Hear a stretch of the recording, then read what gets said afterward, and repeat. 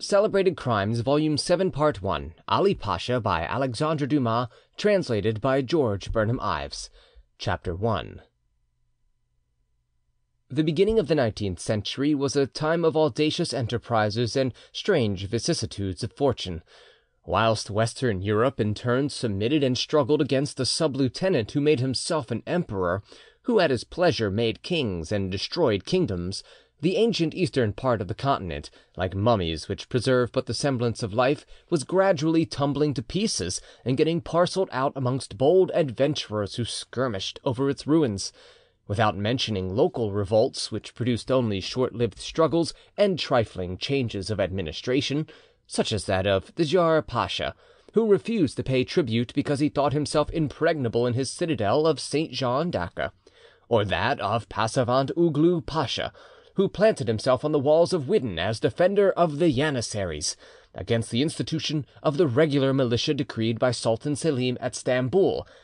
There were wider spread rebellions which attacked the constitution of the Turkish Empire and diminished its extent, amongst them that of Czerny George, which raised Servia to the position of a free state; of Mahomet Ali, who made his pashalik of Egypt into a kingdom and finally that of the man whose history we are about to narrate, Ali Tepeleni, Pasha of Janina, whose long resistance to the suzerain power preceded and brought about the regeneration of Greece.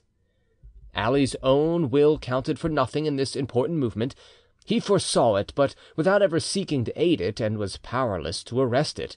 He was not one of those men who place their lives and services at the disposal of any cause indiscriminately and his sole aim was to acquire and increase a power of which he was both the guiding influence and the end and object. His nature contained the seeds of every human passion, and he devoted all his long life to their development and gratification. This explains his whole temperament. His actions were merely the natural outcome of his character confronted with circumstances. Few men have understood themselves better, or been on better terms with the orbit of their existence and as the personality of an individual is all the more striking in proportion as it reflects the manners and ideas of the time and country in which he has lived, so the figure of Ali Pasha stands out, if not one of the most brilliant, at least one of the most singular in contemporary history. From the middle of the eighteenth century, Turkey had been a prey to the political gangrene of which she is vainly trying to cure herself to day, and which before long will dismember her in the sight of all Europe. Anarchy and disorder reigned from one end of the empire to the other. The Osmanli race, bred on conquest alone, proved good for nothing when conquest failed. It naturally therefore came to pass when Sobieski, who saved Christianity under the walls of Vienna as before his time Charles Martel had saved it on the plains of Poitiers, had set bounds to the wave of Mussulman westward invasion, and definitely fixed a limit which it should not pass that the Osmanli warlike instincts recoiled upon themselves. The haughty descendants of Ertogrul, who considered themselves born to command, seeing victory forsake them, fell back upon tyranny. Vainly did reason expostulate that oppression could not long be exercised by hands which had lost their strength, and that peace imposed new and different labours on those who no longer triumphed in war. They would listen to nothing, and as fatalistic when condemned to a state of peace as when they marched forth conquering and to conquer, they cowered down a magnificent listlessness, leaving the whole burden of their support on conquered peoples. Like ignorant farmers who exhaust fertile fields by forcing crops, they rapidly ruined their vast and rich empire by exorbitant exactions. Inexorable conquerors and insatiable masters, with one hand they flogged their slaves, and with the other plundered them. Nothing was superior to their insolence, nothing on a level with their greed. They were never glutted and never relaxed their extortions, but in proportion as their needs increased on the one hand, so did their resources diminish on the other. Their oppressed subjects soon found that they must escape at any cost from oppressors whom they could neither appease nor satisfy. Each population took the steps best suited to its position and character. Some chose inertia, others violence. The inhabitants of the plains, powerless and shelterless, bent like reeds before the storm and evaded the shock against which they were unable to stand. The mountaineers planted themselves like rocks in a torrent, and dammed its course with all their might. On both sides arose a determined resistance, different in method, similar in result. In the case of the peasants, labour came to a standstill; in that of the hill folk, open war broke out. The grasping exactions of the tyrant dominant body produced nothing from wastelands and armed mountaineers; destitution and revolt were equally beyond their power to cope with, and all that was left for tyranny to govern was a desert enclosed by a wall. But all the same, the wants of a magnificent sultan, descendant of the Prophet and distributor of crowns, must be supplied, and to do this the Sublime Porte needed money. Unconsciously imitating the Roman Senate, the Turkish Divan put up the empire for sale by public auction. All employments were sold to the highest bidder; pashas, beys, cadis, ministers of every rank, and clerks of every class had to buy their posts from their sovereign and get the money back out of his subjects. They spent their money in the capital and recuperated themselves in the provinces; and as there was no other law than their master's pleasure, so there was no other guarantee than his caprice. They had therefore to set quickly to work; the post might be lost before its cost had been recovered.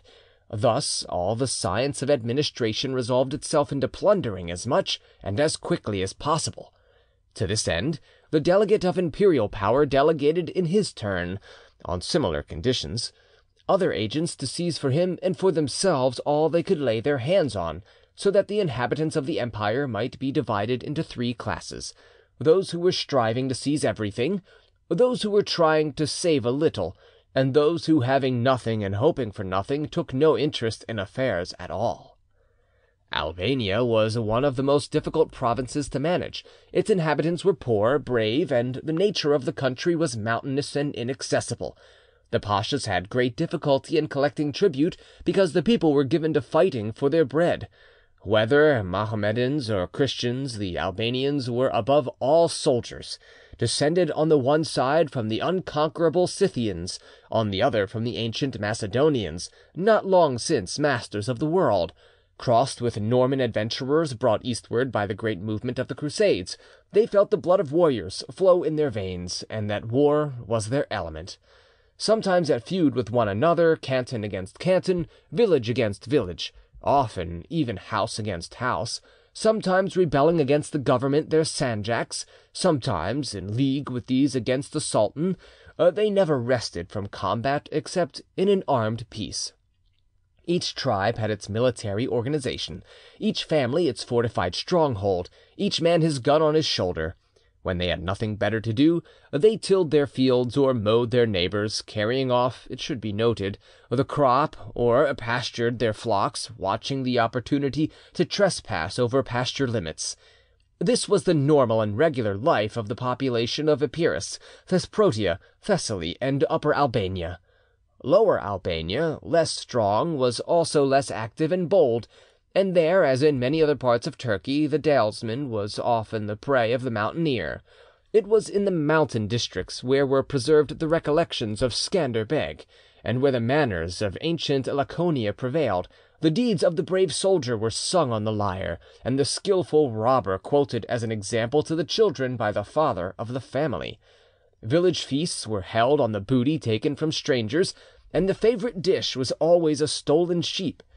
Every man was esteemed in proportion to his skill and courage, and a man's chances of making a good match were greatly enhanced when he acquired the reputation of being an agile mountaineer and a good bandit.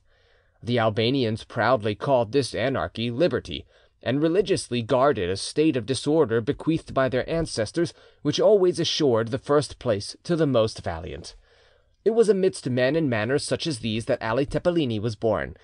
He boasted that he belonged to the conquering race, and that he descended from an ancient Anatolian family which had crossed into Albania with the troops of Bajazet Ilderim; but it is made certain by the learned researches of M. de Pouqueville that he sprang from a native stock, and not an Asiatic one, as he pretended. His ancestors were Christian Skipetars, who became Mussulmans after the Turkish invasion, and his ancestry certainly cannot be traced farther back than the end of the sixteenth century. Mouktar Tepeleni, his grandfather, perished in the Turkish expedition against Corfu in 1716. Marshal Schulemberg, who defended the island, having repulsed the enemy with loss, took Mouktar prisoner on Mount San Salvador, where he was in charge of a signalling party, and with a barbarity worthy of his adversaries hung him without trial. It must be admitted that the memory of this murder must have had the effect of rendering Ali badly disposed towards Christians. Mouktar left three sons, two of whom, Salik and Mahomet, were born of the same mother, a lawful wife, but the mother of the youngest, Veli, was a slave. His origin was no legal bar to his succeeding like his brothers. The family was one of the richest in the town of Tepelen, whose name it bore. It enjoyed an income of six thousand piastres, equal to twenty thousand francs. This was a large fortune in a poor country where all commodities were cheap. But the Tepeleni family, holding the rank of beys, had to maintain a state like that of the great financiers of feudal Europe. They had to keep a large stud of horses, with a great retinue of servants and men at arms, and consequently to incur heavy expenses. Thus they constantly found their revenue inadequate. The most natural means of raising it which occurred to them was to diminish the number of those who shared it. Therefore two elder brothers, sons of the wife, combined against Veli, the son of the slave, and drove him out of the house. The latter, forced to leave home, bore his fate like a brave man, and determined to levy exactions on others to compensate him for the losses incurred through his brothers. He became a freebooter, patrolling high roads and lanes, with his gun on his shoulder and his yataghan in his belt, attacking, holding for ransom, or plundering all whom he encountered. After some years of this profitable business, he found himself a wealthy man and chief of a warlike band. Judging that the moment for vengeance had arrived, he marched for Tepelen, which he reached unsuspected, crossed the river Vojutza, the ancient Aus, penetrated the streets unresisted, and presented himself before the paternal house, in which his brothers, forewarned, had barricaded themselves. He at once besieged them, soon forced the gates, and pursued them to a tent, in which they took a final refuge. He surrounded this tent, waited till they were inside it, and then set fire to the four corners. "See," said he to those around him, "they cannot accuse me of vindictive reprisals; my brothers drove me out of doors, and I retaliate by keeping them at home forever." In a few moments he was his father's sole heir and master of Tepelen. Arrived at the summit of his ambition, he gave up freebooting and established himself in the town, of which he became chief ergo. He had already a son by a slave, who soon presented him with another son, and afterwards with a daughter, so that he had no reason to fear dying without an heir. But finding himself rich enough to maintain more wives and bring up many children, he desired to increase his credit by allying himself to some great family of the country. He therefore solicited and obtained the hand of Kamco, daughter of a bey of Kanitza. This marriage attached him by the ties of relationship to the principal families of the province, among others to Kourd Pacha, Vizier of Surat, who was descended from the illustrious race of Skander Beg. After a few years, Veli had by his new wife a son named Ali, the subject of this history, and a daughter named Kianitza. In spite of his intentions to reform, Veli could not entirely give up his old habits. Although his fortune placed him altogether above small gains and losses, he continued to amuse himself by raiding from time to time sheeps, goats, and other perquisites, probably to keep his hand in. This innocent exercise of his taste was not to the fancy of his neighbours, and brawls and fights recommenced in fine style. Fortune did not always favour him, and the old mountaineer lost in the town part of what he had made on the hills. Vexations soured his temper and injured his health. Notwithstanding the injunctions of Mahomet, he sought consolation in wine, which soon closed his career. He died in 1754. End of chapter one. Chapter two. Ali, thus at thirteen years of age, was free to indulge in the impetuosity of his character. From his early youth he had manifested a mettle and activity rare in young Turks. Haughty by nature and self restrained by education, scarcely out of the nursery, he spent his time in climbing mountains, wandering through forests, scaling precipices, rolling in snow, inhaling the wind, defying the tempests, breathing out his nervous energy through every pore. Possibly he learnt in the midst of every kind of danger to brave everything and subdue everything. Possibly in sympathy with the majesty of nature, he felt aroused in him a need of personal grandeur which nothing could satiate. In vain his father sought to calm his savage temper and restrain his vagabond spirit; nothing was of any use. As obstinate as intractable, he set at defiance all efforts and all precautions. If they shut him up, he broke the door or jumped out of the window. If they threatened him, he pretended to comply, conquered by fear, and promised everything that was required, but only to break his word the first opportunity. He had a tutor specially attached to his person and charged to supervise all his actions. He constantly deluded him by fresh tricks, and when he thought himself free from the consequences, he maltreated him with gross violence. It was only in his youth, after his father's death, that he became more manageable. He even consented to learn to read, to please his mother, whose idol he was, and to whom in return he gave all his affection. If Kamco had so strong a liking for Ali, it was because she found in him not only her blood, but also her character. During the lifetime of her husband, whom she feared, she seemed only an ordinary woman, but as soon as his eyes were closed she gave free scope to the violent passions which agitated her bosom. Ambitious, bold, vindictive, she assiduously cultivated the germs of ambition, hardihood, and vengeance, which already strongly showed themselves in the young Ali. "My son," she was never tired of telling him, "he who cannot defend his patrimony richly deserves to lose it. Remember that the property of others is only theirs so long as they are strong enough to keep it, and that when you find yourself strong enough to take it from them, it is yours. Success justifies everything and everything is permissible to him who has the power to do it." Ali, when he reached the zenith of his greatness, used to declare that his success was entirely his mother's work. "I owe everything to my mother," he said one day to the French consul, "for my father, when he died, left me nothing but a den of wild beasts and a few fields. My imagination, inflamed by the counsels of her who has given me life twice over, since she has made me both a man and a vizier, revealed to me the secret of my destiny. Thenceforward I saw nothing in Tepelen but the natal air from which I was to spring on the prey which I devoured mentally. I dreamt of nothing else but power, treasures, palaces, in short, what time has realised and still promises, for the point I have now reached is not the limit of my hopes." Kamco did not confine herself to words. She employed every means to increase the fortune of her beloved son, and to make him a power. Her first care was to poison the children of Veli's favourite slave, who had died before him. Then, at ease about the interior of her family, she directed her attention to the exterior. Renouncing all the habit of her sex, she abandoned the veil and the distaff, and took up arms, under pretext of maintaining the rights of her children. She collected round her her husband's old partisans, whom she attached to her service, some by presents, others by various favours, and she gradually enlisted all the lawless and adventurous men in Toscaria.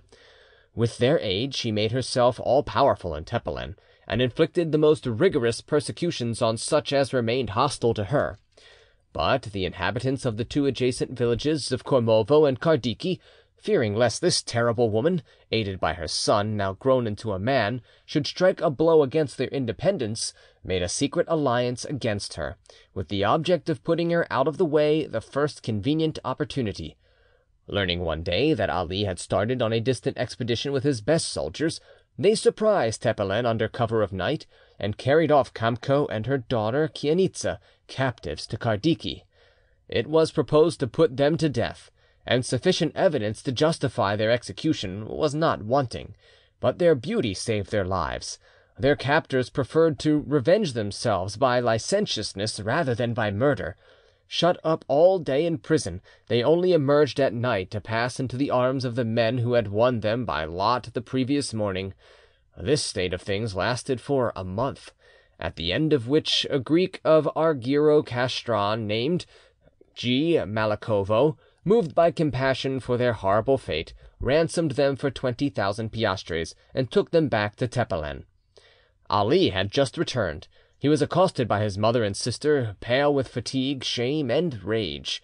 They told him what had taken place, with cries and tears, and Kamco added, fixing her distracted eyes upon him, My son, my son, my soul will enjoy no peace till Kormovo and Kardiki, destroyed by thy scimitar, will no longer exist to bear witness to my dishonour." Ali, in whom this sight and this story had aroused sanguinary passions, promised a vengeance proportioned to the outrage, and worked with all his might to place himself in a position to keep his word. A worthy son of his father, he had commenced life in the fashion of the heroes of ancient Greece, stealing sheep and goats, and from the age of fourteen years he had acquired an equal reputation to that earned by the son of Jupiter and Maia. When he grew to manhood, he extended his operations. At the time of which we are speaking he had long practised open pillage. His plundering expeditions, added to his mother's savings, who since her return from Kardiki had altogether withdrawn from public life and devoted herself to household duties, enabled him to collect a considerable force for an expedition against Kormovo, one of the two towns he had sworn to destroy. He marched against it at the head of his banditti, but found himself vigorously opposed, lost part of his force, and was obliged to save himself and the rest by flight. He did not stop till he reached Tepelen, where he had a warm reception from Kamco, whose thirst for vengeance had been disappointed by his defeat. "Go," said she, "go, coward, go spin with the women in the harem. The distaff is a better weapon for you than the scimitar."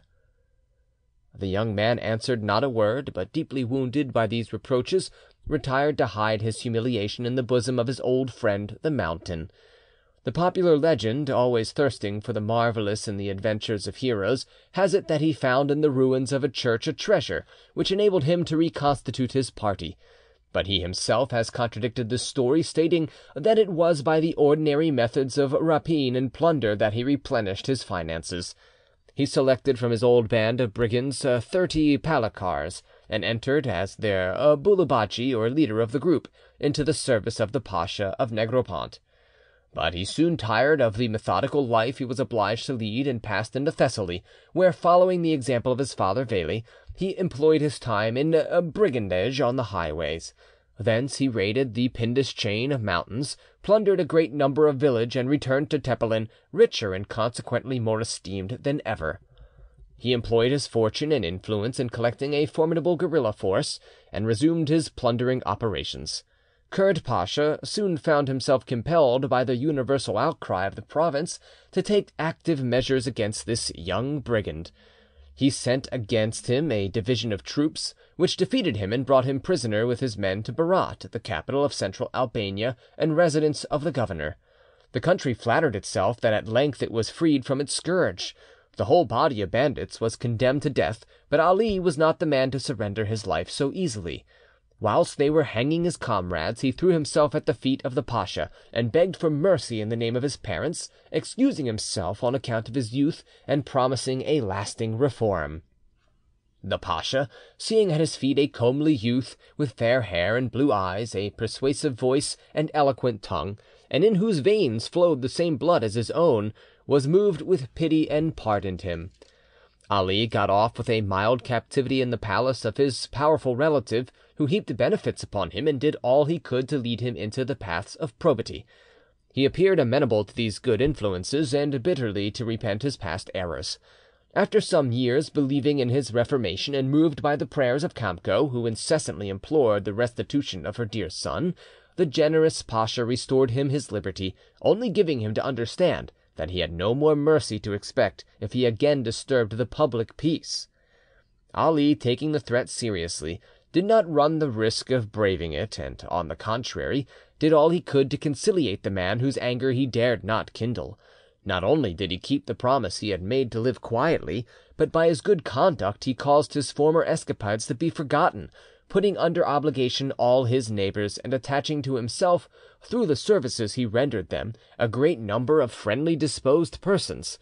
In this manner he soon assumed a distinguished and honourable rank among the beys of the country, and being of marriageable age, he sought and formed an alliance with the daughter of Capelan Tigre, Pasha of Delvino, who resided at Argyro Castron. This union, happy on both sides, gave him with one of the most accomplished women in Epirus a high position and great influence. It seemed as if this marriage were destined to wean Ali for ever from his former turbulent habits and wild adventures. but the family into which he had married afforded violent contrasts and equal elements of good and mischief. If Emineh, his wife, was a model of virtue, his father in law, Capelan, was a composition of every vice: selfish, ambitious, turbulent, fierce. Confident in his courage, and further emboldened by his remoteness from the capital, the Pacha of Delvino gloried in setting law and authority at defiance. Ali's disposition was too much like that of his father in law to prevent him from taking his measure very quickly. He soon got on good terms with him and entered into his schemes, waiting for an opportunity to denounce him and become his successor. For this opportunity he had not long to wait. Capelan's object in giving his daughter to Tepeleni was to enlist him among the beys of the province to gain independence, the ruling passion of viziers. The cunning young man pretended to enter into the views of his father in law and did all he could to urge him into the path of rebellion. An adventurer named Stephano Piccolo, an emissary of Russia, had just raised in Albania the standard of the cross and called to arms all the Christians of the Acroceraunian mountains. The Divan sent orders to all the pachas of northern Turkey and Europe to instantly march against the insurgents and quell the rising in blood. Instead of obeying the orders of the Divan and joining Kurd Pacha, who had summoned him, Capelan, at the instigation of his son in law, did all he could to embarrass the movement of the imperial troops, and without openly making common cause with the insurgents, he rendered them substantial aid in their resistance. They were, notwithstanding, conquered and dispersed, and their chief, Stephano Piccolo, had to take refuge in the unexplored caves of Montenegro. When the struggle was over, Capelan, as Ali had foreseen, was summoned to give an account of his conduct before uh, the Rumuli Valisi, supreme judge over Turkey and Europe. He was not only accused of the gravest offences, but proofs of them were forwarded to the Divan by the very man who had instigated them. There could be no doubt as to the result of the inquiry. Therefore the pacha, who had no suspicions of his son in law's duplicity, determined not to leave his pachalik. That was not in accordance with the plans of Ali, who wished to succeed to both the government and the wealth of his father in law. He accordingly made the most plausible remonstrances against the inefficacy and danger of such a resistance. To refuse to plead was tantamount to a confession of guilt, and was certain to bring on his head a storm against which he was powerless to cope; whilst, if he obeyed the orders of the Rumili Valisi, he would find it easy to excuse himself. To give more effect to his perfidious advice, Ali further employed the innocent Emineh, who was easily alarmed on her father's account. Overcome by the reasoning of his son in law and the tears of his daughter, the unfortunate pacha consented to go to Monastir, where he had been summoned to appear, and where he was immediately arrested and beheaded. Ali's schemes had succeeded, but both his ambition and his cupidity were frustrated. Ali, Bey of Argyro Castron, who had throughout shown himself devoted to the sultan, was nominated Pacha of Delvino in place of Capelan. He sequestered all the property of his predecessor as confiscated to the sultan, and thus deprived Ali Tepeleni of all the fruits of his crime. This disappointment kindled the wrath of the ambitious Ali. He swore vengeance for the spoliation of which he considered himself the victim. But the moment was not favourable for putting his projects in train. The murder of Capelan, which its perpetrator intended for a mere crime, proved a huge blunder. The numerous enemies of Tepeleni, silent under the administration of the late pacha, whose resentment they had cause to fear, soon made common cause under the new one, for whose support they had hopes. Ali saw the danger, sought and found the means to obviate it he succeeded in making a match between Ali of Argyro Castron, who was unmarried, and Chainitza, his own sister. This alliance secured to him the government of Tiger, which he held under Capelan. But that was not sufficient; he must put himself in a state of security against the dangers he had lately experienced, and establish himself on a firm footing against possible accidents. He soon formed a plan, which he himself described to the French consul in the following words: "Years were elapsing," said he, "and brought no important change in my position. I was an important partisan, it is true, and strongly supported, but I held no title or government employment of my own. I recognised the necessity of establishing myself firmly in my birthplace. I had devoted friends and formidable foes, bent on my destruction. whom I must put out of the way for my own safety. I set about a plan for destroying them at one blow, and ended by devising one with which I ought to have commenced my career. Had I done so, I should have saved much time and pains. I was in the habit of going every day after hunting for a siesta in a neighbouring wood. A confidential servant of mine suggested to my enemies the idea of surprising me and assassinating one there. I myself supplied the plan of the conspiracy, which was adopted. On the day agreed upon, I preceded my adversaries to the place where I was accustomed to repose, and caused a goat to be pinioned and muzzled, and fastened under the tree, covered with my cape. I then returned home by a roundabout path. Soon after I had left, the conspirators arrived and fired a volley at the goat. they ran up to make certain of my death, but were interrupted by a piquet of my men, who unexpectedly emerged from a copse where I had posted them, and they were obliged to return to Tepelen, which they entered, riotous with joy, crying, "Ali Bey is dead! Now we are free!" This news reached my harem, and I heard the cries of my mother and my wife mingled with the shouts of my enemies. I allowed the commotion to run its course and reach its height, so as to indicate which were my friends and which my foes. But when the former were at the depth of their distress, and the latter at the height of their joy, and exulting in their supposed victory, had drowned their prudence and their courage in floods of wine, then, strong in the justice of my cause, I appeared upon the scene. Now was the time for my friends to triumph and for my foes to tremble. I set to work at the head of my partisans, and before sunrise had exterminated the last of my enemies. I distributed their lands, their houses, and their goods amongst my followers, and from that moment I could call the town of Tepelen my own. A less ambitious man might perhaps have remained satisfied with such a result, but Ali did not look upon the suzerainty of a canton as a final object, but only as a means to an end, and he had not made himself master of Tepelen to limit himself to a petty state, but to employ it as a base of operations. He had allied himself to Ali of Argyro Castron to get rid of his enemies. Once free from them, he began to plot against his supplanter. He forgot neither his vindictive projects nor his ambitious schemes. As prudent in execution as bold in design, he took good care not to openly attack a man stronger than himself, and gained by stratagem what he could not obtain by violence. The honest and straightforward character of his brother-in-law afforded an easy success to his perfidy. He began by endeavouring to suborn his sister Chainitza, and several times proposed to her to poison her husband. But she, who dearly loved the pasha, who was a kind husband and to whom she had borne two children, repulsed his suggestions with horror, and threatened, if he persisted, to denounce him. Ali, fearing the consequences if she carried out her threat, begged forgiveness for his wicked plans, pretended deep repentance, and spoke of his brother-in-law in terms of the warmest affection. His acting was so consummate that even Chainitza, who well knew her brother's subtle character, was deceived by it.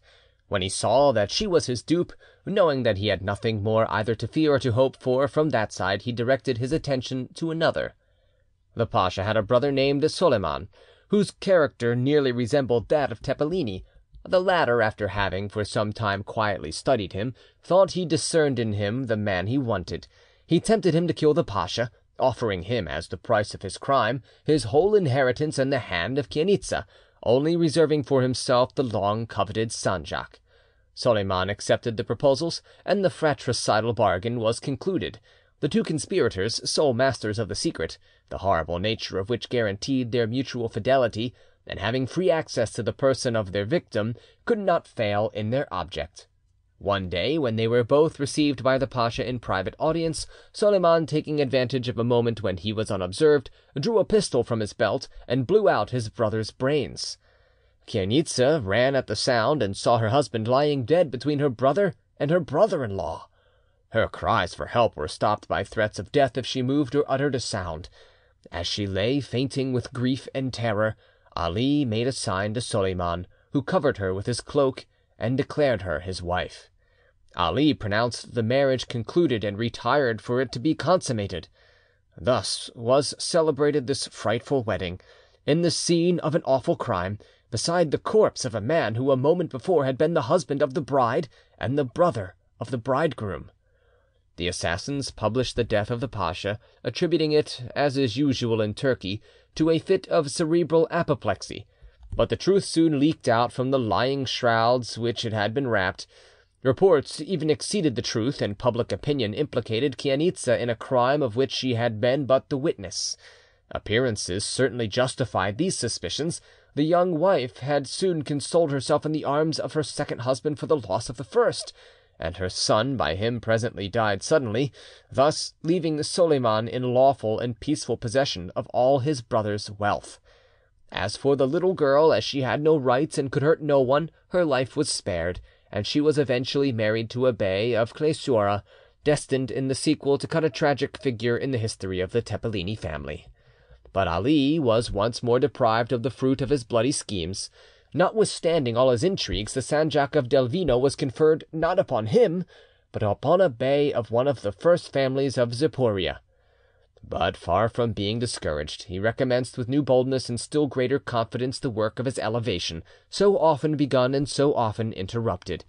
He took advantage of his increasing influence to ingratiate himself with the new pasha, and was so successful in insinuating himself into his confidence that he was received into the palace and treated like the pasha's son. There he acquired complete knowledge of the details of the pashalik and the affairs of the pasha, preparing himself to govern the one when he had got rid of the other. The sanjak of Delvino was bounded from Venetian territory by the district of Buthrotum. Selim, a better neighbour and an abler politician than his predecessors, sought to renew and preserve friendly commercial relations with the purveyors of the magnificent republic. This wise conduct, equally advantageous for both the bordering provinces, instead of gaining for the pasha the praise and favours which he deserved, rendered him suspected at a court whose sole political idea was hatred of the name of Christian, and whose sole means of government was terror. Ali immediately perceived the pasha's error and the advantage which he himself could derive from it. Selim, as one of his commercial transactions with the Venetians, had sold them for a number of years the right of felling timber in a forest near Lake Reloda. Ali immediately took advantage of this to denounce the pasha as guilty of having alienated the territory of the Sublime Porte, and of a desire to deliver to the infidels all the province of Delvino. Masking his ambitious designs under the veil of religion and patriotism, he lamented in his denunciatory report the necessity under which he found himself as a loyal subject and faithful Mussulman of accusing a man who had been his benefactor, and thus at the same time gained the benefit of crime and the credit of virtue. Under the gloomy despotism of the Turks, a man in any position of responsibility is condemned almost as soon as accused and if he is not strong enough to inspire terror his ruin is certain.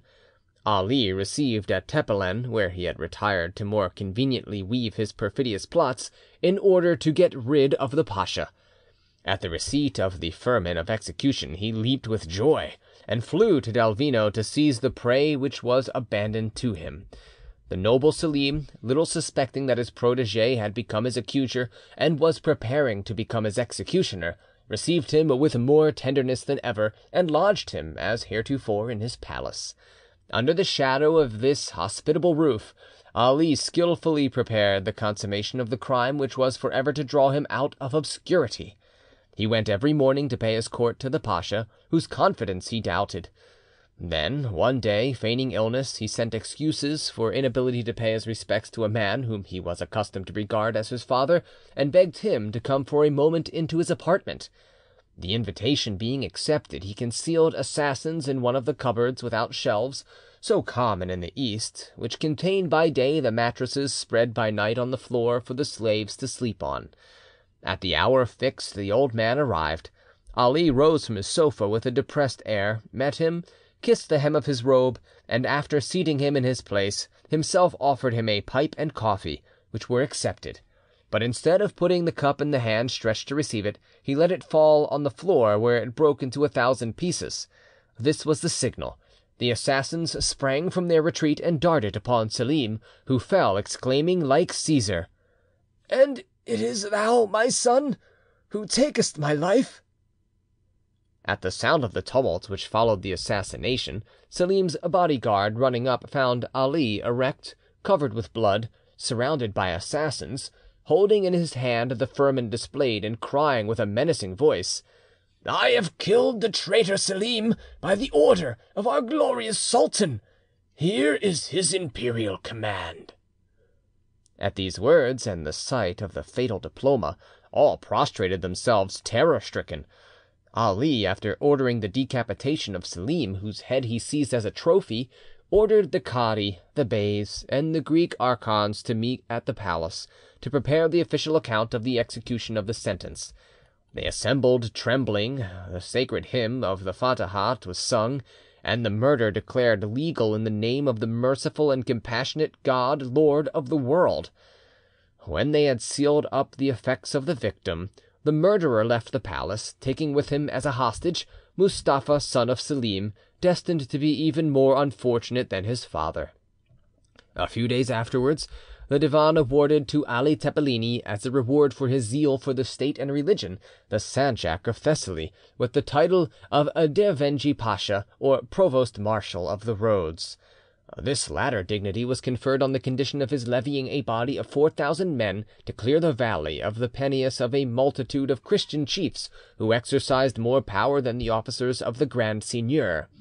The new pasha took advantage of this to enlist a numerous body of Albanians ready for any enterprise, and completely devoted to him. With two important commands, and with this strong force at his back, he repaired to Trikala, the seat of his government, where he speedily acquired great influence. His first act of authority was to exterminate the bands of Armatolis, or Christian militia, which infested the plain. He laid violent hands on all whom he caught, and drove the rest back into their mountains, splitting them up into small bands, whom he could deal with at his pleasure. At the same time he sent a few heads to Constantinople to amuse the sultan and the mob, and some money to the ministers to gain their support. "For," said he, "water sleeps, but envy never does." These steps were prudent, and whilst his credit increased at court, order was re established from the deep defiles of the Perrhebia of Pindus to the vale of Tempe and to the pass of Thermopylae. These exploits of the provost marshal, amplified by Oriental exaggeration, justified the ideas which were entertained of the capacity of Ali Pasha. Impatient of celebrity, he took good care himself to spread his fame, relating his prowess to all comers, making presents to the sultan's officers who came into his government, and showing travellers his palace courtyard festooned with decapitated heads. But what chiefly tended to consolidate his power was the treasure which he ceaselessly amassed by every means.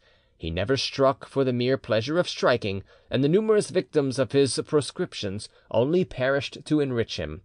His death sentences always fell on beys and wealthy persons whom he wished to plunder.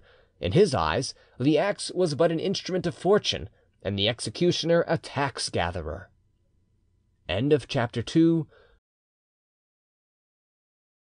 Chapter 3 Having governed Thessaly in this manner during several years, Ali found himself in a position to acquire the province of Janina, the possession of which, by making him master of Epirus, would enable him to crush all his enemies and to reign supreme over the three divisions of Albania. But before he could succeed in this, it was necessary to dispose of the pasha already in possession. Fortunately for Ali, the latter was a weak and indolent man, quite incapable of struggling against so formidable a rival, and his enemy speedily conceived and put into execution a plan intended to bring about the fulfilment of his desires. He came to terms with the same Armatolians whom he had formerly treated so harshly, and let them loose, provided with arms and ammunition, on the country which he wished to obtain. Soon the whole region echoed with stories of devastation and pillage. The pasha, unable to repel the incursions of these mountaineers, employed the few troops he had in oppressing the inhabitants of the plains, who, groaning under both extortion and rapine, vainly filled the air with their despairing cries. Ali hoped that the Divan, which usually judged only after the event, seeing that Epirus lay desolate while Thessaly flourished under his own administration, would before long entrust himself with the government of both provinces, when a family incident occurred which for a time diverted the course of his political manoeuvres. For a long time his mother Kamco had suffered from an internal cancer, the result of a life of depravity. Feeling that her end drew near, she despatched messenger after messenger, summoning her son to her bedside. He started, but arrived too late, and found only his sister Chainitza mourning over the body of their mother who had expired in her arms an hour previously. Breathing unutterable rage and pronouncing horrible imprecations against Heaven, Kamco had commanded her children, under pain of her dying curse, to carry out her last wishes faithfully. After having long given way to their grief, Ali and Chainitza read together the document which contained these commands.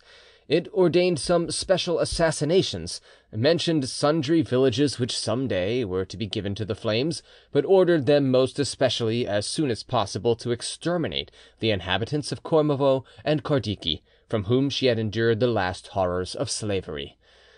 Then, after advising her children to remain united, to enrich their soldiers, and to count as nothing people who were useless to them, Kamco ended by commanding them to send in her name a pilgrim to Mecca who should deposit an offering on the tomb of the Prophet for the repose of her soul. Having perused these last injunctions, Ali and Chainitza joined hands, and over the inanimate remains of their departed mother swore to accomplish her dying behests. The pilgrimage came first under consideration. Now a pilgrim can only be sent as proxy to Mecca, or offerings be made at the tomb of Medina at the expense of legitimately acquired property duly sold for the purpose. The brother and sister made a careful examination of the family estates, and after long hunting, thought they had found the correct thing in a small property of about fifteen hundred franc income, inherited from their great grandfather, founder of the Tepelenian dynasty. But further investigations disclosed that even this last recourse had been forcibly taken from a Christian, and the idea of a pious pilgrimage and a sacred offering had to be given up. They then agreed to atone for the impossibility of expiation by the grandeur of their vengeance, and swore to pursue without ceasing and to destroy without mercy all enemies of their family.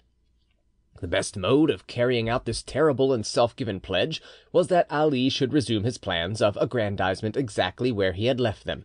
He succeeded in acquiring the pashalik of Janina, which was granted him by the Porte under the title of arpalik or conquest. It was an old custom, natural to the warlike habits of the Turks, to bestow the government provinces or towns affecting to despise the authority of the Grand Seigneur on whomsoever succeeded in controlling them, and Janina occupied this position. It was principally inhabited by Albanians, who had an enthusiastic admiration for anarchy, dignified by them with the name of liberty, and who thought themselves independent in proportion to the disturbance they succeeded in making. Each lived retired as if in a mountain castle, and only went out in order to participate in the quarrels of his faction in the forum. As for the pashas, they were relegated to the old castle on the lake, and there was no difficulty in obtaining their recall. Consequently, there was a general outcry at the news of Ali Pasha's nomination, and it was unanimously agreed that a man whose character and power were alike dreaded must not be admitted within the walls of Janina. Ali, not choosing to risk his forces in an open battle with a warlike population, and preferring a slower and safer way to a short and dangerous one, began by pillaging the villages and farms belonging to his most powerful opponents. His tactics succeeded, and the very persons who had been foremost in vowing hatred to the son of Kamco, and who had sworn most loudly that they would die rather than submit to the tyrant, seeing their property daily ravaged, and impending ruin if hostilities continued, applied themselves to procure peace.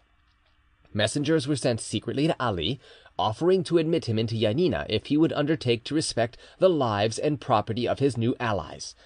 Ali promised whatever they asked, and entered the town by night. His first proceeding was to appear before the cadi, whom he compelled to register and proclaim his firmans of investiture. In the same year in which he arrived at this dignity, really the desire and object of Ali's whole life, occurred also the death of the Sultan Abdul Hamid, whose two sons, Mustapha and Mahmoud, were confined in the old seraglio. This change of rulers, however, made no difference to Ali. The peaceful Selim, exchanging the prison to which his nephews were now relegated for the throne of their father, confirmed the Pasha of Janina in the titles, offices, and privileges which had been conferred on him. Establishing in his position by this double investiture, Ali applied himself to the definite settlement of his claims. He was now fifty years of age, and was at the height of his intellectual development. Experience had been his teacher, and the lesson of no single event had been lost upon him. An uncultivated but just and penetrating mind enabled him to comprehend facts, analyse causes, and anticipate results; and as his heart never interfered with the deductions of his rough intelligence, he had by a sort of logical sequence formulated an inflexible plan of action. This man, wholly ignorant not only of the ideas of history but also of the great names of Europe, had succeeded in divining, and, as a natural consequence of his active and practical character, in also realising Machiavelli, as is amply shown in the expansion of his greatness and the exercise of his power.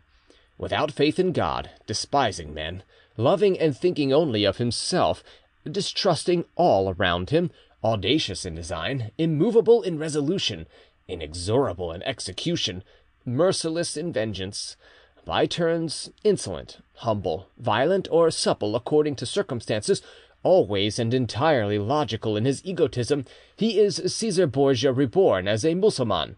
He is the incarnate ideal of Florentine policy, the Italian prince converted into a satrap. Age had as yet in no way impaired Ali's strength and activity, and nothing prevented his profiting by the advantages of his position. Already possessing great riches, which every day saw increasing under his management, he maintained a large body of warlike and devoted troops. He united the offices of Pacha of Two Tails, of Janina, of Toparch of Thessaly, and of Provost Marshal of the Highway. As influential aids both to his reputation for general ability and the terror of his arms, and his authority as ruler, there stood by his side two sons, Mouktar and Veli, offspring of his wife Emineh, both fully grown and carefully educated in the principles of their father. Ali's first care, once master of Janina, was to annihilate the beys forming the aristocracy of the place, whose hatred he was well aware of, and whose plots he dreaded. He ruined them all, banishing many and putting others to death. Knowing that he must make friends to supply the vacancy caused by the destruction of his foes, he enriched with the spoil the Albanian mountaineers in his pay, known by the name of Skipetars, on whom he conferred most of the vacant employments. But much too prudent to allow all the power to fall into the hands of a single caste, although a foreign one to the capital, he by singular innovation added to and mixed with them an infusion of orthodox Greeks, a skilful but despised race, whose talents he could use without having to dread their influence. While thus endeavouring on one side to destroy the power of his enemies by depriving them of both authority and wealth, and on the other to consolidate his own by establishing a firm administration, he neglected no means of acquiring popularity. A fervent disciple of Mahomet when among fanatic Mussulmans, a materialist with the Bektagis, who professed a rude pantheism, a Christian among the Greeks, with whom he drank to the health of the Holy Virgin, he made everywhere partisans by flattering the idea most in vogue. But if he constantly changed both opinions and language when dealing with subordinates whom it was desirable to win over, Ali towards his superiors had one only line of conduct which he never transgressed obsequious towards the Sublime Porte, so long as it did not interfere with his private authority, he not only paid with exactitude all dues to the sultan, to whom he even offered advanced money, but he also pensioned the most influential ministers. He was bent on having no enemies who could really injure his power, and he knew that in an absolute government no conviction can hold its own against the power of gold. Having thus annihilated the nobles, deceived the multitude with plausible words, and lulled to sleep the watchfulness of the Divan, Ali resolved to turn his arms against Kormovo. At the foot of its rocks he had in youth experienced the disgrace of defeat, and during thirty nights Kamco and Chainitza had endured all horrors of outrage at the hands of its warriors. Thus the implacable Pacha had a twofold wrong to punish, a double vengeance to exact. This time, profiting by experience, he called in the aid of treachery. Arrived at the citadel, he negotiated, promised an amnesty, forgiveness for all, actual rewards for some. The inhabitants, only too happy to make peace with so formidable an adversary, demanded and obtained a truce to settle the conditions. This was exactly what Ali expected, and Kormovo, sleeping on the faith of the treaty, was suddenly attacked and taken. All who did not escape by flight perished by the sword in the darkness, or by the hand of the executioner the next morning. Those who had offered violence aforetime to Ali's mother and sister were carefully sought for, and whether convicted or merely accused, were impaled on spits, torn with red hot pincers, and slowly roasted between two fires. The women were shaved and publicly scourged, and then sold as slaves. This vengeance, in which all the nobles of the province had not yet entirely ruined were compelled to assist, was worth a decisive victory to Ali. Towns, cantons, whole districts, overwhelmed with terror, submitted without striking a blow, and his name joined to the recital of a massacre which ranked as a glorious exploit in the eyes of this savage people, echoed like thunder from valley to valley and mountain to mountain. In order that all surrounding him might participate in the joy of his success, Ali gave his army a splendid festival. Of unrivalled activity, and Mohammedan only in name, he himself led the chorus in the Pyrrhic and Klephtic dances, the ceremonials of warriors and of robbers. There was no lack of wine, of sheep, goats, and lambs roasted before enormous fires, made of the debris of the ruined city. Antique games of archery and wrestling were celebrated, and the victors received their prizes from the hand of their chief. The plunder, slaves, and cattle were then shared, and the Tabke, considered as the lowest of the four tribes composing the race of Skipetars, and ranking as the refuse of the army, carried off into the mountains of Acroceraunia doors, windows, nails, and even the tiles of the houses, which were then all surrendered to the flames. However, Ibrahim, the successor and son-in-law of Kurd Pasha, could not see with indifference part of his province invaded by his ambitious neighbour. He complained and negotiated, but obtaining no satisfaction, called out an army composed of Skipetars of Toxid, all Islamites, and gave the command to his brother Sepher Bey of Avlone. Ali, who had adopted the policy of opposing alternately the cross to the crescent and the crescent to the cross, summoned to his aid the Christian chiefs of the mountains, who descended into the plains at the head of their unconquered troops.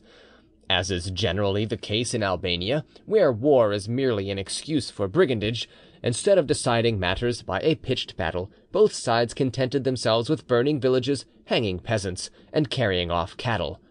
Also in accordance with the custom of the country, the women interposed between the combatants, and the good and gentle Emineh laid proposals of peace before Ibrahim Pasha, to whose apathetic disposition a state of war was disagreeable and who was only too happy to conclude a fairly satisfactory negotiation.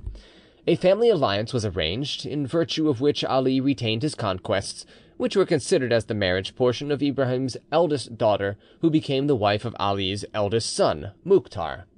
It was hoped that this peace might prove permanent, but the marriage which sealed the treaty was barely concluded before a fresh quarrel broke out between the pashas.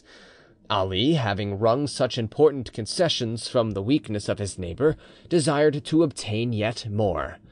But closely allied to Ibrahim were two persons gifted with great firmness of character and unusual ability, whose position gave them great influence.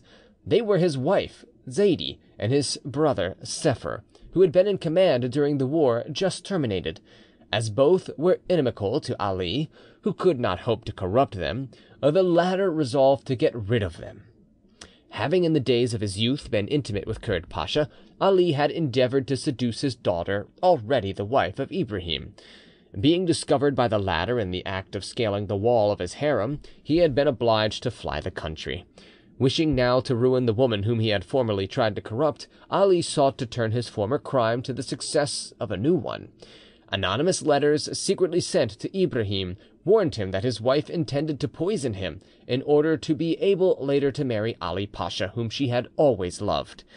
In a country like Turkey, where to suspect a woman is to accuse her, and accusation is synonymous with condemnation, such a calumny might easily cause the death of the innocent Zaidee. But if Ibrahim was weak and indolent, he was also confiding and generous.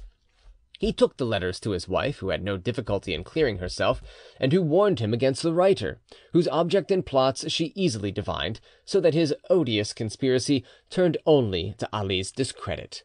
But the latter was not likely either to concern himself as to what others said or thought about him, or to be disconcerted by a failure. he simply turned his machinations against his other enemy, and arranged matters this time so as to avoid a failure.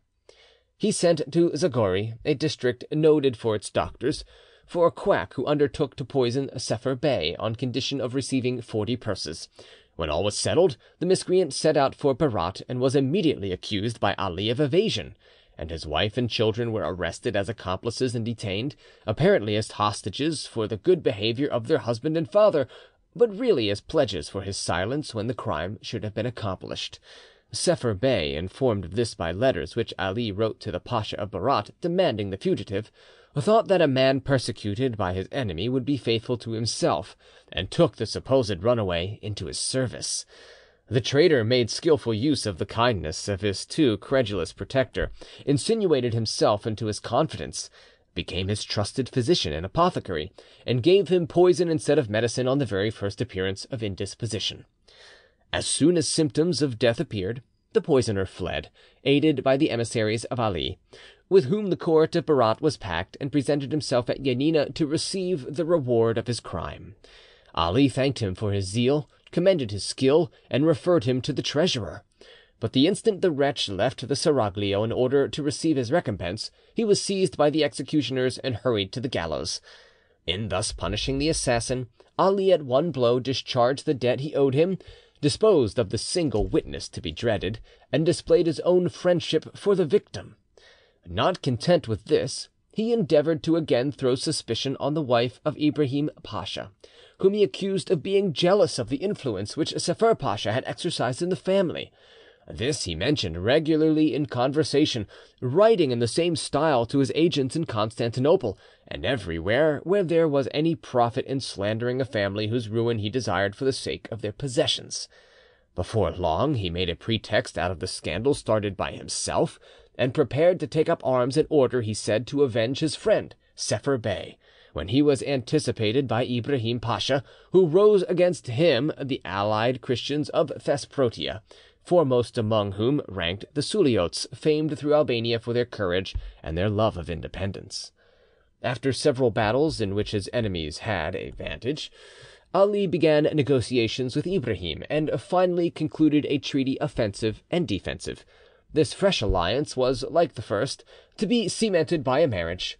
The virtuous Emineh, seeing her son Veli united to the second daughter of Ibrahim, trusted that the feud between the two families was now quenched, and thought herself at the summit of happiness. But her joy was not of long duration. The death groan was again to be heard amidst the songs of the marriage feast. The daughter of Chainitza by her first husband, Ali, had married a certain Murad, the Bey of Clerisoura. The nobleman, attached to Ibrahim Pasha by both blood and affection, since the death of Sepher Bey, had become the special object of Ali's hatred caused by the devotion of Murad to his patron, over whom he had great influence, and from whom nothing could detach him. Skilful in concealing truth under special pretexts, Ali gave out that the cause of his known dislike to this young man was that the latter, although his nephew by marriage, had several times fought in hostile ranks against him. Therefore, the amiable Ibrahim made use of the marriage treaty to arrange an honourable reconciliation between Murad Bey and his uncle, and appointed the former ruler at the marriage feast, in which capacity he was charged to conduct the bride to Janina and deliver her to her husband, the young Veli Bey. He had accomplished this mission satisfactorily, and was received by Ali with all apparent hospitality. The festival began on his arrival towards the end of November 1791, and had already continued several days, when suddenly it was announced that a shot had been fired upon Ali, who had only escaped by a miracle, and that the assassin was still at large. This news spread terror through the city and the palace, and everyone dreaded being seized as the guilty person. Spies were everywhere employed, but they declared search was useless, and that there must have been extensive conspiracy against Ali's life. The latter complained of being surrounded by enemies, and announced that henceforth he would receive only one person at a time, who should lay down his arms before entering the hall now set apart for public audience. It was a chamber built over a vault, and entered by a sort of trap door, only reached by a ladder. After having for several days received his couriers in this sort of uh, dovecot, Ali summoned his nephew in order to entrust with him the wedding gifts. Murad took this as a sign of favour, and joyfully acknowledged the congratulations of his friends. He presented himself at the time arranged. The guards at the foot of the ladder demanded his arms, which he gave up readily, and ascended the ladder full of hope. Scarcely had the trap door closed behind him when a pistol ball, fired from a dark corner, broke his shoulder blade, and he fell, but sprang up and attempted to fly. Ali issued from his hiding place and sprang upon him, but notwithstanding his wound, the young bey defended himself vigorously, uttering terrible cries. The pasha, eager to finish, and finding his hands insufficient, caught a burning log from the hearth, struck his nephew in the face with it, felled him to the ground, and completed his bloody task. This accomplished, Ali called for help with loud cries, and when his guards entered he showed the bruises he had received, and the blood with which he was covered, declaring that he had killed in self-defence a villain who endeavoured to assassinate him. He ordered the body to be searched, and a letter was found in a pocket which Ali had himself just placed there, which purported to give the details of the pretended conspiracy. As Murad's brother was seriously compromised by this letter, he also was immediately seized and strangled without any pretence of trial. The whole palace rejoiced.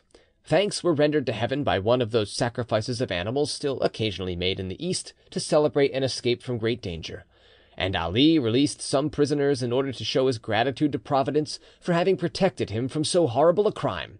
He received congratulatory visits, and composed an apology attested by a judicial declaration by the Cadi, in which the memory of Murad and his brother was declared accursed. Finally, commissioners, escorted by a strong body of soldiers, were sent to seize the property of the two brothers, because, said the decree, it was just that the injured should inherit the possessions of his would-be assassins. Thus was exterminated the only family capable of opposing the Pasha of Janina, or which could counterbalance his influence over the weak Ibrahim of Berat.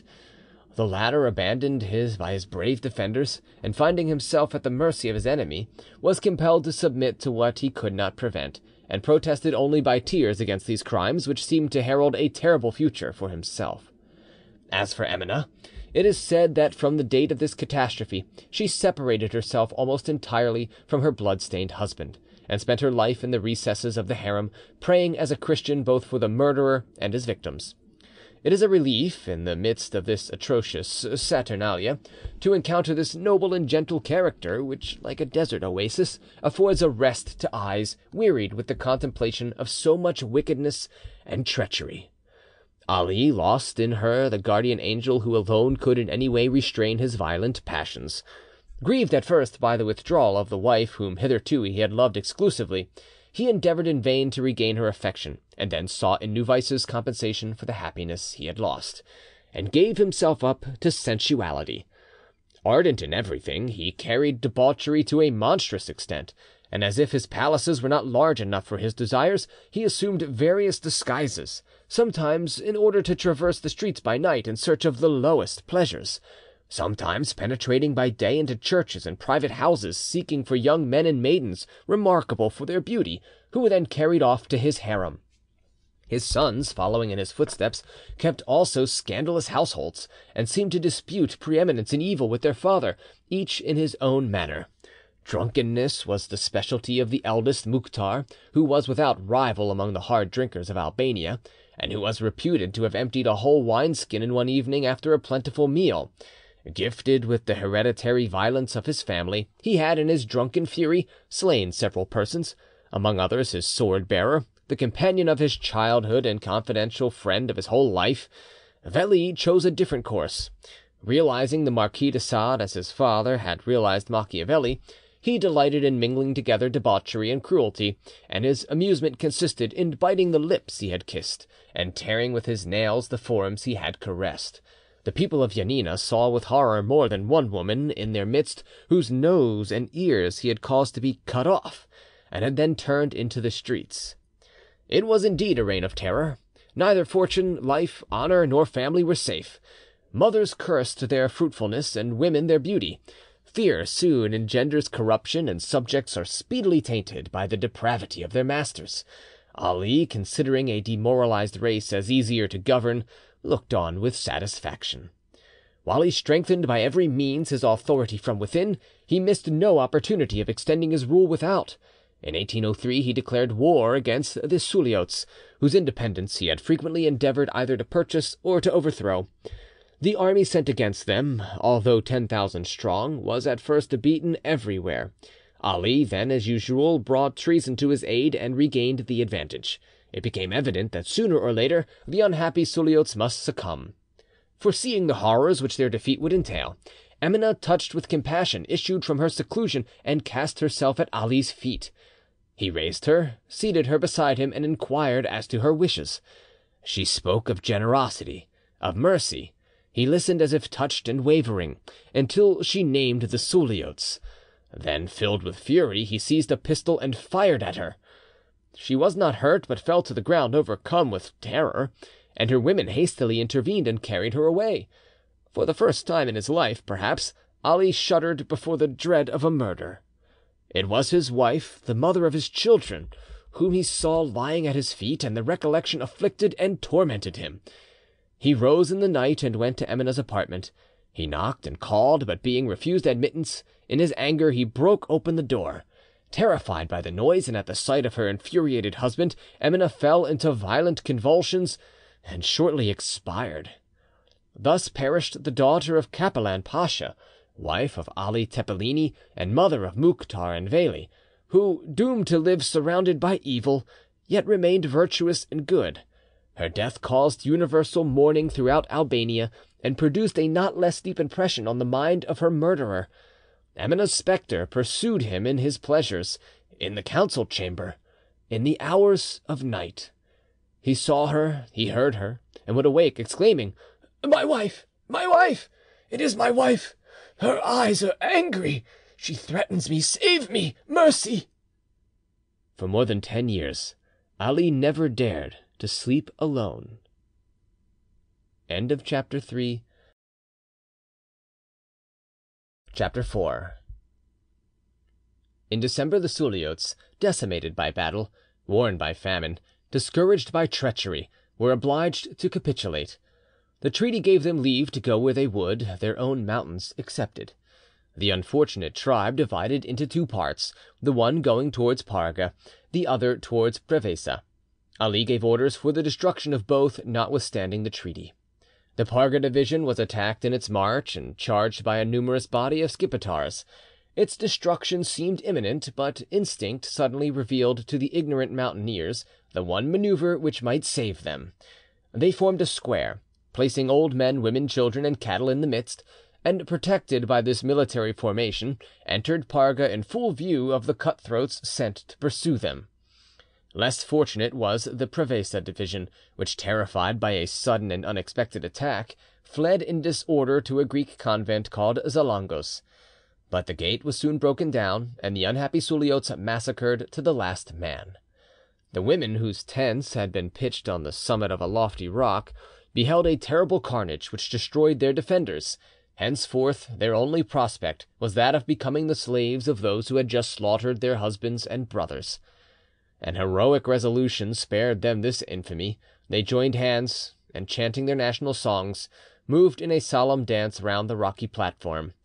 As the song ended, they uttered a prolonged and piercing cry, and cast themselves and their children down into the profound abyss beneath. There were still some Suliots left in their country when Ali Pasha took possession of it. These were all taken and brought to Janina, and their sufferings were the first adornments of the festival made for the army. Every soldier's imagination was racked for the discovery of new tortures, and the most original among them had the privilege of themselves carrying out their inventions. There were some who, having had their noses and ears cut off, were compelled to eat them raw, dressed as a salad. One young man was scalped until the skin fell back upon his shoulders, then beaten round the court of the seraglio for the pasha's entertainment, until at length a lance was run through his body and he was cast on the funeral pile. Many were boiled alive, and their flesh then thrown out to the dogs. From this time the cross has disappeared from the Selleid mountains, and the gentle prayer of Christ no longer wakes the echoes of Suli. During the course of this war, and shortly after the death of Emineh, Another dismal drama was enacted in the pasha's family, whose active wickedness nothing seemed to weary. The scandalous libertinism of both father and sons had corrupted all around as well as themselves. This demoralisation brought bitter fruits for all alike; the subjects endured a terrible tyranny, the masters sowed among themselves distrust, discord, and hatred. The father wounded his two sons by turns in their tenderest affections, and the sons avenged themselves by abandoning their father in the hour of danger. There was in Janina a woman named Euphrosyne, a niece of the archbishop, married to one of the richest Greek merchants and noted for wit and beauty. She was already the mother of two children when Mouktar became enamoured of her, and ordered her to come to his palace. The unhappy Euphrosyne, at once guessing his object, summoned a family council to decide what should be done. All agreed that there was no escape, and that her husband's life was in danger on account of the jealousy of his terrible rival. He fled the city that same night, and his wife surrendered herself to Mouktar, who, softened by her charms, soon sincerely loved her, and overwhelmed her with presents and favours. Things were in this position when Mouktar was obliged to depart on an important expedition. Scarcely had he started before his wives complained to Ali that Euphrosyne usurped their rights, and caused their husband to neglect them. Ali, who complained greatly of his sons' extravagance and regretted the money they squandered, at once struck a blow which was both to enrich himself and increase the terror of his name. One night he appeared by torchlight, accompanied by his guards, at Euphrosyne's house. Knowing his cruelty and avarice, she sought to disarm one by gratifying the other. She collected her money and jewels and laid them at Ali's feet with a look of supplication. "These are only my own property which you restore," said he, taking possession of the rich offering. "Can you give back the heart of Mouktar, which you have stolen?" Euphrosyne besought him by his paternal feelings, for the sake of his son, whose love had been her misfortune and was now her only crime, to spare a mother whose conduct had been otherwise irreproachable.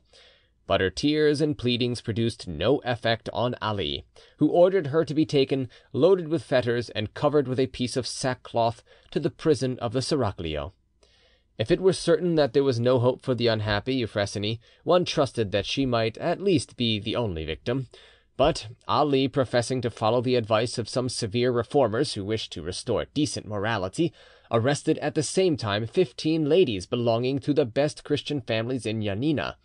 A Wallachian named Nicholas Janco took the opportunity to denounce his own wife, who was on the point of becoming a mother, as guilty of adultery, and handed her also over to the pacha.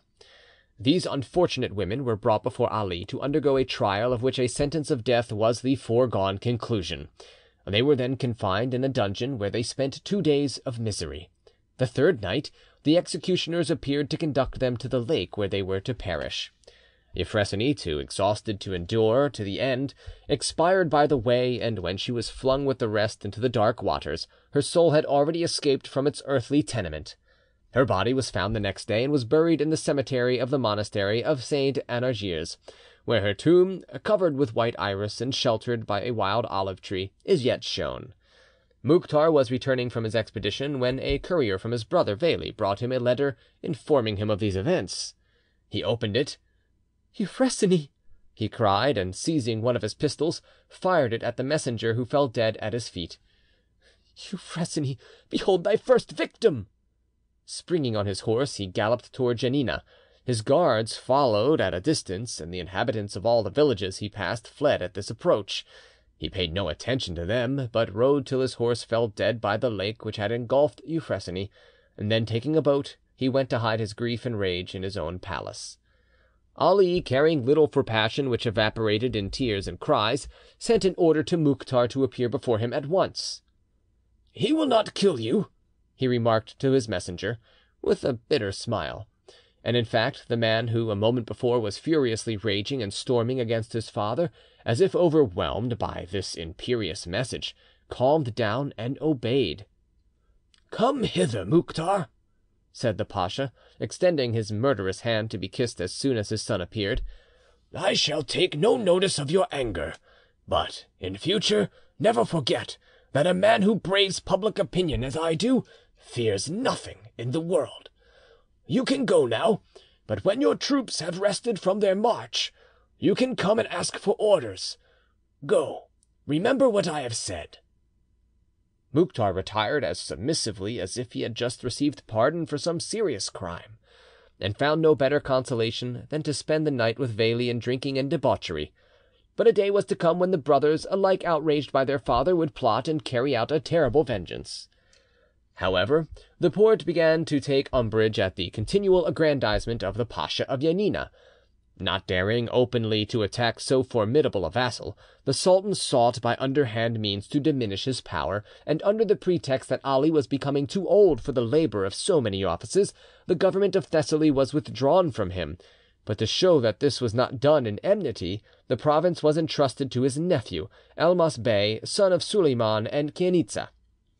Chainitza, fully as ambitious as her brother, could not contain her delight at the idea of governing in the name of her son, who was weak and gentle in character and accustomed to obey her implicitly. She asked her brother's permission to go to Trikala to be present at the installation, and obtained it to everybody's astonishment for no one could imagine that Ali would peacefully renounce so important a government as that of Thessaly. However, he dissembled so skilfully that everyone was deceived by his apparent resignation, and applauded his magnanimity when he provided his sister with a brilliant escort to conduct her to the capital of the province of which he had just been deprived in favour of his nephew.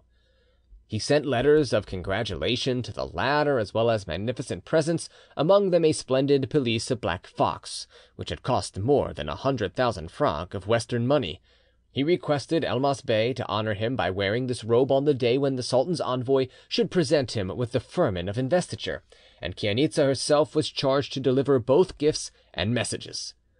Chainitza arrived safely at Trikala, and faithfully delivered the messages with which she had been entrusted. When the ceremony she so ardently desired took place, she herself took charge of all the arrangements. Elmas, wearing the black fox pelisse, was proclaimed and acknowledged as governor of Thessaly in her presence. "My son is Pacha!" she cried in the delirium of joy. "My son is Pacha, and my nephews will die of envy." But her triumph was not to be of long duration. A few days after his installation, Elmas began to feel strangely languid. Continual lethargy, convulsive sneezing, feverish eyes, soon betokened a serious illness. Ali's gift had accomplished its purpose. The pelisse, carefully impregnated with smallpox germs taken from a young girl suffering from this malady, had conveyed the dreaded disease to the new pasha, who, not having been inoculated, died in a few days. The grief of Chainitza at her son's death displayed itself in sobs, threats, and curses; but not knowing whom to blame for her misfortune, she hastened to leave the scene of it, and returned to Janina to mingle her tears with those of her brother. She found Ali apparently in such depths of grief that instead of suspecting, she was actually tempted to pity him, and this seeming sympathy soothed her distress, aided by the caresses of her second son, Aden Bey. Ali, thoughtful of his own interests, took care to send one of his own officers to Trikala to administer justice in the palace of his deceased nephew, and the Porte, seeing that all attempts against him only caused misfortune, consented to his resuming the government of Thessaly. This climax roused the suspicions of many persons, but the public voice, already discussing the causes of the death of Elmas, was stifled by the thunder of the cannon which, from the ramparts of Janina, announced to Epirus the birth of another son to Ali, Salik Bey, whose mother was a Georgian slave. Fortune, seemingly always ready both to crown Ali's crimes with success and to fulfil his wishes, had yet in reserve a more precious gift than any of the others, that of a good and beautiful wife who should replace and even efface the memory of the beloved Emineh. The Porte, while sending to Ali the firman which restored to him the government of Thessaly, ordered him to seek out and destroy a society of coiners who dwelt within his jurisdiction. Ali, delighted to prove his zeal by a service which cost nothing but bloodshed, at once set his spies to work, and having discovered the abode of the gang, set out for the place attended by a strong escort. It was a village called uh, Having arranged in the evening, he spent the night in taking measures to prevent escape, and at the break of day attacked the village suddenly with his whole force. The coiners were seized in the act. Ali immediately ordered the chief to be hung at his own door, and the whole population to be massacred. Suddenly a young girl of great beauty made her way through the tumult and sought refuge at his feet. Ali, astonished, asked who she was. She answered with a look of mingled innocence and terror, kissing his hands, which she bathed with tears, and said, "Oh, my lord, I implore thee to intercede with the terrible vizier Ali for my mother and brothers. My father is dead; behold where he hangs at the door of our cottage. But we have done nothing to rouse the anger of our dreadful master. My mother is a poor woman who never offended anyone, and we are only weak children. Uh, save us from him." Touched in spite of himself, the pasha took the girl in his arms, and answered her with a gentle smile. "Thou hast come to the wrong man, child. I am this terrible vizier." "Oh no, no, you, you are good. You will be our good lord." "Well, be comforted, my child, and show me thy mother and thy brothers. They shall be spared; thou hast saved their lives."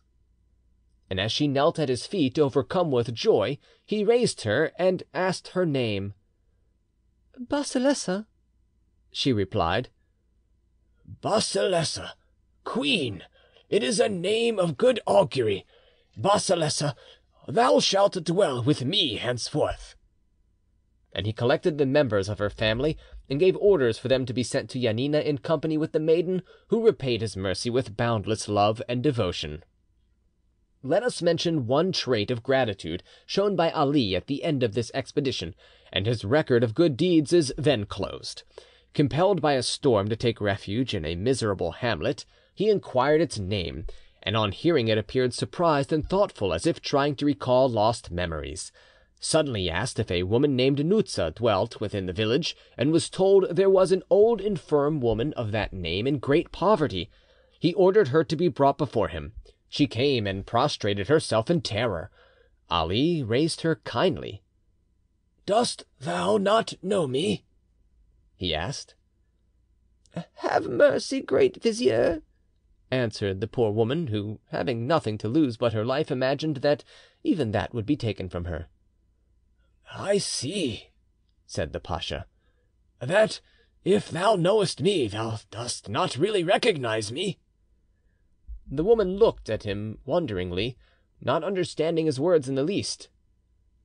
"Dost thou remember," continued Ali, "that forty years ago a young man asked for shelter from the foes who pursued him? Without inquiring his name or standing, thou didst hide him in thy humble house, and dressed his wounds, and shared thy scanty food with him, and when he was able to go forward thou didst stand on thy threshold to wish him good luck and success. Thy wishes were heard, for the young man was Ali Tepeleni, and I who speak am he." The old woman stood overwhelmed with astonishment. She departed, calling down blessings on the pasha, who assured her a pension of fifteen hundred francs for the rest of her days. But these two good actions are only flashes of light illuminating the dark horizon of Ali's life for a brief moment. Returned to Janina, he resumed his tyranny, his intrigues, and cruelty. Not content with the vast territory which owned his sway, he again invaded that of his neighbours on every pretext. Phocis, Aetolia, Acarnania were by turns occupied by his troops, the country ravaged, and the inhabitants decimated. At the same time he compelled Ibrahim Pasha to surrender his last remaining daughter, and give her in marriage to his nephew Aden Bey, the son of Chainitza. This new alliance with a family he had so often attacked and despoiled gave him fresh arms against it, whether by being enabled better to watch the pasha's sons, or to entice them into some snare with greater ease. Whilst he thus married his nephew, he did not neglect the advancement of his sons. By the aid of the French ambassador, whom he had convinced of his devotion to the Emperor Napoleon, he succeeded in getting the pashalik of Morea bestowed on Veli, and that of Lepanto on Mouktar. But as in placing his sons in these exalted positions his only aim was to aggrandise and consolidate his own power, he himself ordered their retinues, giving them officers of his own choosing. When they departed to their governments, he kept their wives, their children, and even their furniture as pledges saying that they ought not to be encumbered with domestic establishments in times of war, Turkey just then being at open war with England. He also made use of this opportunity to get rid of people who displeased him, among others, of a certain Ismail Pacho Bey, of who had been alternately both tool and enemy, whom he made secretly to his son Veli, professedly as a pledge of reconciliation and favour, but really in order to despoil him more easily of the considerable property which he possessed at Janina. Pacho was not deceived, and showed his resentment openly. "The wretch banishes me," he cried, pointing out Ali, who was sitting at a window in the palace. "He sends me away in order to rob me. But I will avenge myself, whatever happens, and I shall die content if I can procure his destruction at the price of my own." Continually increasing his power, Ali endeavoured to consolidate it permanently. He had entered by degrees into secret negotiations with all the great powers of Europe, hoping in the end to make himself independent and to obtain recognition as Prince of Greece. A mysterious and unforeseen incident betrayed this to the Porte, and furnished actual proofs of his treason in letters confirmed by Ali's own seal. The Sultan Selim immediately sent to Janina a, kapidgi bachi, or plenipotentiary, to examine into the case and try the delinquent. Arrived at Janina, this officer placed before Ali the proofs of his understanding with the enemies of the state. Ali was not strong enough to throw off the mask, and yet could not deny such overwhelming evidence. He determined to obtain time. "No wonder," said he, "that I appear guilty in the eyes of His Highness. This seal is certainly mine, I cannot deny it, but the writing is not that of my secretaries, and the seal must have been obtained and used to sign these guilty letters in order to ruin me. I pray you grant me a few days in order to clear up this iniquitous mystery, which compromises me in the eyes of my master the sultan and of all good Mohammedans. May Allah grant me the means of proving my innocence, which is as pure as the rays of the sun, although everything seems against me." After this conference, Ali, pretending to be engaged in a secret inquiry, considered how he could legally escape from this predicament. He spent some days in making plans which were given up as soon as formed, until his fertile genius at length suggested a means of getting clear of one of the greatest difficulties in which he had ever found himself. Sending for a Greek whom he had often employed, he addressed him thus: "Thou knowest I have always shown thee favour, and the day is arrived when thy fortune shall be made. Henceforth thou shalt be as my son, thy children shall be as mine. My house shall be thy home, and in return for my benefits I require one small service. This accursed uh, kapidgi bachi has come hither bringing certain papers signed with my seal, intending to use them to my discredit, and thus to extort money from me. Of money I have already given too much, and I intend this time to escape without being plundered, except for the sake of a good servant like thee. Therefore, my son, thou shalt go before the tribunal when I tell thee, and declare before this kapidgi bachi and the cadi that thou hast written these letters attributed to me, and that thou didst seal them with my seal, in order to give them due weight and importance." The unhappy Greek grew pale and strove to answer. "What fearest thou, my son?" resumed Ali. "Speak. Am I not thy good master? Thou wilt be sure of my lasting favour. And who is there to dread when I protect thee? Is it the kapidgi bachi? He is no authority here. I have thrown twenty as good as he into the lake. If more is required to reassure thee, I swear by the Prophet, by my own and my son's heads, that no harm shall come to thee from him.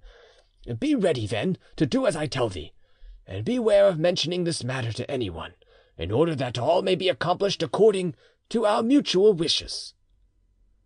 More terrified by dread of the pasha, from whose wrath in case of refusal there was no chance of escape, than tempted by his promises, the Greek undertook the false swearing required. Ali, delighted, dismissed him with a thousand assurances of protection, and then requested the presence of the sultan's envoy, to whom he said, with much emotion. I have at length unravelled the infernal plot laid against me. Oh, it is the work of a man in the pay of the implacable enemies of the Sublime Porte, and who is a Russian agent. He is in my power, and I have given him hopes of pardon on condition of full confession.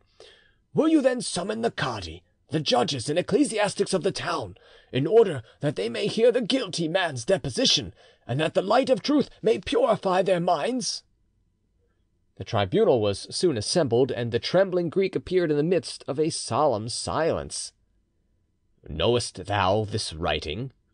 demanded the cadi. "It is mine." "And the seal?" "It is that of my master, Ali Pacha." "How does it come to be placed at the foot of these letters?" "I did this by order of my chief, abusing the confidence of my master, who occasionally allowed me to use it to sign his orders." "It is enough. Thou canst withdraw." Uneasy as to the success of this intrigue, Ali was approaching the Hall of Justice.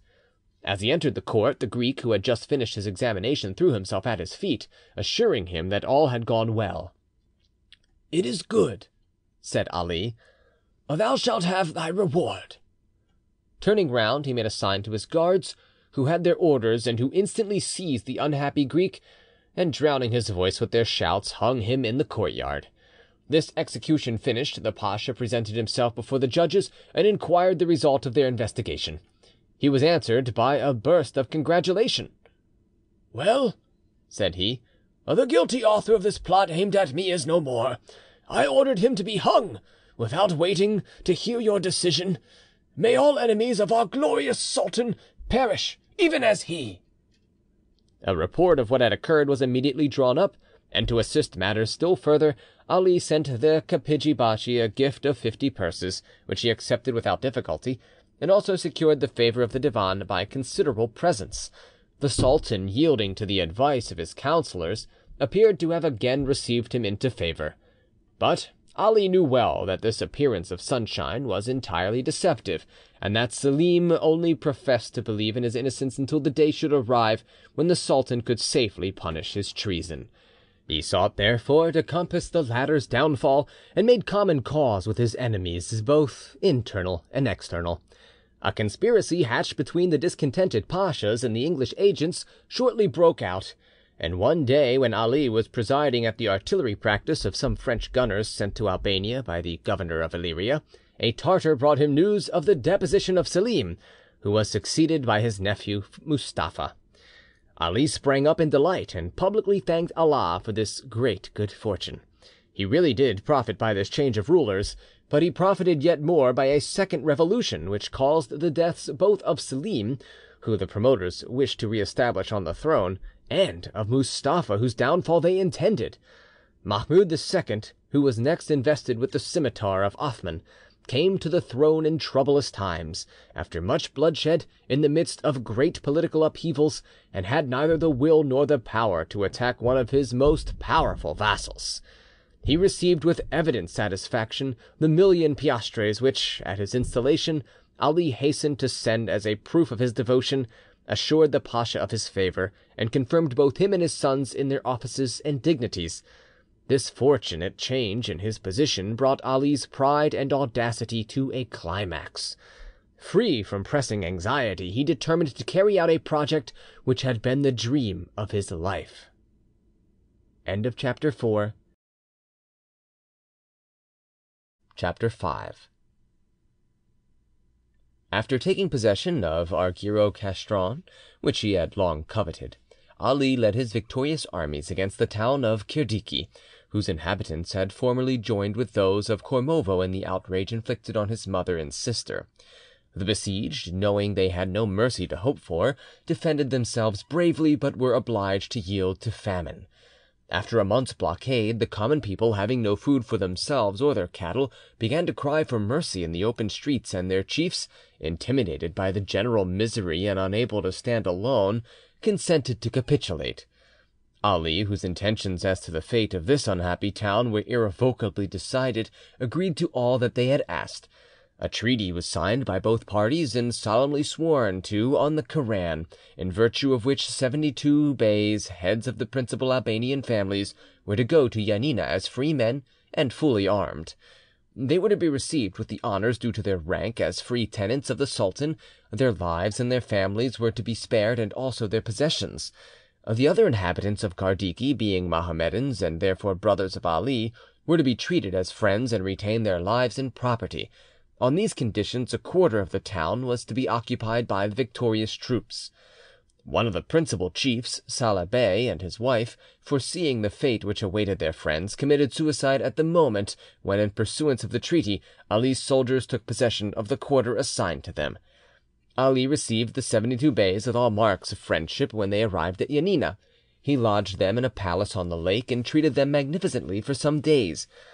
But soon, having contrived on some pretext to disarm them, he had them conveyed, loaded with chains, to a Greek convent on an island in the lake, which was converted into a prison. The day of vengeance not having fully arrived, he explained this breach of faith by declaring that the hostages had attempted to escape. The popular credulity was satisfied by this explanation, and no one doubted the good faith of the pasha when he announced that he was going to Kardiki to establish a police and fulfil the promises he had made to the inhabitants. Even the number of soldiers he took excited no surprise, as Ali was accustomed to travel with a very numerous suite. After three days' journey, he stopped at Libokovo, where his sister had resided since the death of Aden Bey, her second son, cut off recently by sickness. What passed in the long interview they had, no one knew, but it was observed that Chainitza's tears, which till then had flowed incessantly, stopped as if by magic, and her women, who were wearing mourning, received in order to attire themselves as for a festival. Feasting and dancing, begun in Ali's honour, did not cease after his departure. He spent the night at Chenderia, a castle built on a rock, whence the town of Kardiki was plainly visible. Next day at daybreak, Ali despatched an usher to summon all the male inhabitants of Kardiki to appear before Chenderia, in order to receive assurances of the pasha's pardon and friendship. The Kardikiotes at once divined that this injunction was the precursor of a terrible vengeance. The whole town echoed with cries and groans, and the mosques were filled with people praying for deliverance. The appointed time arrived; they embraced each other as if parting for ever, and then the men, unarmed, in number six hundred and seventy, started for Chenderia. At the gate of the town they encountered a troop of Albanians, who followed as if to escort them, and which increased in number as they proceeded. Soon they arrived in the dread presence of Ali Pasha. Grouped in formidable masses around him stood several thousand of his fierce soldiery. The unhappy Kardikiotes realised their utter helplessness, and saw that they, their wives and children, were completely at the mercy of their implacable enemy. They fell prostrate before the pasha, and with all the fervour which the utmost terror could inspire, implored him to grant them a generous pardon. Ali for some time silently enjoyed the pleasure of seeing his ancient enemies lying before him prostrate in the dust. He then desired them to rise, reassured them called them brothers, sons, friends of his heart. Distinguishing some of his old acquaintances, he called them to him, spoke familiarly of the days of their youth, of their games, their early friendships, and pointing to the young men, said with tears in his eyes— "The discord which has divided us for so many years has allowed children not born at the time of our dissension to grow into men. I have lost the pleasure of watching the development of the offspring of my neighbours and the early friends of my youth, and of bestowing benefits on them. But I hope shortly to repair the natural results of our melancholy divisions." He then made them splendid promises, and ordered them to assemble in a neighbouring caravanserai, where he wished to give them a banquet in proof of reconciliation. Passing from the depths of despair to transports of joy, the Kardikiotes repaired gaily to the caravanserai, heaping blessings on the pasha and blaming each other for having ever doubted his good faith. Ali was carried down from Chenderia in a litter, attended by his courtiers, who celebrated his clemency in pompous speeches, to which he replied with gracious smiles. At the foot of the steep descent he mounted his horse, and followed by his troops, rode towards the caravanserai. Alone and in silence, he rode twice around it; then returning to the gate, which had just been closed by his order, he pulled up his horse, and signing to his own bodyguard to attack the building, "Slay them!" he cried in a voice of thunder. The guards remained motionless in surprise and horror. Then, as the pasha, with a roar, repeated his order, they indignantly flung down their arms.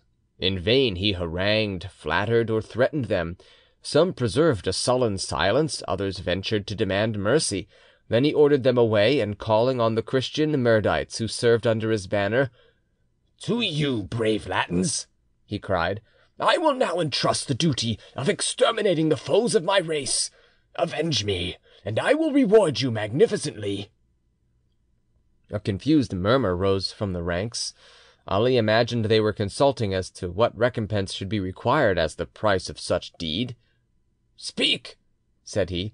"I am ready to listen to your demands and to satisfy them." Then the Mirdite leader came forward and threw back the hood of his black cloak. "O Pasha," said he, looking Ali boldly in the face, "thy words are an insult. The Mirdites do not slaughter unarmed prisoners in cold blood. Release the Kardikiotes, give them arms, and we will fight them to the death. But we serve thee as soldiers, and not as executioners." At these words, which the black cloaked battalion received with applause, Ali thought himself betrayed, and looked around with doubt and mistrust. Fear was nearly taking the place of mercy. Words of pardon were on his lips, when a certain Athanasius Vaya, a Greek schismatic and a favourite of the pasha's, whose illegitimate son he was supposed to be, advanced at the head of the scum of the army, and offered to carry out the death sentence.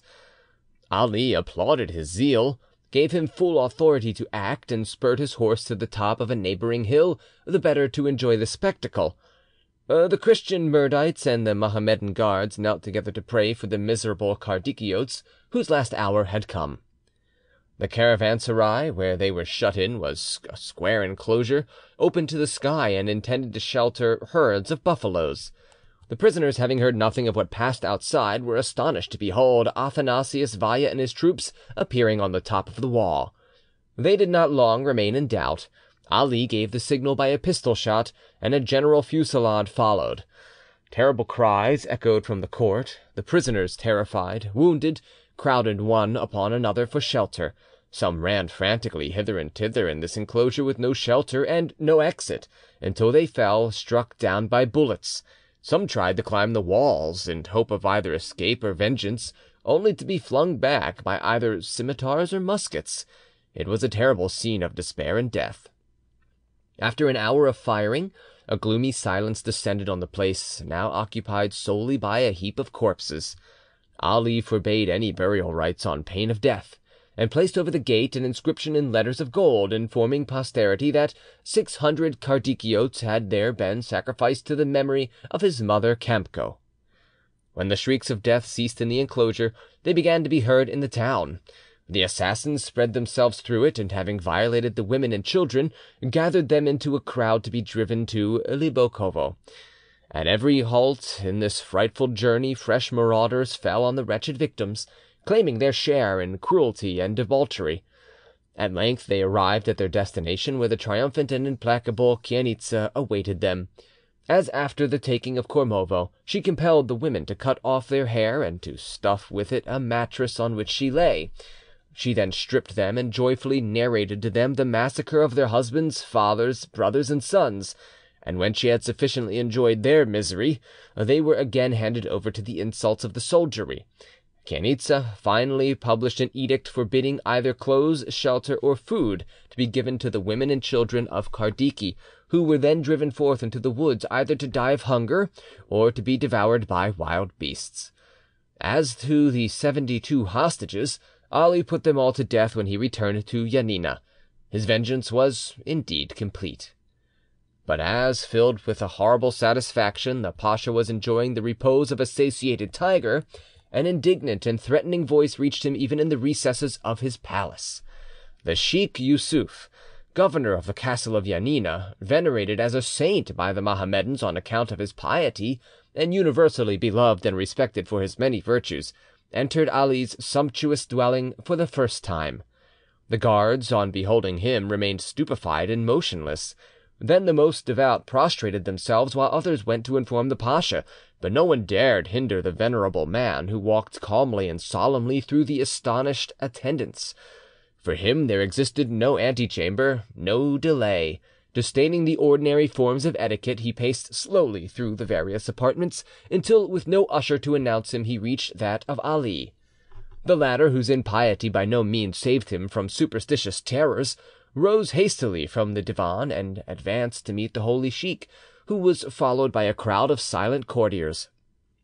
Ali addressed him with the utmost respect, and endeavoured even to kiss his right hand. Yussuf hastily withdrew it, covered it with his mantle, and signed to the pasha to seat himself. Ali mechanically obeyed, and waited in solemn silence to hear the reason of this unexpected visit. Yussuf desired him to listen with all attention, and then reproached him for his injustice and rapine, his treachery and cruelty, with such vivid eloquence that his hearers dissolved in tears. Ali, though much dejected, alone preserved his equanimity, until at length the sheik accused him of having caused the death of Emineh. He then grew pale, and rising, cried with terror, "Alas! my father, whose name do you now pronounce? Pray for me, or at least do not sink me to Gehenna with your curses." "There is no need to curse thee," answered Yussuf. "Thine own crimes bear witness against thee. Allah has heard their cry. He will summon thee, judge thee, and punish thee eternally. Tremble, for the time is at hand. Thine hour is coming, is coming, is coming!" And casting a terrible glance at the pasha, the holy man turned his back on him and stalked out of the apartment without another word. Ali, in terror, demanded a thousand pieces of gold, put them in a white satin purse, and hastened himself with them to overtake the sheik, imploring him to recall his threats. But Yussuf deigned no answer, and arrived at the threshold of the palace, shook off the dust of his feet against it. Ali returned to his apartment sad and downcast and many days elapsed before he could shake off the depression caused by this scene. But soon he felt more ashamed of his inaction than of the reproaches which had caused it, and on the first opportunity resumed his usual mode of life. The occasion was the marriage of Moustai, Pasha of Scodra, with the eldest daughter of Veli Pasha, called the Princess of Aulis, because she had for dowry whole villages in that district. Immediately after the announcement of this marriage, Ali set on foot a sort of saturnalia, about the details of which there seemed to be as much mystery as if he had been preparing an assassination. All at once, as if by a sudden inundation, the very scum of the earth appeared to spread over Janina. The populace, as if trying to drown their misery, plunged into a drunkenness which simulated pleasure. Disorderly bands of mountebanks from the depths of Roumelia traversed the streets the bazaars, and public places. Flocks and herds with fleeces dyed scarlet and gilded horns were seen on all the roads driven to the court by peasants under the guidance of their priests. Bishops, abbots, ecclesiastics generally were compelled to drink, and to take part in ridiculous and indecent dances, Ali apparently thinking to raise himself by degrading his more respectable subjects. Day and night these spectacles succeeded each other with increasing rapidity, the air resounded with firing, songs, cries, music, and the roaring of wild beasts in shows. Enormous spits loaded with meat, smoked before huge braziers, and wine ran in floods at tables prepared in the palace courts. Troops of brutal soldiers drove workmen from their labour with whips, and compelled them to join in the entertainments. Dirty and impudent jugglers invaded private houses, and pretending that they had orders from the pasha to display their skill, carried boldly off whatever they could lay their hands upon. Ali saw the general demoralization with pleasure, especially as it tended to the gratification of his avarice. Every guest was expected to bring to the palace gate a gift in proportion to his means, and foot officers watched to see that no one forgot this obligation. At length, on the nineteenth day, Ali resolved to crown the feast by an orgy worthy of himself. He caused the galleries and halls of his castle by the lake to be decorated with unheard of splendour, and fifteen hundred guests assembled for a solemn banquet. The pasha appeared in all his glory, surrounded by his noble attendants and courtiers, and seating himself on a dais raised above this base crowd, which trembled at his glance, gave the signal to begin. At his voice, vice plunged into its most shameless diversions, and the wine steeped wings of debauchery outspread themselves over the feast. All tongues were at their freest, all imaginations ran wild, all evil passions were at their height, when suddenly the noise ceased, and the guests clung together in terror. A man stood at the entrance of the hall, pale, disordered, and wild eyed, clothed in torn and blood stained garments. As everyone made way at his approach, he easily reached the pasha, and prostrating himself at his feet, presented a letter. Ali opened and rapidly perused it. His lips trembled, his eyebrows met in a terrible frown, the muscles of his forehead contracted alarmingly. He vainly endeavoured to smile and to look as if nothing had happened. His agitation betrayed him, and he was obliged to retire after desiring a herald to announce that he wished the banquet to continue. Now for the subject of the message, and the cause of the dismay it produced. End of chapter 5.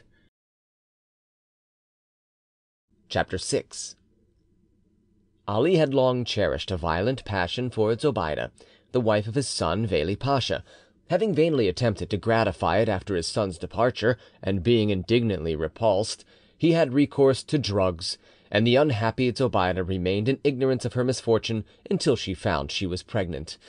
Then half avowals from her women compelled to obey the pasha from fear of death, mixed with confused memories of her own, revealed the whole terrible truth. Not knowing in her despair which way to turn, she wrote to Ali, entreating him to visit the harem. As head of his family, he had a right to enter, being supposed responsible for the conduct of his sons' families, no lawgiver having hitherto contemplated the possibility of so disgraceful a crime.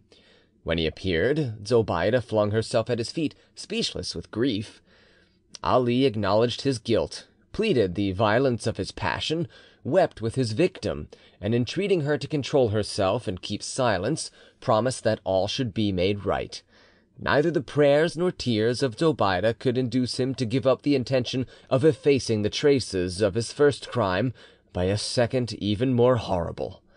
But the story was already whispered abroad, and Pacho Bey learned that all its details from the spies he kept in Janina. Delighted at the prospect of avenging himself on the father, he hastened with his news to the son. Veli Pasha, furious, vowed vengeance, and demanded Pacho Bey's help, which was readily promised. But Ali had been warned, and was not a man to be taken unawares. Pacho Bey, whom Veli had just promoted to the office of sword bearer, was attacked in broad daylight by six emissaries sent from Janina. He obtained timely help, however, and five of the assassins, taken red handed, were at once hung without ceremony in the market place. The sixth was the messenger whose arrival with the news had caused such dismay at Ali's banquet. As Ali reflected how the storm he had raised could best be laid, he was informed that the ruler of the marriage feast sent by Moustai, Pasha of Scodra, to receive the young bride who would reign in his harem, had just arrived in the plain of Janina. He was Yussuf Bey of the Debres, an old enemy of Ali's, and had encamped with his escort of eight hundred warriors at the foot of Tomoros of Dodona. Dreading some treachery, he absolutely refused all entreaties to enter the town, and Ali, seeing that it was useless to insist and that his adversary for the present was safe, at once sent his granddaughter, the Princess of Aulis, out to him. This matter disposed of, Ali was able to attend to his hideous family tragedy. He began by effecting the disappearance of the women whom he had been compelled to make his accomplices. They were simply sewn up in sacks by gipsies and thrown into the lake. This done, he himself led the executioners into a subterranean part of the castle, where they were beheaded by black mutes as a reward for their obedience. He then sent a doctor to Zobeide, who succeeded in causing a miscarriage, and who, his work done, was seized and strangled by the black mutes who had just beheaded the gipsies.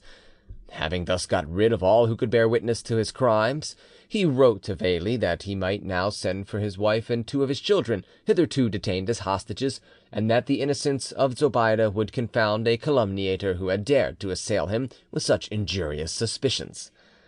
When this letter arrived, Pacho Bey, distrusting equally the treachery of the father and the weakness of the son, and content with having sown the seeds of dissension in his enemy's family, had sufficient wisdom to seek safety in flight. Ali, furious, vowed on hearing this that his vengeance should overtake him even at the ends of the earth. Meanwhile he fell back on Yussuf Bey of the Debres, whose escape when lately at Janina still rankled in his mind. As Yussuf was dangerous both from character and influence, Ali feared to attack him openly, and sought to assassinate him.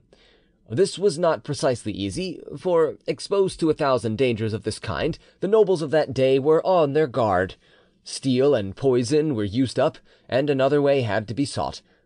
Ali found it.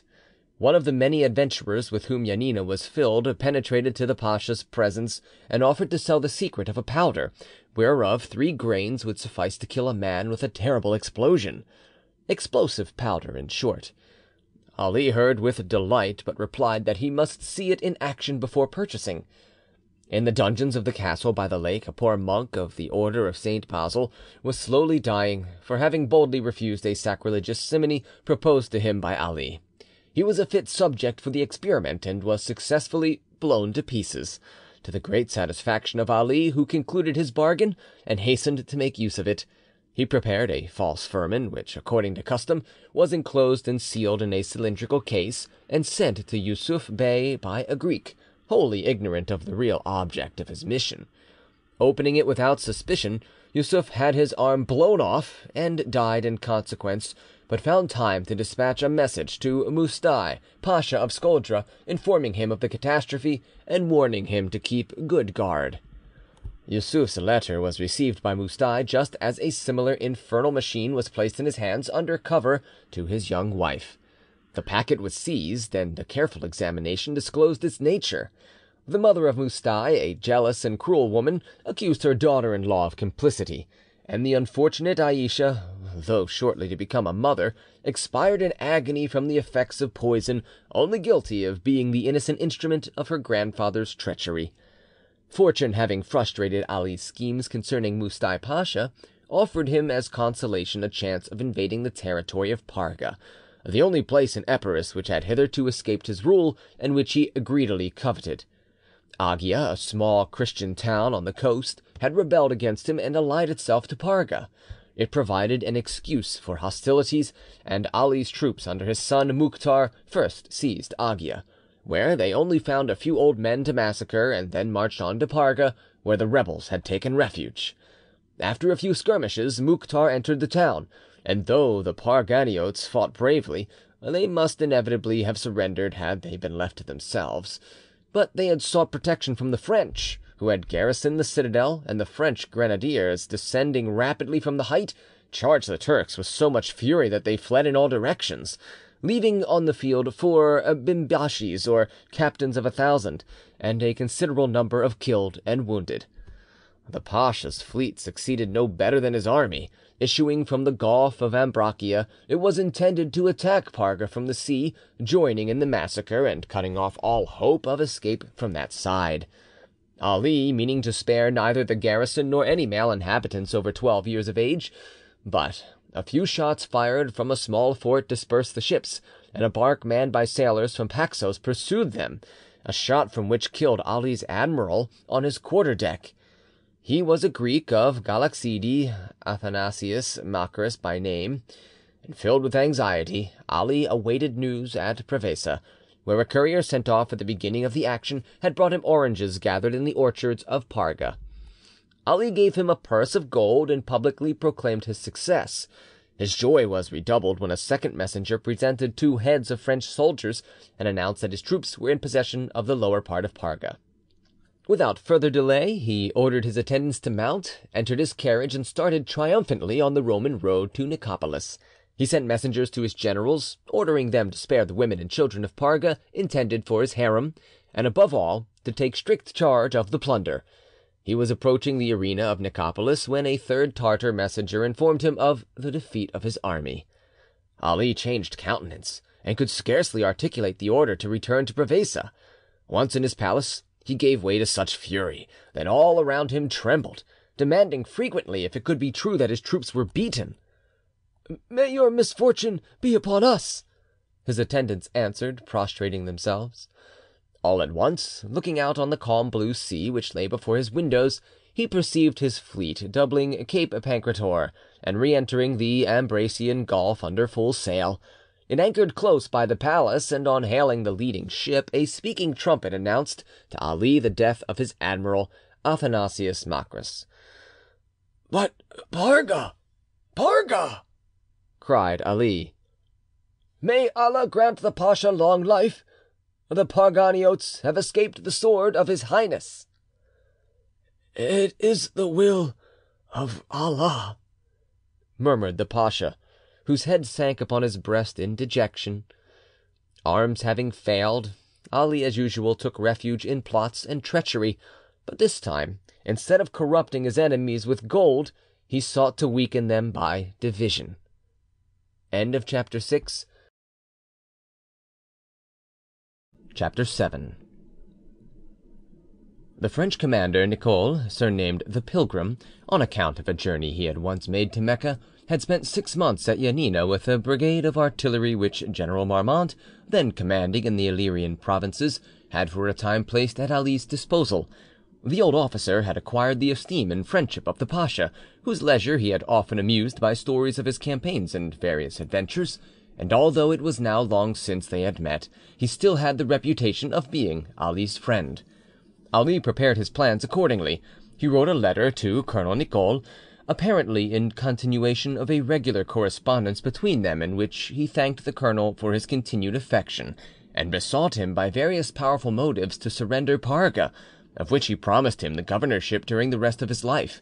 He took good care to complete his treason by allowing the letter to fall into the hands of the chief ecclesiastics of Parga, who fell head foremost into the trap. Seeing that the tone of the letter was in perfect accordance with the former friendly relations between their French governor and the pasha, they were convinced of the former's treachery. But the result was not as Ali had hoped.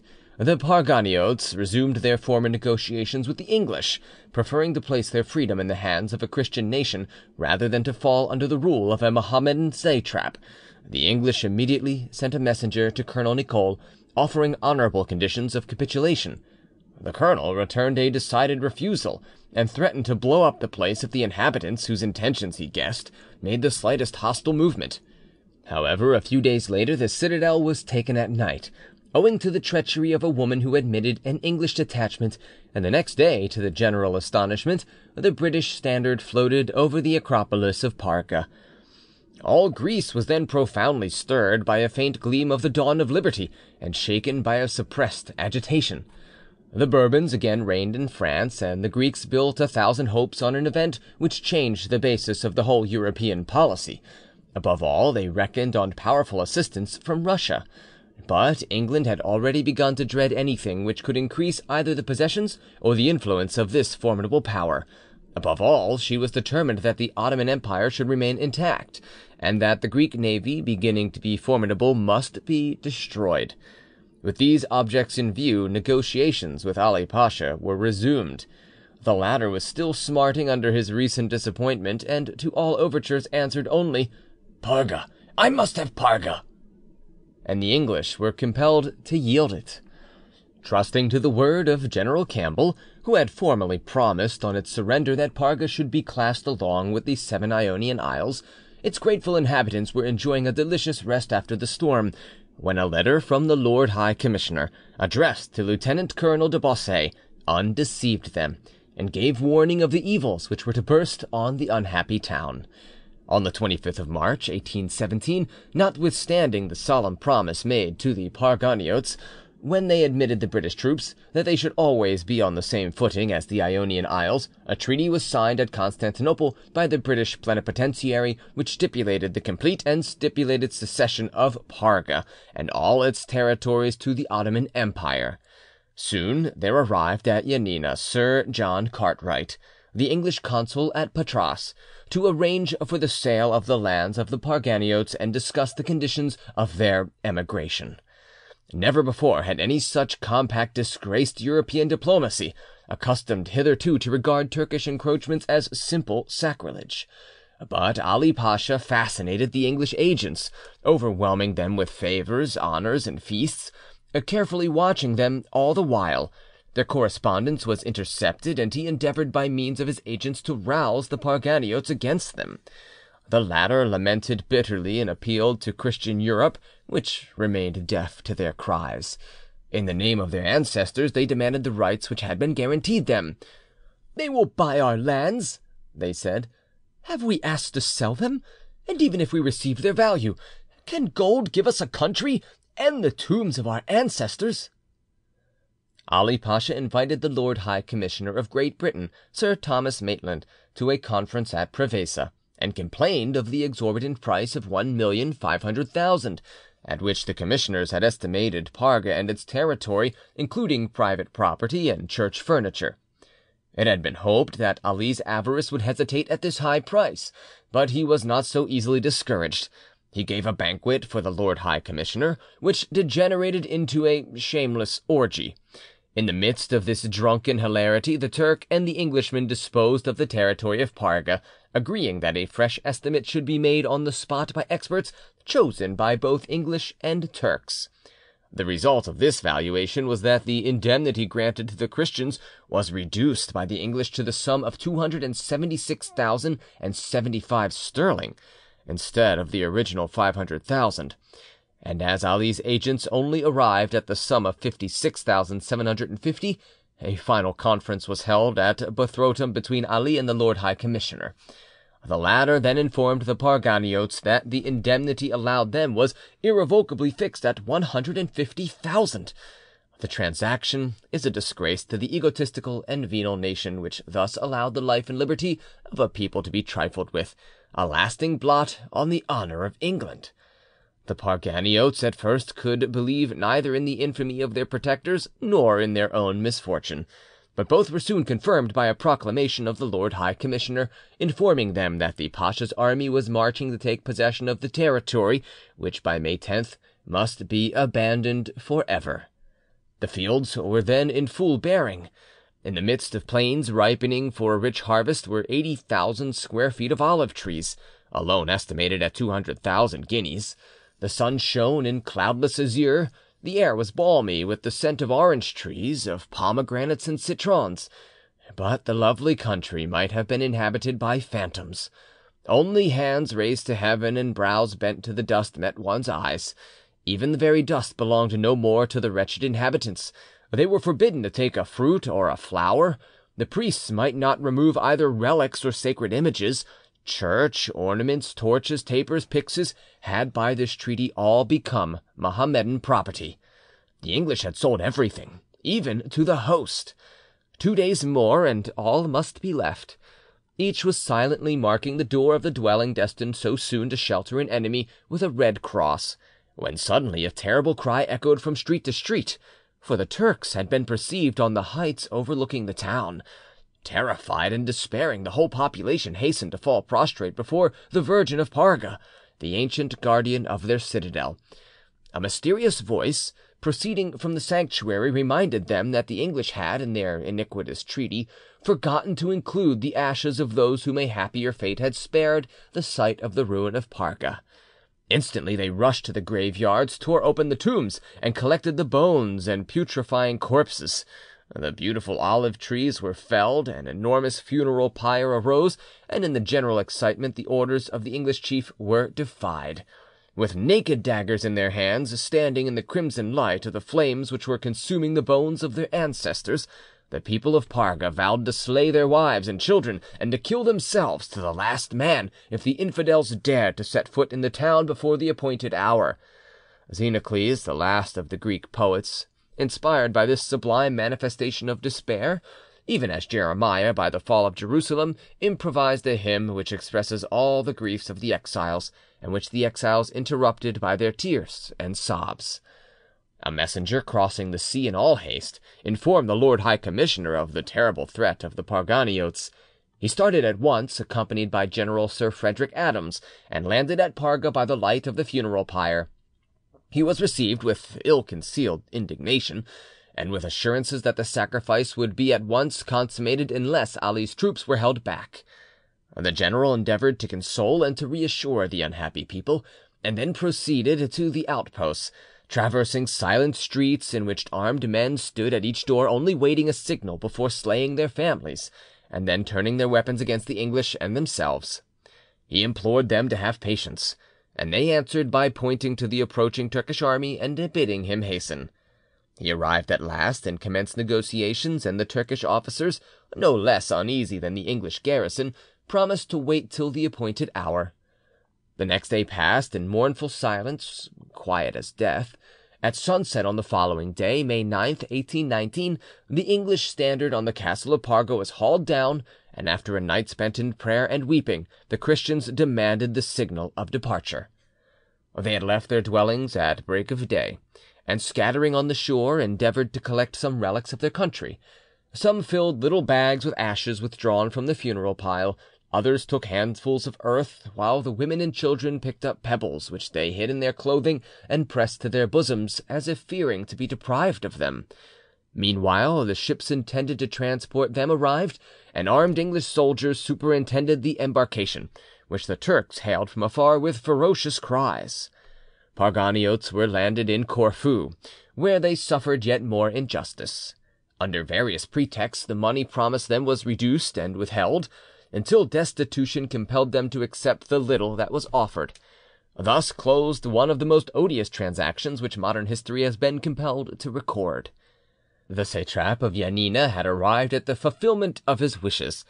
In the retirement of his fairy-like palace by the lake he could enjoy voluptuous pleasures to the full, but already seventy-eight years had passed over his head, and old age had laid the burden of infirmity upon him. His dreams were dreams of blood, and vainly he sought refuge in chambers glittering with gold, adorned with arabesques, decorated with costly armour, and covered with the richest of Oriental carpets. Remorse stood ever beside him. Through the magnificence which surrounded him there constantly passed the gale spectre of Emineh, leading onwards a vast procession of mournful phantoms, and the guilty pasha buried his face in his hands and shrieked aloud for help. Sometimes, ashamed of his weakness, he endeavoured to defy both the reproaches of his conscience and the opinion of the multitude, and sought to encounter criticism with bravado. If by chance he overheard some blind singer chanting in the streets the satirical verses which, faithful to the poetical and mocking genius of them ancestors, the Greeks frequently composed about him, he would order the singer to be brought, would bid him repeat his verses, and applauding him would relate some fresh anecdote of cruelty, saying, "Go, add that to thy tale; let thy hearers know what I can do; let them understand that I stop at nothing in order to overcome my foes. If I reproach myself with anything, it is only with the deeds I have sometimes failed to carry out." Sometimes it was the terrors of the life after death which assailed him. The thought of eternity brought terrible visions in its trains, and Ali shuddered at the prospect of Al Sirat, that awful bridge narrow as a spider's thread and hanging over the furnaces of hell, which a Mussulman must cross in order to arrive at the gate of paradise. He ceased to joke about Eblis, the prince of evil, and sank by degrees into profound superstition. He was surrounded by magicians and soothsayers; he consulted omens and demanded talismans and charms from the dervishes, which he had either sewn into his garments or suspended in the most secret parts of his palace, in order to avert evil influences. A Koran was hung about his neck as a defence against the evil eye, and frequently he removed it and knelt before it, as did Louis XI before the leaden figures of saints which adorned his hat. He ordered a complete chemical laboratory from Venice, and engaged alchemists to distil the water of immortality, by the help of which he hoped to ascend to the planets and discover the philosopher's stone. Not perceiving any practical result of their labours, he ordered the laboratory to be burnt and the alchemists to be hung. Ali hated his fellow men. He would have liked to leave no survivors, and often regretted his inability to destroy all those who would have cause to rejoice at his death. Consequently, he sought to accomplish as much harm as he could during the time which remained to him, and for no possible reason but that of hatred, he caused the arrest of both Ibrahim Pacha, who had already suffered so much at his hands, and his son, and confined them both in a dungeon purposely constructed under the grand staircase of the castle by the lake, in order that he might have the pleasure of passing over their heads each time he left his apartments or returned to them. It was not enough for Ali merely to put to death those who had displeased him; the form of punishment must be constantly varied in order to produce a fresh mode of suffering; therefore new tortures had to be constantly invented. Now it was a servant, guilty of absence without leave, who was bound to a stake in the presence of his sister, and destroyed by a cannon placed six paces off, but only loaded with powder, in order to prolong the agony. Now a Christian accused of having tried to blow up Janina by introducing mice with tinder fastened to their tails into the powder magazine, who was shut up in the cage of Ali's favourite tiger, and devoured by it. The pasha despised the human race as much as he hated it. A European having reproached him with cruelty shown to his subjects, Ali replied, "You do not understand the race with which I have to deal. Were I to hang a criminal on yonder tree, the sight would not deter even his own brother from stealing in the crowd at its foot. If I had an old man burnt alive, his son would steal the ashes and sell them. Oh, the rabble can be governed by fear only, and I am the one man who does it successfully." His conduct perfectly corresponded to his ideas. One great feast day, two gipsies devoted their lives in order to avert the evil destiny of the pasha, and solemnly convoking on their own heads all misfortunes which might possibly befall him, cast themselves down from the palace roof. One arose without difficulty, stunned and suffering; the other remained on the ground with a broken leg. Ali gave them each forty francs and an annuity of two pounds of maize daily, and considering this sufficient, took no further trouble about them. Every year at Ramadan a large sum was distributed in alms among poor women without distinction of sect; but Ali contrived to change this act of benevolence into a barbarous form of amusement. As he possessed several palaces in Janina at a considerable distance from each other, the one at which a distribution was to take place was each day publicly announced, and when the women had waited there for an hour or two exposed to the sun, rain or cold, as the case might be uh, they were suddenly informed that they must go to some other palace at the opposite end of the town. When they got there they usually had to wait for another hour, fortunate if they were not sent off to a third place of meeting. When the time at length arrived, a eunuch appeared, followed by Albanian soldiers armed with staves, carrying a bag of money, which he threw by handfuls right into the midst of the assembly. Then began a terrible uproar; the women rushed to catch it, upsetting each other, quarrelling, fighting and uttering cries of terror and pain, while the Albanians, pretending to enforce order, pushed into the crowd, striking right and left with their batons. The pasha meanwhile sat at a window enjoying the spectacle, and impartially applauding all well delivered blows, no matter whence they came. During these distributions, which really benefited no one, many women were always severely hurt, and some died from the blows they had received. Ali maintained several carriages for himself and his family, but allowed no one else to share in this prerogative. To avoid being jolted, he simply took up the pavement in Janina and the neighbouring towns, with the result that in summer one was choked by dust, and in winter one could hardly get through the mud.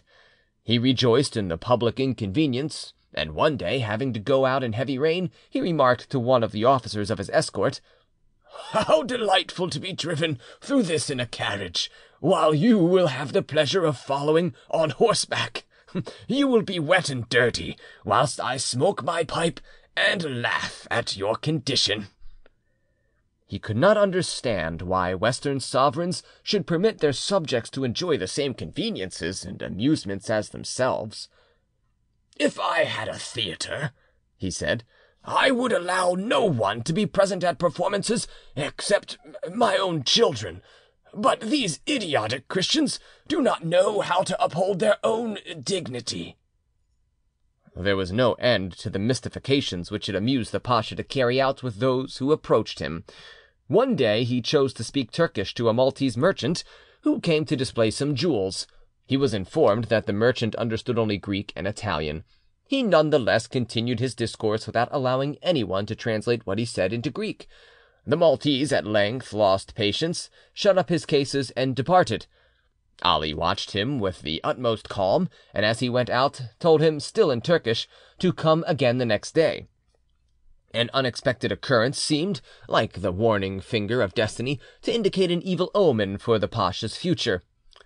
"Misfortunes arrive in troops," says the forcible Turkish proverb, and a forerunner of disasters came to Ali Pacha. One morning he was suddenly roused by the Sheik Yussuf, who had forced his way in in spite of the guards. "Behold," said he, handing Ali a letter, "Allah, who punishes the guilty, has permitted thy seraglio of Tepelen to be burnt.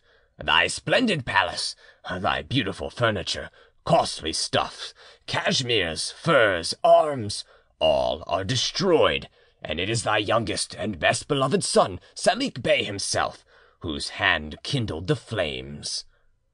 So saying, Yussuf turned and departed, crying with a triumphant voice, "Fire! fire! fire!" and Ali instantly ordered his horse, and, followed by his guards, rode without drawing rein to Tepelen. As soon as he arrived at the place where his palace had formerly insulted the public misery, he hastened to examine the cellars where his treasures were deposited. All was intact: silver plate, jewels, and fifty millions of francs in gold, enclosed in a well over which he had caused a tower to be built. After this examination, he ordered all the ashes to be carefully sifted in hopes of recovering the gold in the tassels and fringes of the sofas, and the silver from the plate and the armour. He next proclaimed through the length and breadth of the land that, being by the hand of Allah deprived of his house, and no longer possessing anything in his native town, he requested all who loved him to prove their affection by bringing help in proportion.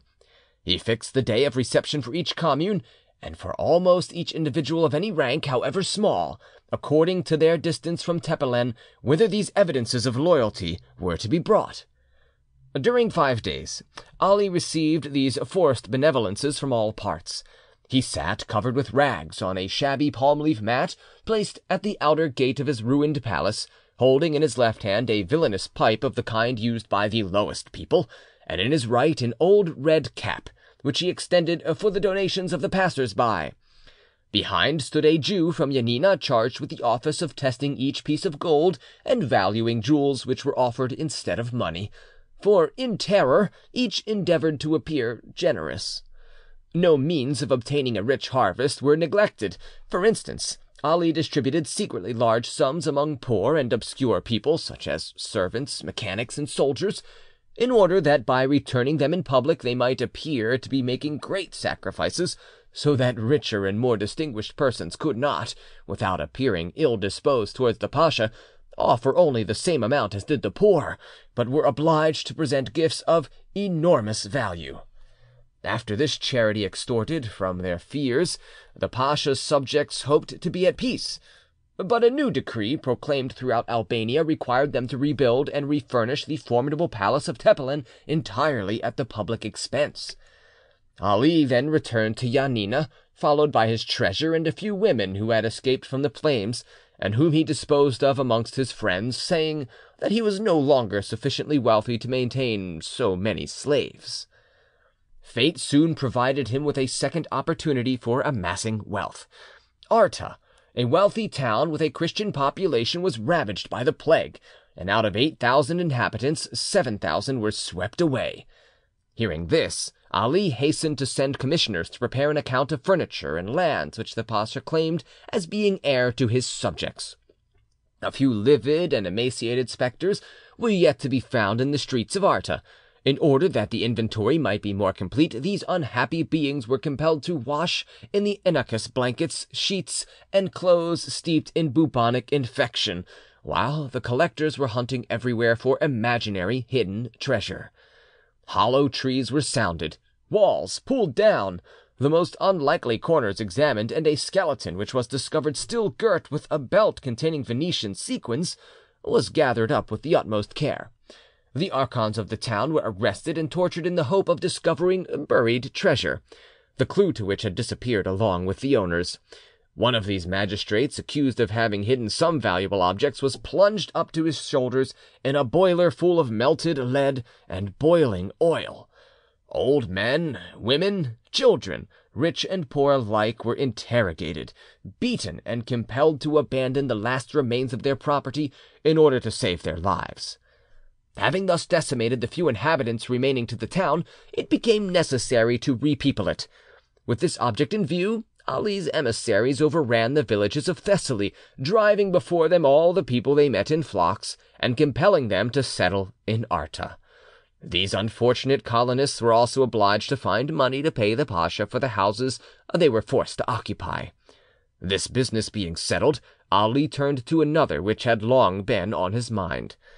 We have seen how Ismail Pacho Bey escaped the assassins sent to murder him. A ship, dispatched secretly from Prevesa, arrived at the place of his retreat. The captain, posing as a merchant, invited Ismail to come on board and inspect his goods. But the latter, guessing a trap, fled promptly, and for some time all trace of him was lost. Ali, in revenge, turned his wife out of the palace at Janina, which she still occupied, and placed her in a cottage, where she was obliged to earn a living by spinning. But he did not stop there, and learning after some time that Pacho Bey had sought refuge with the Nazir of Drama, who had taken him into favour, he resolved to strike a last blow more sure and more terrible than the others. Again Ismail's lucky star saved him from the plots of his enemy. During a hunting party he encountered a kapidgi bachi, or messenger from the sultan, who asked him where he could find the Nazir, to whom he was charged with an important communication. As kapidgi bachis are frequently bearers of evil tidings, which it is well to ascertain at once, and as the Nazir was at some distance, Pacho Bey assumed the latter's part, and the sultan's confidential messenger informed him that he was the bearer of a firman granted at the request of Ali Pasha of Janina. Ali of Tepelen He is my friend. How can I serve him? By executing the present order, sent you by the Divan, desiring you to behead a traitor named Pacho Bey, who crept into your service a short time ago. Uh, willingly, I. But he is not an easy man to seize, being brave, vigorous, clever, and cunning. Craft will be necessary in this case. He may appear at any moment, and it is advisable that he should not see you. Let no one suspect who you are, but go to Drama, which is only two hours distant, and await me there. I shall return this evening, and you can consider your errand as accomplished." The Kapidgi Bachi made a sign of comprehension and directed his course toward Drama while Ismail, fearing that the Nazir, who had only known him a short time, would sacrifice him with the usual Turkish indifference, fled in the opposite direction. At the end of an hour he encountered a Bulgarian monk with whom he exchanged clothes, a disguise which enabled him to traverse Upper Macedonia in safety. Arriving at the great Servian convent in the mountains whence the Axius takes its rise, he obtained admission under an assumed name, but feeling sure of the discretion of the monks, after a few days he explained his situation to them. Ali, learning the ill success of his latest stratagem, accused the Nazir of conniving at Pacho Bey's escape, but the latter easily justified himself with the Divan by giving precise information of what had really occurred. This was what Ali wanted, who profited thereby in having the fugitive's track followed up, and soon got wind of his retreat. As Pacho Bey's innocence had been proved in the explanations given to the Porte, the death firman obtained against him became useless, and Ali affected to abandon him to his fate in order the better to conceal the new plot he was conceiving against him. Athanasius Vaya, a chief assassin of the Kardikiotes, to whom Ali imparted his present plan for the destruction of Ismail, begged for the honour of putting it into execution, swearing that this time Ismail should not escape. The master and the instrument disguised their scheme under the appearance of a quarrel, which astonished the whole town. At the end of a terrible scene which took place in public, Ali drove the confidant of his crimes from the palace, overwhelming him with insults, and declaring that were Athanasius not the son of his children's foster mother, he would have sent him to the gibbet. He enforced his words by the application of a stick, and Vaya, apparently overwhelmed by terror and affliction, went round to all the nobles of the town, vainly entreating them to intercede for him. The only favour which Mouktar Pasha could obtain for him was a sentence of exile, allowing him to retreat to Macedonia. Athanasius departed from Janina with all the demonstrations of utter despair, and continued his route with haste of one who fears pursuit. Arrived in Macedonia, he assumed the habit of a monk, and undertook a pilgrimage to Mount Athos, saying that both the disguise and the journey were necessary to his safety. On the way he encountered one of the itinerant friars of the great Servian convent, to whom he described his disgrace in energetic terms, begging him to obtain his admission among the lay brethren of his monastery. Delighted at the prospect of bringing back to the fold of the Church a man so notorious for his crimes, the friar hastened to inform his superior, who in his turn lost no time in announcing to Pacho Bey that his compatriot and companion in misfortune was to be received among the lay brethren, and in relating the history of Athanasius as he himself had heard it. Pacho Bey, however, was not easily deceived and at once guessing that Vaya's real object was his own assassination, told his doubts to the superior, who had already received him as a friend. The latter retarded the reception of Vaya so as to give Pacho time to escape and take the road to Constantinople. Once arrived there, he determined to brave the storm and encounter Ali openly. Endowed by nature with a noble presence and with masculine firmness, Pacho Bey possessed also the valuable gift of speaking all the various tongues of the Ottoman Empire. He could not fail to distinguish himself in the capital, and to find an opening for his great talents. But his inclination drove him at first to seek his fellow exiles from Epirus, who were either his old companions in arms, friends of relations, for he was allied to all the principal families, and was even through his wife nearly connected with his enemy Ali Pasha himself. He had learnt what this unfortunate lady had already endured on his account, and feared that she would yet suffer more if he took active measures against the pasha. While he yet hesitated between affection and revenge, he heard that she had died of grief and misery. Now that despair had put an end to uncertainty, he set his hand to the work. At this precise moment, Heaven sent him a friend to console and aid him in his vengeance, a Christian from Aetolia. Paleopoulo by name, this man was on the point of establishing himself in Russian uh, Bessarabia, when he met Pacho Bey and joined with him in the singular coalition which was to change the fate of the Tepelenian dynasty. Paleopoulo reminded his companion in misfortune of a memorial presented to the Divan in 1812, which had brought upon Ali a disgrace from which he only escaped in consequence of the overwhelming political events which just then absorbed the attention of the Ottoman government. The Grand Seigneur had sworn by the tombs of his ancestors to attend to the matter as soon as he was able, and it was only requisite to remind him of his vow. Pacho Bey and his friend drew up a new memorial, and knowing the sultan's avarice, took care to dwell on the immense wealth possessed by Ali, on his scandalous exactions, and on the enormous sums diverted from the imperial treasury. By overhauling the accounts of his administration, millions might be recovered. To these financial considerations Pacho Bey added some practical ones. Speaking as a man sure of his facts and well acquainted with the ground, he pledged his head that with twenty thousand men he would, in spite of Ali's troops and strongholds, arrive before Janina without firing a musket. However good these plans appeared, uh, they were by no means to the taste of the sultan's ministers, who were each and all in receipt of large pensions from the man at whom they struck. Besides, as in Turkey it is customary for the great fortunes of government officials to be absorbed on their death by the imperial treasury, it of course appeared easier to await the natural inheritance of Ali's treasures than to attempt to seize them by a war which would only certainly absorb part of them. Therefore, while Pacho Bey's zeal was commended, he obtained only dilatory answers, followed at length by a formal refusal. Meanwhile, the old Aetolian, Paleopoulo died, having prophesied the approaching Greek insurrection among his friends, and pledged Pacho Bey to persevere in his plans of vengeance, assuring him that before long Ali would certainly fall a victim to them. Thus left alone, Pacho, before taking any active steps in his work of vengeance, affected to give himself up to the strictest observances of the Mohammedan religion. Ali, who had established a most minute surveillance over his actions, finding that his time was spent with ulemas and dervishes, imagined that he had ceased to be dangerous, and took no further trouble about him. End of chapter 7 Chapter 8 A career of successful crime had established Ali's rule over a population equal to that of the two kingdoms of Sweden and Norway. But his ambition was not yet satisfied.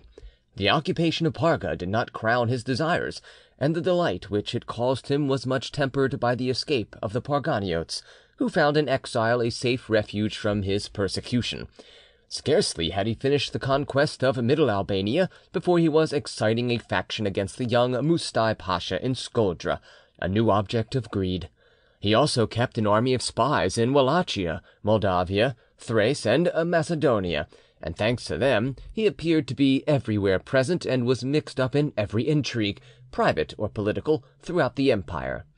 He had paid the English agents the price agreed on for Parga, but he had repaid himself five times over by gifts extorted from his vassals and by the value of the Parga lands now become his property. His palace of Tepelen had been rebuilt at the public expense, and was larger and more magnificent than before. Janina was embellished with new buildings, elegant pavilions rose on the shores of the lake. In short, Ali's luxury was on a level with his vast riches. His sons and grandsons were provided for by important positions, and Ali himself was sovereign prince in everything but the name. There was no lack of flattery even from literary persons. At Vienna a poem was pointed in his honour, and a French Greek grammar was dedicated to him, and such titles as "most illustrious," "most powerful," and "most clement" were showered upon him, as upon a man whose lofty virtues and great exploits echoed through the world. A native of Bergamo, learned in heraldry, provided him with a coat of arms, representing on a field gules, a lion embracing three cubs, emblematic of the Tepelenian dynasty. Already he had a consul at Leucadia accepted by the English, who, it is said, encouraged him to declare himself hereditary Prince of Greece, under the nominal suzerainty of their sultan, and their real intention being to use him as a tool in return for their protection, and to employ him as a political counterbalance to the Hospodars of Moldavia and Wallachia, who for the last twenty years had been simply Russian agents in disguise. This was not all. Many of the adventurers with whom the Levant swarms, outlaws from every country, had found a refuge in Albania, and helped not a little to excite Ali's ambition by their suggestions. Some of these men frequently saluted him as king, a title which he affected to reject with indignation, and he disdained to imitate other states by raising a private standard of his own, preferring not to compromise his real power by puerile displays of dignity, and he lamented the foolish ambition of his children who would ruin him, he said, by aiming each at becoming a vizier. Therefore he did not place his hope or confidence in them, but in the adventurers of every sort and kind, pirates, coiners, renegades, assassins, whom he kept in his pay and regarded as his best support. These he sought to attach to his person as men who might some day be found useful, for he did not allow the many favours of fortune to blind him to the real danger of his position. "A vizier," he was answered, "resembles a man wrapped in costly furs, but he sits on a barrel of powder, which only requires a spark to explode it." The Divan granted all the concessions which Ali demanded, affecting ignorance of his projects of revolt and his intelligence with the enemies of the state; but then apparent weakness was merely prudent temporising. It was considered that Ali, already advanced in years, could not live much longer, and it was hoped that at his death, continental Greece, now in some measure detached from the Ottoman rule, would again fall under the sultan's sway.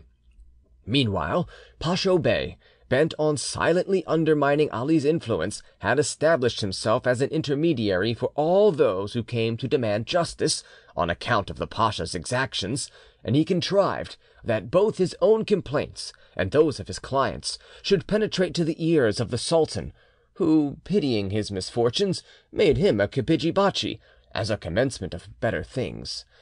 About this time the sultan also admitted to the council a certain Abdi Effendi of Larissa, one of the richest nobles of Thessaly, who had been compelled by the tyranny of Veli Pacha to fly from his country. The two new dignitaries, having secured Khalid Effendi as a partisan, resolved to profit by his influence to carry out their plans of vengeance on the Tepelenian family. The news of Pacho Bey's promotion roused Ali from the security in which he was plunged and he fell a prey to the most lively anxiety. Comprehending at once the evil which this man, trained in his own school, might cause him, he exclaimed, "Ah! If Heaven would only restore me the strength of my youth, I would plunge my sword into his heart even in the midst of the Divan." It was not long before Ali's enemies found an extremely suitable opportunity for opening their attack. Veli Pacha, who had for his own profit increased the Thessalian taxation fivefold, had in doing so caused so much oppression that many of the inhabitants preferred the griefs and dangers of emigration rather than remain under so tyrannical a rule. A great number of Greeks sought refuge at Odessa, and the great Turkish families assembled round Pacho Bey and Abdi Effendi at Constantinople, who lost no opportunity of interceding in their favour. The sultan, who as yet did not dare to act openly against the Tepelenian family, was at least able to relegate Veli to the obscure post of Lepanto, and Veli, much disgusted, was obliged to obey. He quitted the new palace he had just built at Rapahani, and betook himself to the place of exile, accompanied by actors, Bohemian dancers, bear leaders, and a crowd of prostitutes. Thus attacked in the person of his most powerful son, Ali thought to terrify his enemies by a daring blow he sent three Albanians to Constantinople to assassinate Pacho Bey. They fell upon him as he was proceeding to the mosque of Saint Sophia, on the day on which the sultan also went in order to be present at the Friday ceremonial prayer, and fired several shots at him. He was wounded, but not mortally. The assassins caught red-handed were hung at the gate of the imperial seraglio, but not before confessing that they were sent by the Pasha of Janina. The Divan, comprehending at last that so dangerous a man must be dealt with at any cost, recapitulated all Ali's crimes and pronounced a sentence against him which was confirmed by a decree of the Grand Mufti. It set forth that Ali Tepelen, having many times obtained pardon for his crimes, was now guilty of high treason in the first degree and that he would, as recalcitrant, be placed under the ban of the empire if he did not, within forty days, appear at the gilded threshold of the felicitous gate of the monarch who dispenses crowns to the princes who reign in this world, in order to justify himself. As may be supposed, submission to such an order was about the last thing Ali contemplated. As he failed to appear, the Divan caused the Grand Mufti to launch the thunder of excommunication against him. Ali had just arrived at Parga, which he now saw for the third time since he had obtained it, when his secretaries informed him that only the rod of Moses could save him from the anger of Pharaoh, a figurative mode of warning him that he had nothing to hope for. But Ali, counting on his usual luck, persisted in imagining that he could once again escape from his difficulty by the help of gold and intrigue. Without discontinuing the pleasures in which he was immersed, he contented himself with sending presents and humble petitions to Constantinople. But both were alike useless, for no one even ventured to transmit them to the sultan, who had sworn to cut off the head of anyone who dared mention the name of Ali Tepelen in his presence. Receiving no answer to his overtures, Ali became a prey to terrible anxiety.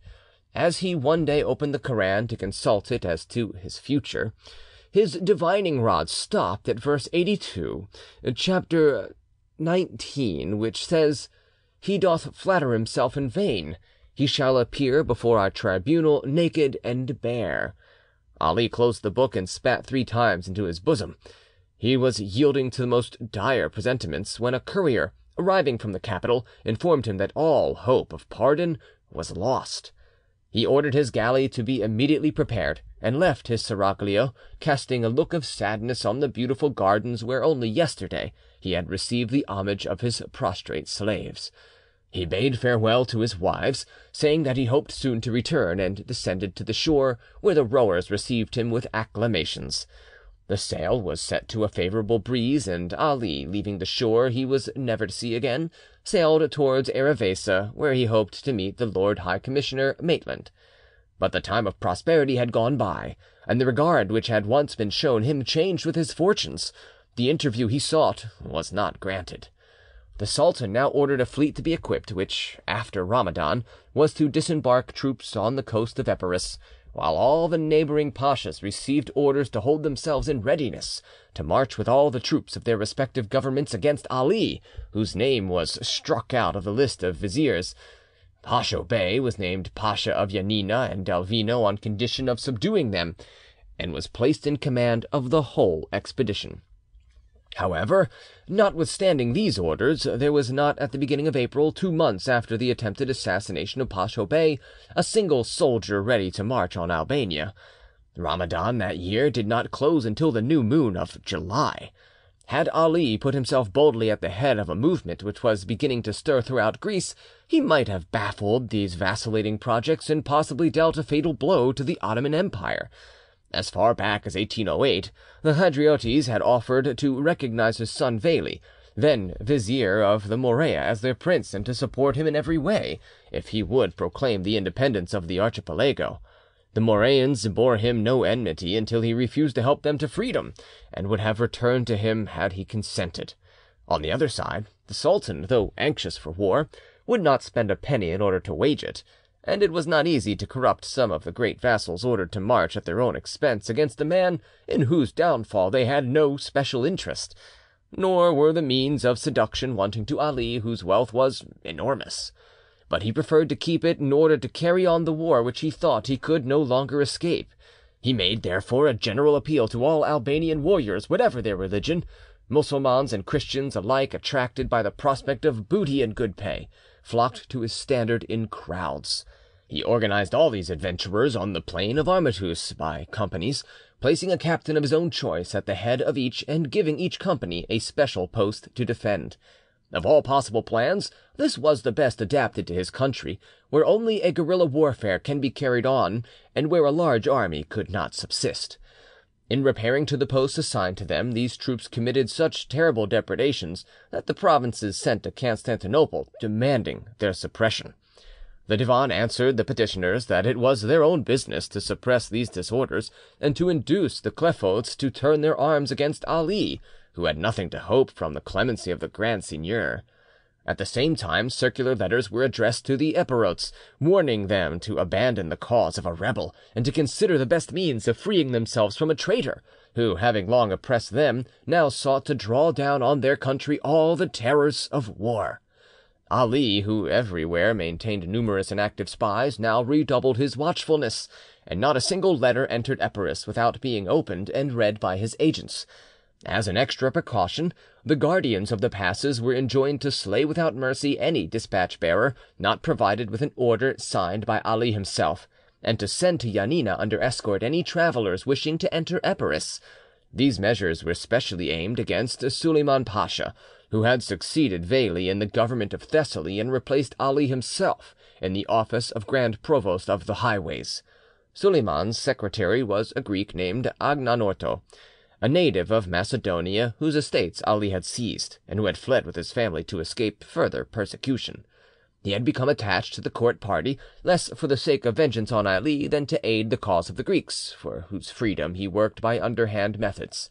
He persuaded Suleiman Pasha that the Greeks would help him to dethrone Ali, for whom they cherished the deepest hatred, and he was determined that they should learn the sentence of deprivation and excommunication fulminated against the rebel pasha. He introduced into the Greek translation, which he was commissioned to make, ambiguous phrases which were read by the Christians as a call to take up arms in the cause of liberty. In an instant all Hellas was up in arm. The Mohammedans were alarmed, but the Greeks gave out that it was in order to protect themselves and their property against the bands of brigands which had appeared on all sides. This was the beginning of the Greek insurrection, and occurred in May 1820, extending from Mount Pindus to Thermopylae. However, the Greeks, satisfied with having vindicated their right to bear arms in their own defence, continued to pay their taxes and abstained from all hostility. At the news of this great movement, Ali's friends advised him to turn it to his own advantage. "The Greeks in arms," they said, "want a chief. Offer yourself as their leader. They hate you, it is true, but this feeling may change. It is only necessary to make them believe, which is easily done, that if they will support your cause, you will embrace Christianity and give them freedom." There was no time to lose, for matters became daily more serious. Ali hastened to summon what he called a Grand Divan, composed of the chiefs of both sects, Mussulmans and Christians. There were assembled men of widely different types, much astonished at finding themselves in company. The venerable Gabriel, Archbishop of Janina and uncle of the unfortunate Euphrosyne, who had been dragged thither by force; Abbas, the old head of the police, who had presided at the execution of the Christian martyr, the holy bishop of Velas, still bearing the marks of the chains with which Ali had loaded him, and Porphyro, archbishop of Arta, to whom the turban would have been more becoming than the mitre. Ashamed of the part he was obliged to play, Ali, after long hesitation, decided on speaking and addressing the Christians. "O Greeks!" he said, "examine my conduct with unprejudiced minds, and you will see manifest proofs of the confidence and consideration which I have ever shown you. What pasha has ever treated you as I have done? Who would have treated your priests and the objects of your worship with as much respect? Who else would have conceded the privileges which you enjoy? For you hold rank in my councils, and both the police and the administration of my states are in your hands. I do not, however, seek to deny the evils with which I have afflicted you, but, alas! these evils have been the result of my enforced obedience to the cruel and perfidious orders of the Sublime Porte. It is to the Porte that these wrongs must be attributed, for if my actions be attentively regarded, it will be seen that I only did harm when compelled thereto by the course of events. Interrogate my actions; they will speak more fully than a detailed apology. Uh, my position with regard to the Suliots allowed no half and half measures. Having once broken with them, I was obliged either to drive them from my country or to exterminate them. I understood the political hatred of the Ottoman cabinet too well not to know that it would declare war against me sooner or later, and I knew that resistance would be impossible. If on one side I had to repel the Ottoman aggression, and on the other to fight against the formidable Suliotes, I might say the same of the Parganiotes. You know that their town was the haunt of my enemies, and each time that I appealed to them to change their ways, they answered only with insults and, and threats. They constantly aided the Suliots, with whom I was at war, and if at this moment they still were occupying Parga, you would see them throw open the gates of Epirus to the forces of the sultan. But all this does not prevent my being aware that my enemies blame me severely, and indeed I also blame myself, and deplore the faults which the difficulty of my position has entailed upon me. Strong in my repentance, I do not hesitate to address myself to those whom I have most grievously wounded. Thus I have long since recalled to my service a great number of Suliots, and those who have responded to my invitation are occupying important posts near my person. To complete the reconciliation, I have written to those who are still in exile, desiring them to return fearlessly to their country, and I have certain information that this proposal has been everywhere accepted with enthusiasm. The Suliots will soon return to their ancestral houses, and, reunited under my standard, will join me in combating the Osmanlis for our common enemies. As to the avarice of which I am accused, it seems easily justified by the constant necessity I was under of satisfying the inordinate cupidity of the Ottoman ministry, which incessantly made me pay dearly for tranquillity. This was a personal affair, I acknowledge, and so also is the accumulation of treasure made in order to support the war which the Divan has at length declared." Here Ali ceased. Then, having caused a barrel full of gold pieces to be emptied on the floor, he continued, "Behold a part of the treasure I have preserved with so much care, and which has been specially obtained from the Turks, our common enemies. It is yours. I am now more than ever delighted at being the friend of the Greeks. Uh, their bravery is a sure earnest of victory, and we will shortly re establish the Greek Empire and drive the Osmanlis across the Bosphorus. O bishops and priests of Isa the Prophet, Bless the arms of the Christians, your children. Oh, primates! I call upon you to defend your rights, and to rule justly the brave nation associated with my interests." This discourse produced very different impressions on the Christian priests and archons. Some replied only by raising looks of despair to heaven, others murmured their adhesion. A great number remained uncertain, not knowing what to decide. The Mirdite chief, he who had refused to slaughter the Kardikiotes, declared that neither he nor any Skipetar of the Latin communion would bear arms against their legitimate sovereign, the Sultan. But his words were drowned by cries of Uh, "Long live Ali Pasha! Long live the restorer of liberty!" uttered by some chiefs of adventurers and brigands. End of chapter 8.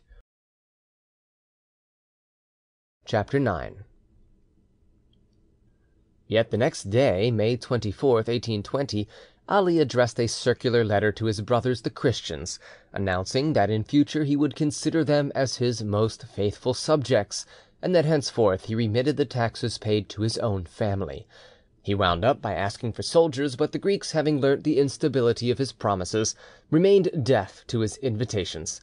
At the same time he sent messengers to the Montenegrins and the Servians, inciting them to revolt, and organised insurrections in Wallachia and Moldavia to the very environs of Constantinople. Whilst the Ottoman vassals assembled only in small numbers and very slowly under their respective standards, every day there collected round the castle of Janina whole companies of Toxidae, of Tapazete, and of Camidae, so that Ali, knowing that Ismail Pacho Bey had boasted that he could arrive in sight of Janina without firing a gun, said in his turn that he would not treat with the Porte until he and his troops should be within eight leagues of Constantinople. He had fortified and supplied with munitions of war Ochrida, Avlone, Canina, Berat, Clissoura, Premiti, the port of Panormus, Santi Quaranta, Buthrotum, Delvino, Argyro Castron, Tepelen, Parga, Prevesa, Sderli, Paramythia, Arta, the post of the Five Wells, Janina, and its castles. These places contained four hundred and twenty cannons of all sizes, for the most part in bronze, mounted on siege carriages, and seventy mortars. Besides these, there were in the castle by the lake, independently of the guns in position, forty field pieces, sixty mountain guns, a number of Congreve rockets, formerly given him by the English, and an enormous quantity of munitions of war. Finally, he endeavoured to establish a line of semaphores between Janina and Prevesa, in order to have prompt news of the Turkish fleet, which was expected to appear on this coast. Ali, whose strength seemed to increase with age, saw to everything and appeared everywhere, sometimes in a litter borne by his Albanians, sometimes in a carriage raised into a kind of platform, but it was more frequently on horseback that he appeared among his labourers. Often he sat on the bastions in the midst of the batteries, and conversed familiarly with those who surrounded him. He narrated the successes formerly obtained against the sultan by Kara Bazaklia, vizier of Scodra, who, like himself, had been attainted with the sentence of deprivation and excommunication, recounting how the rebel pasha, shut up in his citadel with seventy-two warriors, had seen collapse at his feet the united forces of four great provinces of the Ottoman Empire, commanded by twenty-two pashas, who were almost entirely annihilated in one day by the Guegues. He reminded them also of the brilliant victory gained by Passavent Oglan Pasha of Widdin, of quite recent memory, which is celebrated in the warlike songs of the klephts of Roumelia. Almost simultaneously, Ali's sons Mouktar and Veli arrived at Janina. Veli had been obliged, or thought himself obliged, to evacuate Lepanto by superior forces, and brought only discouraging news, especially as to the wavering fidelity of the Turks. Mouktar, on the contrary, who had just made a tour of inspection in the Musache, had only noticed favourable dispositions, and deluded himself with the idea that the Chaonians, who had taken up arms, had done so in order to aid his father. He was curiously mistaken, for these tribes hated Ali with a hatred all the deeper for being compelled to conceal it, and were only in arms in order to repel aggression. The advice given by the sons to their father as to the manner of treating the Mohammedans differed widely in accordance with their respective opinions. Consequently a violent quarrel arose between them, ostensibly on account of this dispute, but in reality on the subject of their father's inheritance, which both equally coveted. Ali had brought all his treasure to Janina, and thenceforth neither son would leave the neighbourhood of so excellent a father. They overwhelmed him with marks of affection, and vowed that the one had left Lepanto and the other Berat only in order to share his danger. Ali was by no means duped by these protestations, of which he divined the motive only too well, and though he had never loved his sons, he suffered cruelly in discovering that he was not beloved by them. Soon he had other troubles to endure. One of his gunners assassinated a servant of Veli's, and Ali ordered the murderer to be punished. But when the sentence was to be carried out, the whole corps of artillery mutinied. In order to save appearances, the pacha was compelled to allow them to ask for the pardon of the criminal whom he dared not punish. This incident showed him that his authority was no longer paramount, and he began to doubt the fidelity of his soldiers. The arrival of the Ottoman fleet further enlightened him to his true position. Mussulman and Christian alike all the inhabitants of northern Albania, who had hitherto concealed their disaffection under an exaggerated semblance of devotion, now hastened to make their submission to the sultan. The Turks, continuing their success, laid siege to Parga, which was held by Mehemet, Veli's eldest son. He was prepared to make a good defence, but was betrayed by his troops, who opened the gates of the town, and he was compelled to surrender at discretion. He was handed over to the commander of the naval forces, by whom he was well treated, being assigned the best cabin in the admiral's ship and given a brilliant suite. He was assured that the sultan, whose only quarrel was with his grandfather, would show him favour, and would even deal mercifully with Ali, who, with his treasures, would merely be sent to an important province in Asia Minor. He was induced to write in this strain to his family and friends, in order to induce them to lay down their arms. The fall of Parga made a great impression on the Epirotes, who valued its possession far above its real importance. Ali rent his garments and cursed the days of his former good fortune, during which he had neither known how to moderate his resentment nor to foresee the possibility of any change of fortune. The fall of Parga was succeeded by that of Arta of Mangliana, where it was situated Ali's country house, and of the post of the Five Wells. Then came a yet more overwhelming piece of news. Omar Brionis, whom Ali, having formerly despoiled of its wealth, had none the less recently appointed general in chief, had gone over to the enemy with all his troops. Ali then decided on carrying out a project he had formed in case of necessity, namely, on destroying the town of Janina, which would afford shelter to the enemy and a point of attack against the fortress in which he was entrenched. When this resolution was known, the inhabitants thought only of saving themselves and their property from the ruin from which nothing could save their country; but most of them were only preparing to depart, when Ali gave leave to the Albanian soldiers yet faithful to him to sack the town. The place was immediately invaded by an unbridled soldiery. The metropolitan church, where Greeks and Turks alike deposited their gold, jewels, and merchandise, even as did the Greeks of old in the temples of the gods, became the first object of pillage. Nothing was respected; the cupboards containing sacred vestments were broken open, so were the tombs of the archbishops, in which were interred reliquaries adorned with precious stones, and the altar itself was defiled with the blood of ruffians who fought for chalices and silver crosses. The town presented an equally terrible spectacle. Neither Christians nor Mussulmans were spared, and the women's apartments, forcibly entered, were given up to violence. Some of the more courageous citizens endeavoured to defend their houses and families against these bandits, and the clash of arms mingled with cries and groans. All at once the roar of a terrible explosion rose above the other sounds, and a hail of bombs, shells, grenades, and rockets carried devastation and fire into the different quarters of the town, which soon presented the spectacle of an immense conflagration. Ali, seated on the great platform of the castle by the lake, which seemed to vomit fire like a volcano, directed the bombardment, pointing out the places which must be burnt.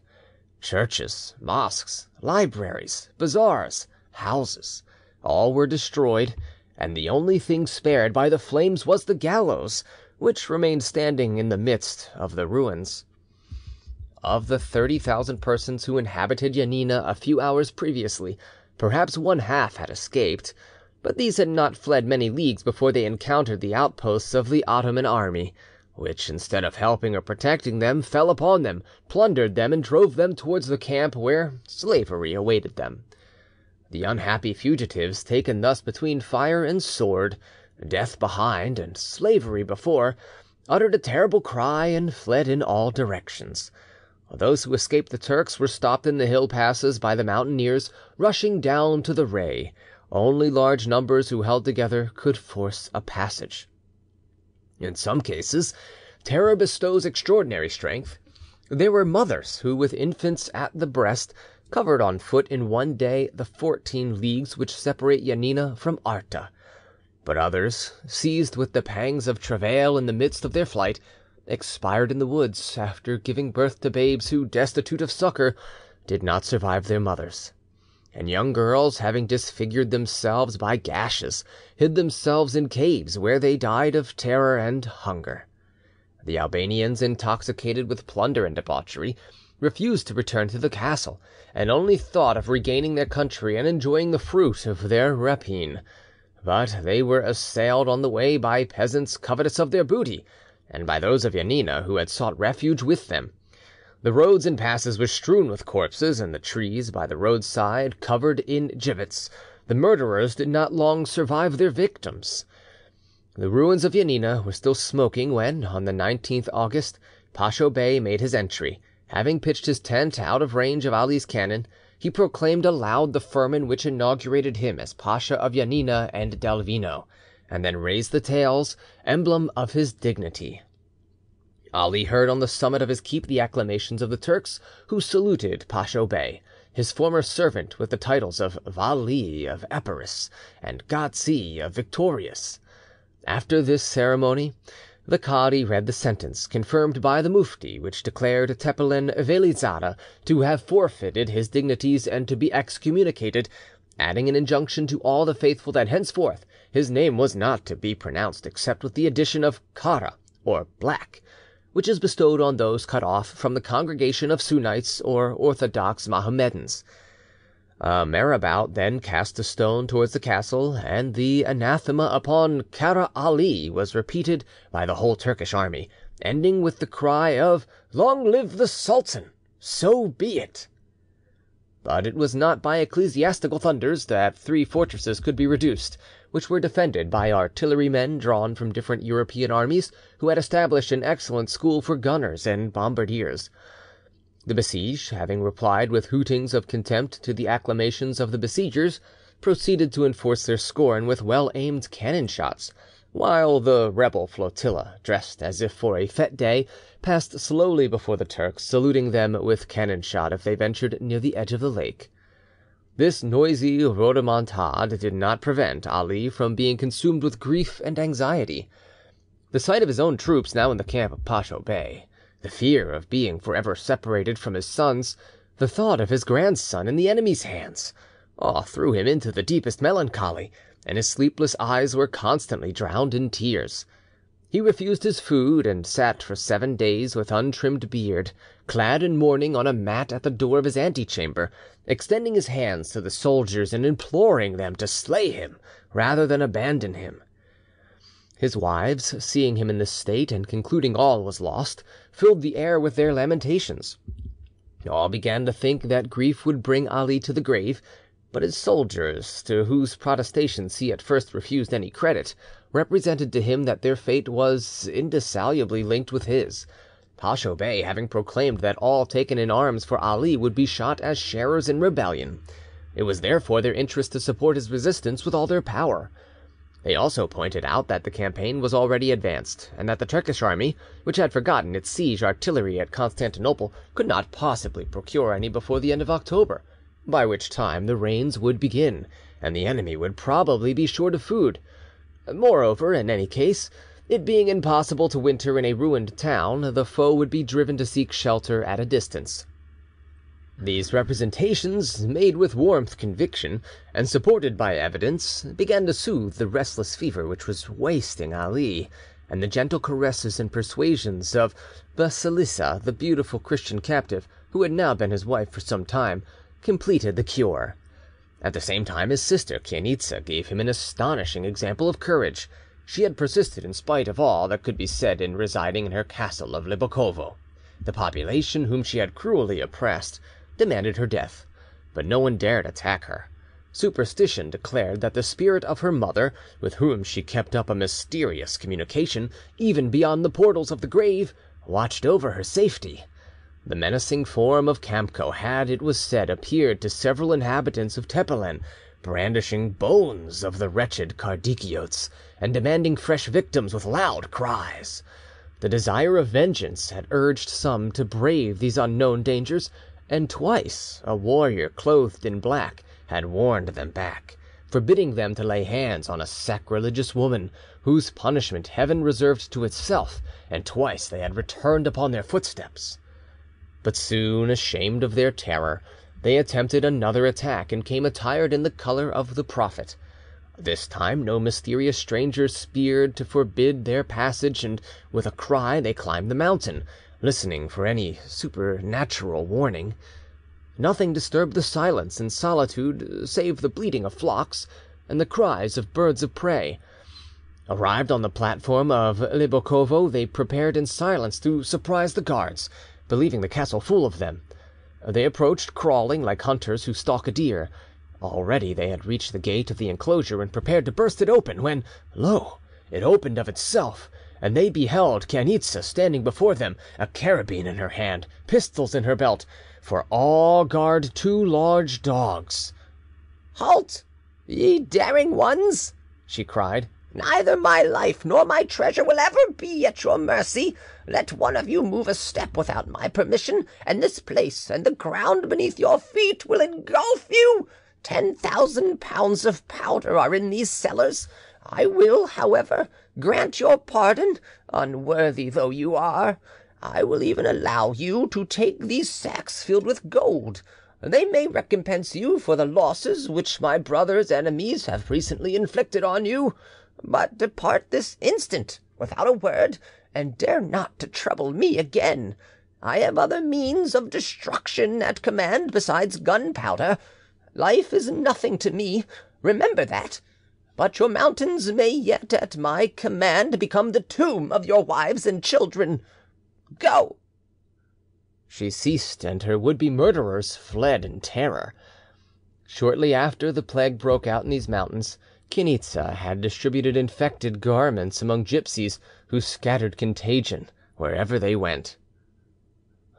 "We are indeed of the same blood," cried Ali with pride, when he heard of his sister's conduct, and from that hour he appeared to regain all the fire and audacity of his youth. When a few days later he was informed that Mouktar and Veli, seduced by the brilliant promises of Pacho Bey, had surrendered Prevesa and Argyro Castron, "It does not surprise me," he observed coldly. "I have long known them to be unworthy of being my sons, and henceforth my only children and heirs are those who defend my cause." And on hearing a report that both had been beheaded by Pacho Bey's order, he contented himself with saying, "They betrayed their father, and have only received their deserts. Speak no more of them." And to show how little it discouraged him, he redoubled his fire upon the Turks. But the latter, who had at length obtained some artillery, answered his fire with vigour, and began to rally to discrown the old pacha's fortress. Feeling that the danger was pressing, Ali redoubled both his prudence and activity. His immense treasures were the real reason of the war waged against him, and these might induce his own soldiers to rebel in order to become masters of them. He resolved to protect them from either surprise or conquest. The sum necessary for present use was deposited in the powder magazine, so that if driven to extremity it might be destroyed in a moment. The remainder was enclosed in strong boxes and sunk in different parts of the lake. This labour lasted a fortnight, when finally Ali put to death the gipsies who had been employed about it, in order that the secret might remain with himself. While he thus set his own affairs in order, he applied himself to the troubling those of his adversary.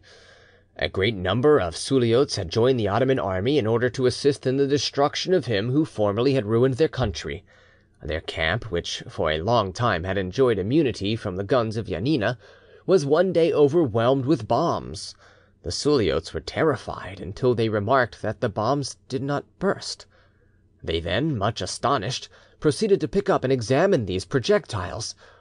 Instead of a match, they found rolls of paper enclosed in a wooden cylinder, which was engraved these words: "Open carefully."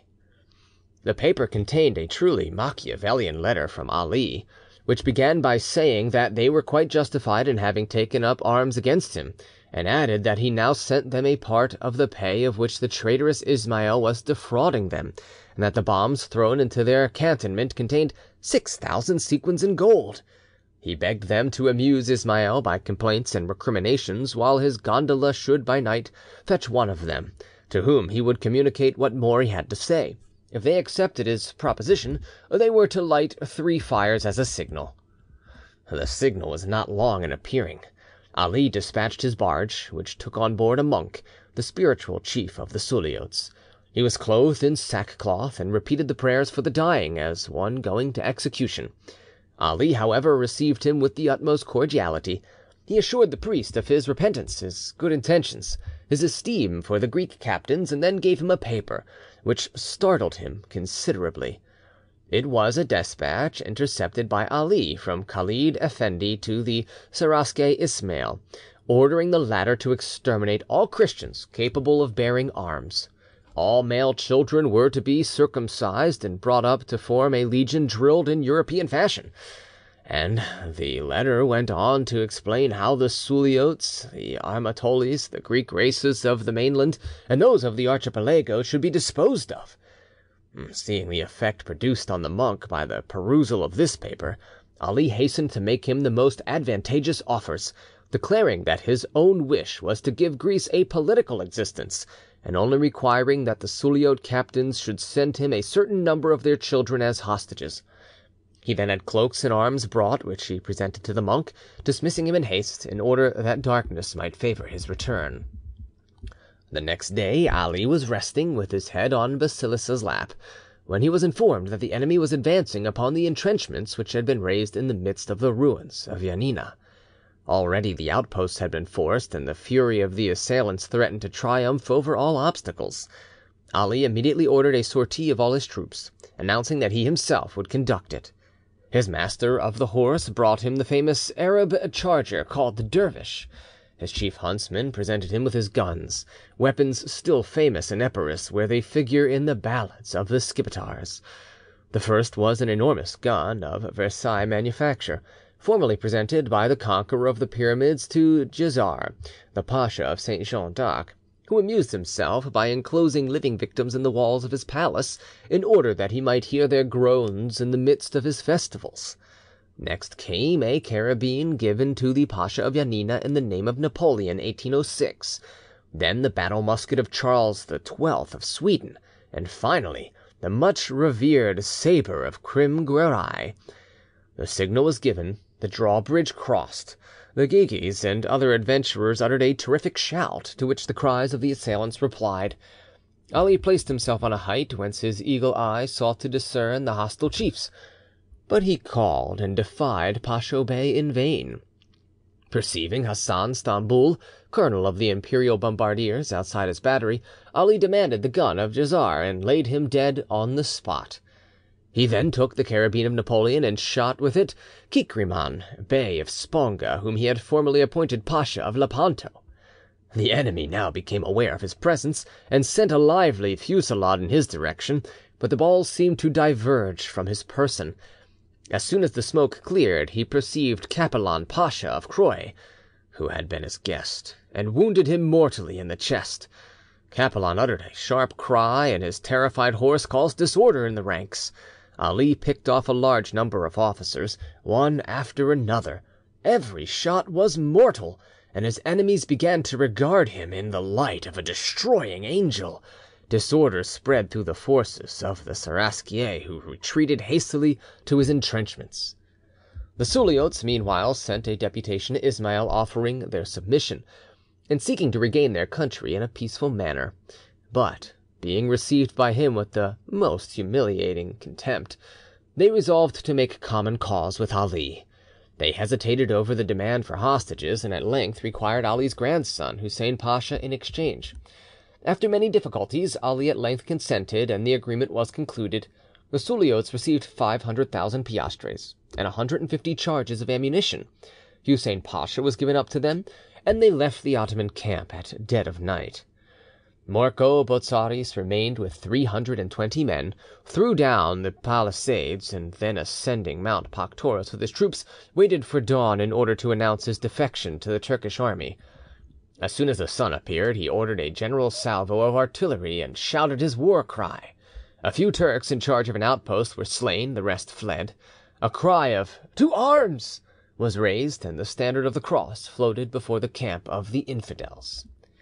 Signs and omens of a coming general insurrection appeared on all sides. There was no lack of prodigies, visions, or popular rumours, and the Mohammedans became possessed with the idea that the last hour of their rule in Greece had struck. Ali Pacha favoured the general demoralisation, and his agents, scattered throughout the land, fanned the flame of revolt. Ismail Pacha was deprived of his title of Seraskier, and superseded by Kursheed Pacha. As soon as Ali heard this, he sent a messenger to Kursheed, hoping to influence him in his favour. Ismail, distrusting the Skipetars, who formed part of his troops, demanded hostages from them. The Skipetars were indignant, and Ali, hearing of their discontent, wrote inviting them to return to him, and endeavouring to dazzle them by the most brilliant promises. These overtures were received by the offended troops with enthusiasm, and Alexis Noutza, Ali's former general, who had forsaken him for Ismail, but who had secretly returned to his allegiance and acted as a spy on the imperial army, was deputed to treat with him.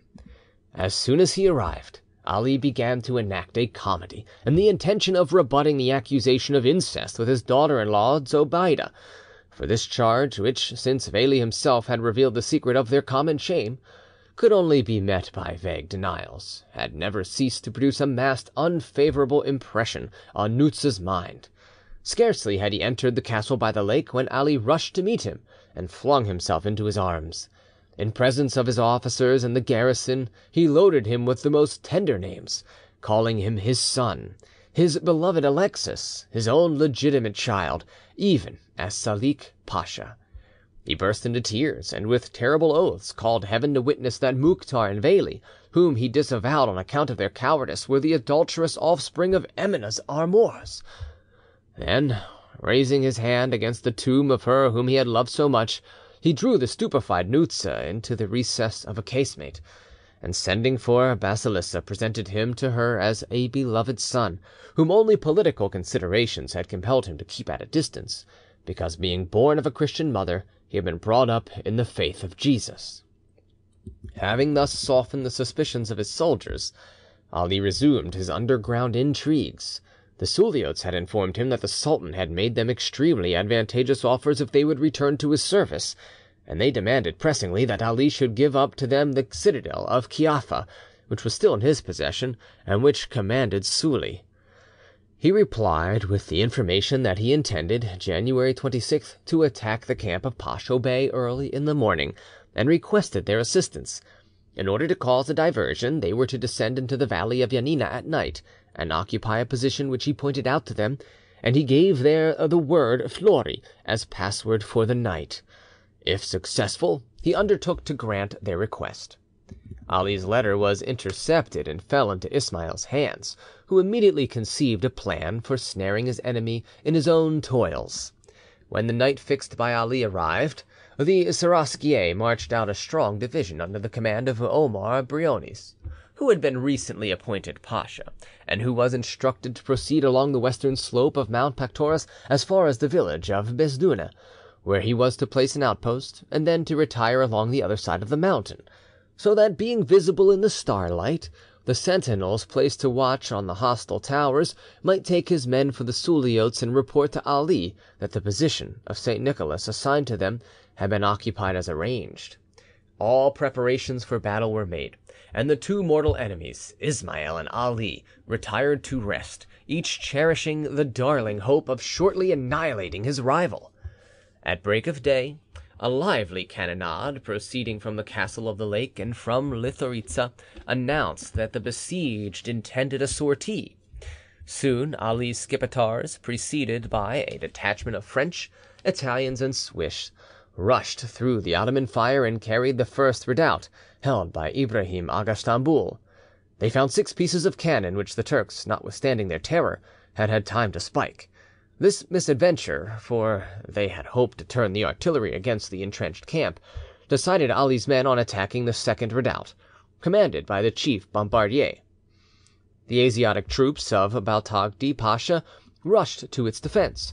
At their head appeared the chief Imaum of the army, mounted on a richly caparisoned mule, and repeating the curse fulminated by the Mufti against Ali, his adherents, his castles, and even his cannons, which it was supposed might be rendered harmless by these adjurations.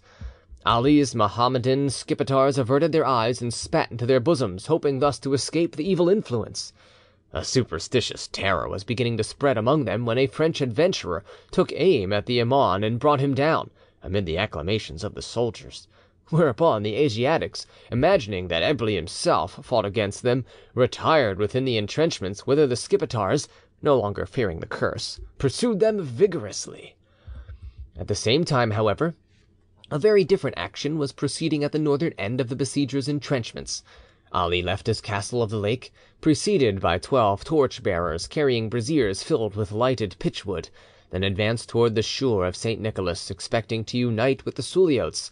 He stopped in the middle of the ruins to wait for sunrise, and while there heard that his troops had carried the battery of Ibrahim Aga Stamboul. Overjoyed, he ordered them to press on to the second entrenchment, promising that in an hour, when he should have been joined by the Suliots, he would support them, and he then pushed forward, preceded by two field pieces with their waggons, and followed by fifteen hundred men as far as a large plateau, on which he perceived at a little distance an encampment which he supposed to be that of the Suliots. He then ordered the Mirdite prince, Kir Lekos, to advance with an escort of twenty-five men, and when within hearing distance to wave a blue flag and call out the password. An imperial officer replied with the countersign Flori, and Lekos immediately sent back word to Ali to advance.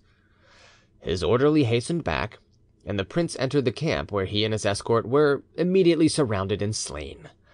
On receiving the message, Ali began to advance, but cautiously, being uneasy at seeing no signs of the Mirdite troop. Suddenly, ferocious cries and a lively fusillade proceeding from the vineyards and thickets announced that he had fallen into a trap, and at the same moment Omar Pasha fell upon his advance guard, which broke, crying, "Treason!" Ali sabred the fugitives mercilessly, but fear carried them away and forced to follow the crowd.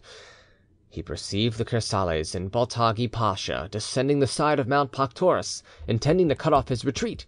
He attempted another route, hastening towards the road to Degleva, but found it held by the Tabakate under the Bimbashi Aslan of Argyro Castron. He was surrounded. All seemed lost, and feeling that his last hour had come, he thought only of selling his life as dearly as possible. Collecting his bravest soldiers round him, he prepared for a last rush on Omar Pasha, when suddenly, with an inspiration born of despair, he ordered his ammunition waggons to be blown up. The Kersales, who were about to seize them, vanished in the explosion, which scattered a hail of stones and debris far and wide. Under cover of the smoke and general confusion, Ali succeeded in withdrawing his men to the shelter of the guns of his castle of Litharitza, where he continued the fight in order to give time to the fugitives to rally, and to give the support he had promised to those fighting on the other slope, who in the meantime had carried the second battery and were attacking the fortified camp. Here the Seraskier Ismail met them with a resistance so well managed that he was able to conceal the attack he was preparing to make on their rear. Ali, guessing that the object of Ismail's manoeuvres was to crush those whom he had promised to help, and unable on account of the distance either to support or to warn them, endeavoured to impede Omar Pasha, hoping still that his Skipetars might either see or hear him. He encouraged the fugitives, who recognised him from afar by his scarlet dolman, by the dazzling whiteness of his horse, and by the terrible cries which he uttered; for in the heat of battle this extraordinary man appeared to have regained the vigour and audacity of his youth. Twenty times he led his soldiers to the charge, and as often was forced to recoil towards his castles. He brought up his reserves, but in vain; fate had declared against him. His troops which were attacking the entrenched camp found themselves taken between two fires, and could not help them. Foaming with passion, he threatened to rush singly into the midst of his enemies. His officers besought him to calm himself, and receiving only refusals, at last threatened to lay hands upon him if he persisted in exposing himself like a private soldier. Subdued by this unaccustomed opposition, Ali allowed himself to be forced back into the castle by the lake, while his soldiers dispersed in various directions. But even this defeat did not discourage the fierce pasha. Reduced to extremity, he yet entertained the hope of shaking the Ottoman Empire, and from the recesses of his fortress he agitated the whole of Greece. The insurrection which he had stirred up, without foreseeing what the results might be, was spreading with the rapidity of a lighted train of powder, and the Mohammedans were beginning to tremble, when at length Kursheed Pasha, having crossed the Pindus at the head of an army of eighty thousand men, arrived before Janina.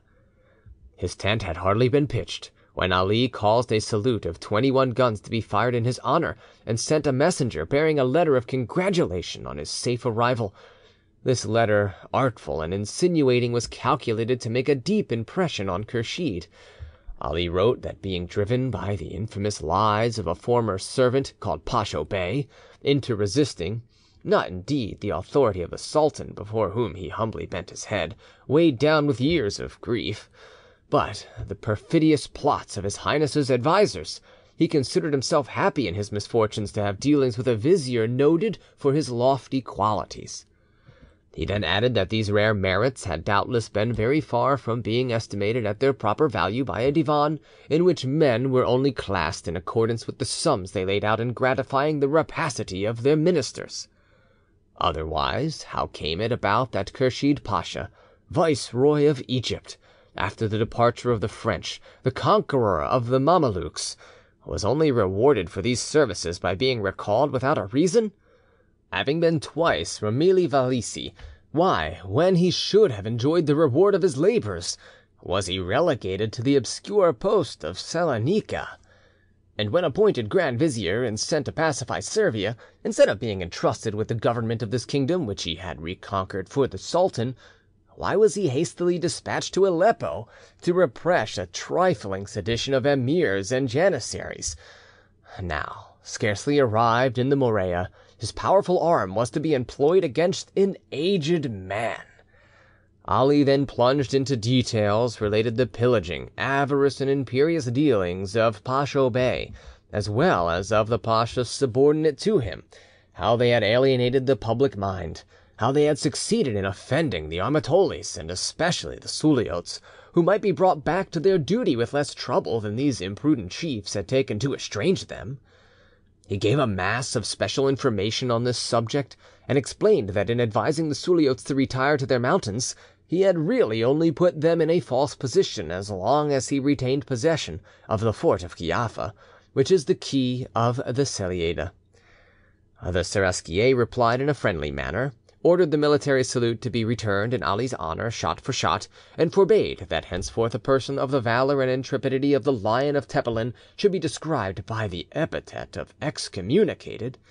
He also spoke of him by his title of vizier, which he declared he had never forfeited the right to use, and he also stated that he had only entered Epirus as a peacemaker.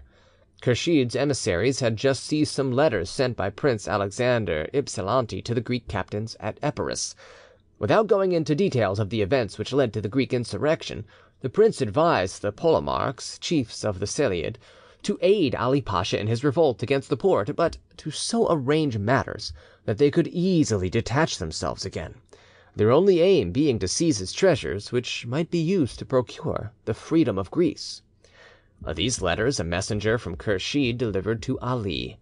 They produced such an impression upon his mind that he secretly resolved only to make use of the Greeks, and to sacrifice them to his own designs if he could not inflict a terrible vengeance on their perfidy. He heard from the messenger at the same time of the agitation in European Turkey, the hopes of the Christians, and the apprehension of a rupture between the Porte and Russia. It was necessary to lay aside vain resentment and to unite against these threatening dangers. Kursheed Pasha was, said his messenger, ready to consider favourably any propositions likely to lead to a prompt pacification, and would value such a result far more highly than the glory of subduing by means of the imposing force at his command a valiant prince, whom he had always regarded as one of the strongest bulwarks of the Ottoman Empire. This information produced a different effect upon Ali to that intended by the Seraskier. Passing suddenly from the depths of despondency to the height of pride, he imagined that these overtures of reconciliation were only a proof of the inability of his foes to subdue him, and he sent the following propositions to Kursheed Pasha.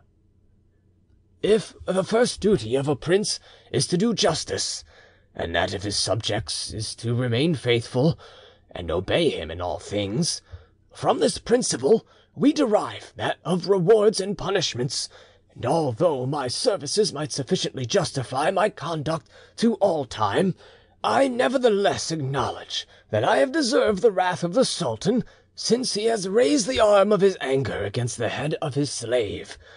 Having humbly implored his pardon, I fear not to invoke his severity towards those who have abused his confidence. With this object I offer, first, to pay the expenses of the war and the tribute and arrears due from my government without delay. Secondly, as it is important for the sake of example that the treason of an inferior towards his superior should receive fitting chastisement, I demand that Pacho Bey, formerly in my service, should be beheaded, he being the real rebel and the cause of the public calamities which are afflicting the faithful of Islam. Thirdly, I require that for the rest of my life I shall retain without annual reinvestiture my pashalik of Janina, the coast of Epirus, Acarnania, and its dependencies, subject to the rights, charges, and tribute due now and hereafter to the sultan. Fourthly, I demand amnesty and oblivion of the past for all those who have served me until now, and if these conditions are not accepted, without modifications, I am prepared to defend myself to the last. Given at the castle of Janina, March 7th, 1821. End of chapter 9. Chapter 10 This mixture of arrogance and submission only merited indignation, but it suited Kursheed to dissemble. He replied that, assenting to such propositions being beyond his powers, he would transmit them to Constantinople, and that hostilities might be suspended if Ali wished until the courier could return. Being quite as cunning as Ali himself, Kursheed profited by the truce to carry on intrigues against him. He corrupted one of his chiefs of the garrison, Metzo Abbas by name, who obtained pardon for himself and fifty followers, with permission to return to their homes. But this clemency appeared to have seduced also four hundred Skipetars who made use of the amnesty and the money with which Ali provided them to raise Toxis and the Tapagetae in the latter's favour. Thus the Seraskier's scheme turned against himself, and he perceived he had been deceived by Ali's seeming apathy, which certainly did not mean dread of defection. In fact, no man worth anything could have abandoned him, supported as he seemed to be by the almost supernatural courage. Suffering from a violent attack of gout, a malady he had never before experienced, the pasha, at the age of eighty one, was daily carried to the most exposed place on the ramparts of his castle. There, facing the hostile batteries, he gave audience to whoever wished to see him. On this exposed platform he held his councils, dispatched orders, and indicated to what points his guns should be directed. Illuminated by the flashes of fire, his figure assumed fantastic and weird shapes.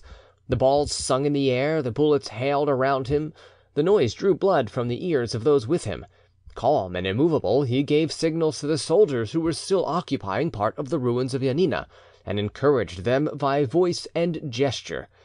Observing the enemy's movements by the help of a telescope, he improvised means of counteracting them. Sometimes he amused himself by greeting curious persons and newcomers after a fashion of his own. Thus the chancellor of the French consul at Prevesa, sent as an envoy to Kursheed Pacha, had scarcely entered the lodging assigned to him, when he was visited by a bomb which caused him to leave it again with all haste.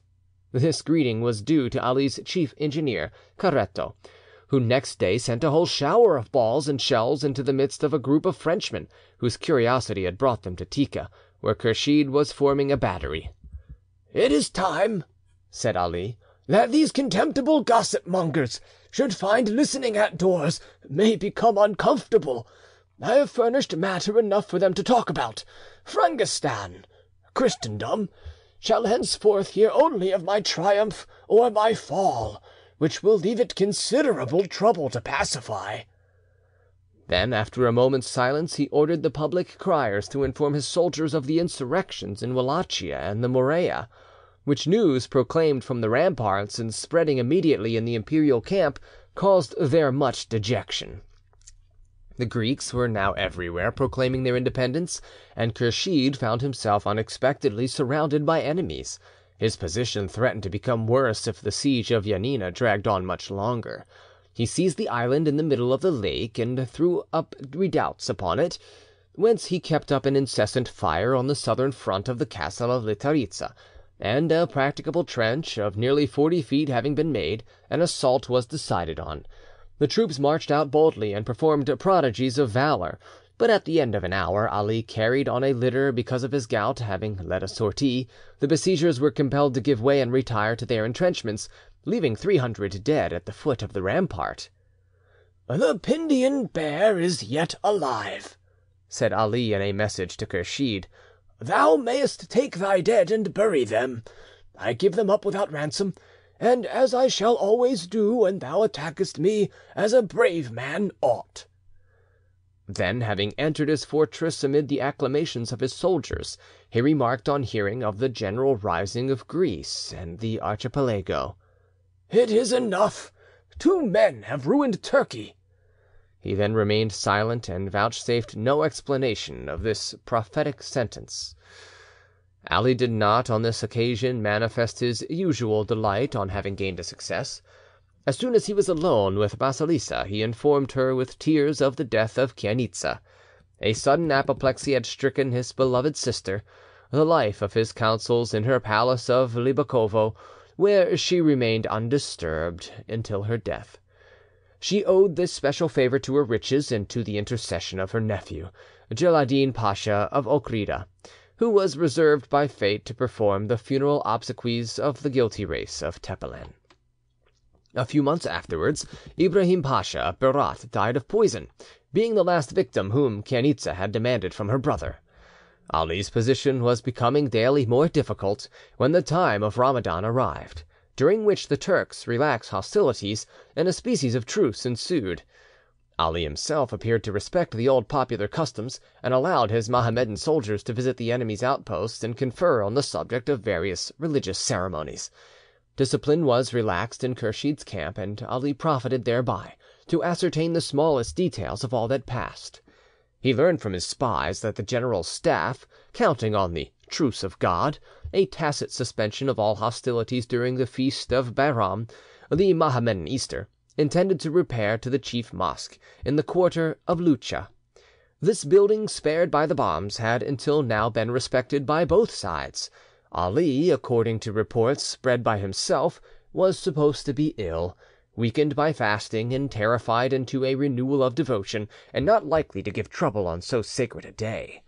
Nevertheless, he ordered Caretto to turn thirty guns against the mosque, cannon, mortars, and howitzers, intending, he said, to solemnise Bairam by discharges of artillery. As soon as he was sure that the whole of the staff had entered the mosque, he gave the signal. Instantly from the assembled thirty pieces there issued a storm of shells, grenades, and cannon balls. With a terrific noise the mosque crumbled together, amid the cries of pain and rage of the crowd inside crushed in the ruins. At the end of a quarter of an hour the wind dispersed the smoke and disclosed a burning crater with the large cypresses which surrounded the building blazing as if they had been torches lighted for the funeral ceremonies of sixty captains and two hundred soldiers. "Ali Pacha is yet alive!" cried the old Homeric hero of Janina, leaping with joy, and his words, passing from mouth to mouth, spread yet more terror among Kursheed's soldiers, already overwhelmed by the horrible spectacle passing before their eyes. Almost on the same day, Ali from the height of his keep beheld the standard of the cross waving in the distance. The rebellious Greeks were bent on attacking Kursheed. The insurrection promoted by the Vizier of Janina had passed far beyond the point he intended, and the rising had become a revolution.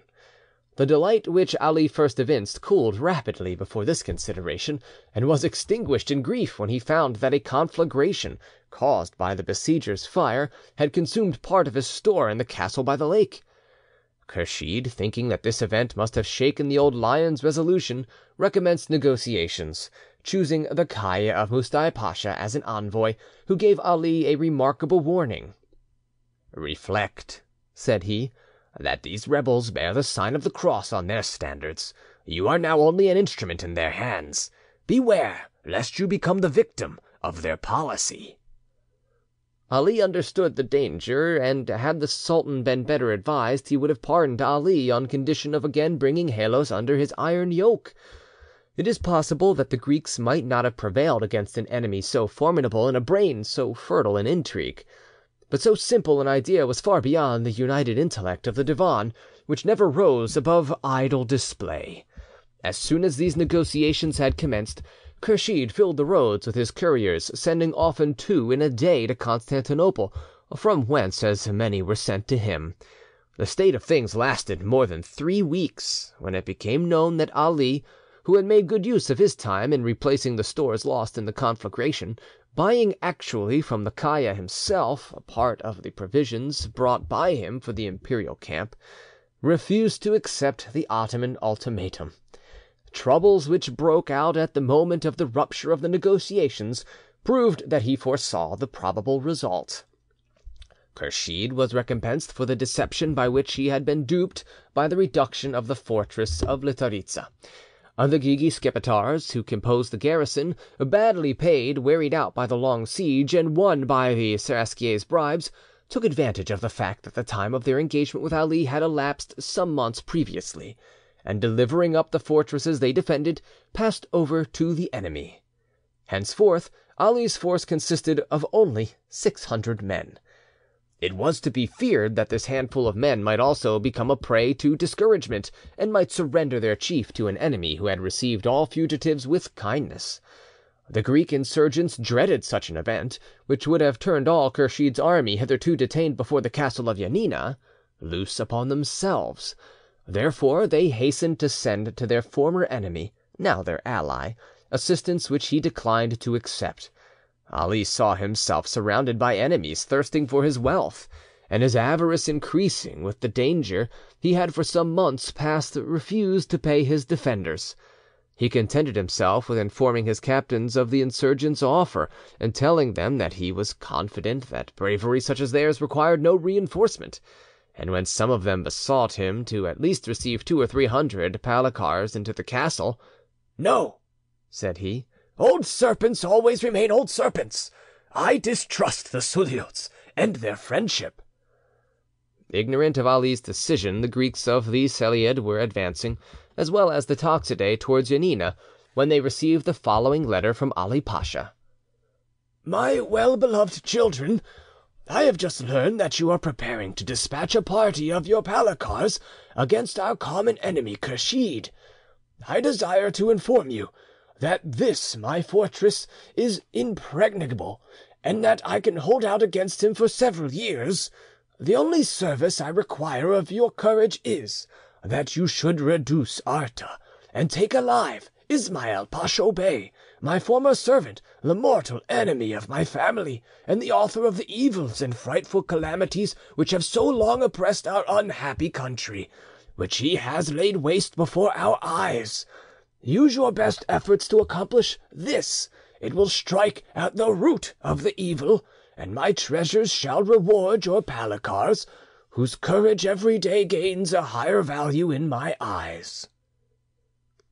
Furious at this mystification, the Suliots retired to their mountains, and Kursheed profited by the discontent Ali's conduct had caused.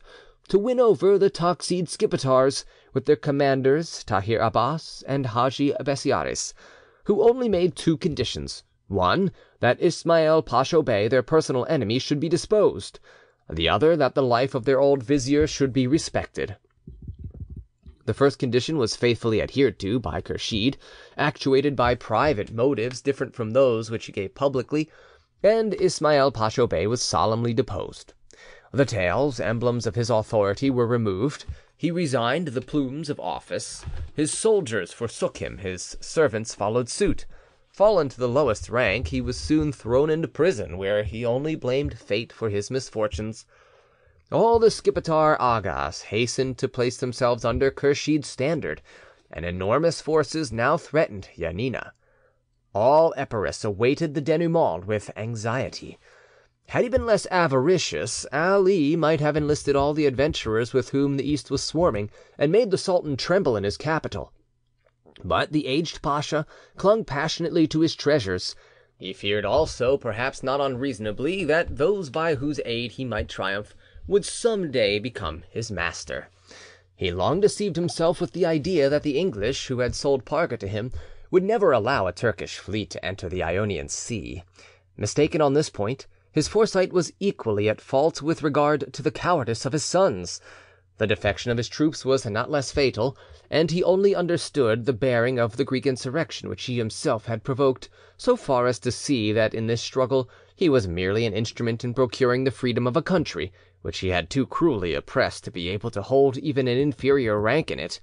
His last letter to the Suliots opened the eyes of his followers, but, under the influence of a sort of polite modesty. These were at least anxious to stipulate for the life of their vizier. Kursheed was obliged to produce firmans from the Porte, declaring that if Ali Tepelen submitted, the royal promise given to his sons should be kept, and that he should with them be transferred to Asia Minor, as also his harem, his servants, and his treasures, and allowed to finish his days in peace. Letters from Ali's sons were shown to the Agas, testifying to the good treatment they had experienced in their exile and whether the latter believed all this, or whether they merely sought to satisfy their own consciences, they henceforth thought only of inducing their rebellious chief to submit. Finally, eight months' pay, given them in advance, proved decisive, and they frankly embraced the cause of the sultan. The garrison of the castle on the lake, whom Ali seemed anxious to offend as much as possible by refusing their pay, he thinking them so compromised that they would not venture even to accept an amnesty guaranteed by the Mufti, began to desert as soon as they knew the Toxidae had arrived at the imperial camp. Every night these Skipetars who could cross the moat betook themselves to Kursheed's quarters. One single man yet baffled all the efforts of the besiegers. The chief engineer, Caretto, like another Archimedes, still carried terror into the midst of their camp. Although reduced to their direct misery, Caretto could not forget that he owed his life to the master who now only repaid his services with the most sordid ingratitude. When he had first come to Epirus, Ali, recognising his ability, became anxious to retain him, but without incurring any expense. He ascertained that the Neapolitan was passionately in love with a Mohammedan girl named Nekibi, who returned his affection. Acting under Ali's orders, Tahir Abbas accused the woman before the Cadi of sacrilegious intercourse with an infidel. She could only escape death by the apostasy of her lover; if he refused to deny his God, he shared her fate, and both would perish at the stake. Caretto refused to renounce his religion, but only Nekibi suffered death. Caretto was withdrawn from execution, and Ali kept him concealed in a place of safety, whence he produced him in the time of need. No one had served him with greater zeal. It is even possible that a man of this type would have died at his post had his cup not been filled with mortification and insult.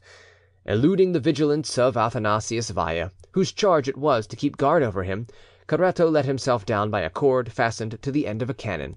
He fell at the foot of the rampart, and thence dragged himself with a broken arm to the opposite camp. He had become nearly blind through the explosion of a cartridge which had burnt his face. He was received as well as a Christian from whom there was now nothing to fear could expect. He received the bread of charity, and as a refugee is only valued in proportion to the use which can be made of him, he was despised and forgotten. The desertion of Caretto was soon followed by a defection which annihilated Ali's last hopes. The garrison which had given him so many proofs of devotion, discouraged by his avarice, suffering from a disastrous epidemic, and no longer equal to the necessary labour in defence of the place, opened all the gates simultaneously to the enemy. But the besiegers, fearing a trap, advanced very slowly, so that Ali, who had long prepared against every sort of surprise, had time to gain a place which he called his refuge. It was a sort of fortified enclosure of solid masonry, bristling with cannon, which surrounded the private apartments of his seraglio, called the Women's Tower. He had taken care to demolish everything which could be set on fire, reserving only a mosque and the tomb of his wife Emineh, whose phantom, after announcing an eternal repose, had ceased to haunt him. Beneath was an immense natural cave, in which he had stored ammunition, precious articles, provisions, and the treasures which had not been sunk in the lake. In this cave an apartment had been made for Basilissa and his harem, also a shelter in which he retired to sleep when exhausted with fatigue. This place was his last resort, a kind of mausoleum, and he did not seem distressed at beholding the castle in the hands of his enemies. He calmly allowed them to occupy the entrance, deliver their hostages, overrun the ramparts, count the cannon which were on the platforms, crumbling from the hostile shells, but when they came within hearing, he demanded by one of his servants that Kursheed should send him an envoy of distinction.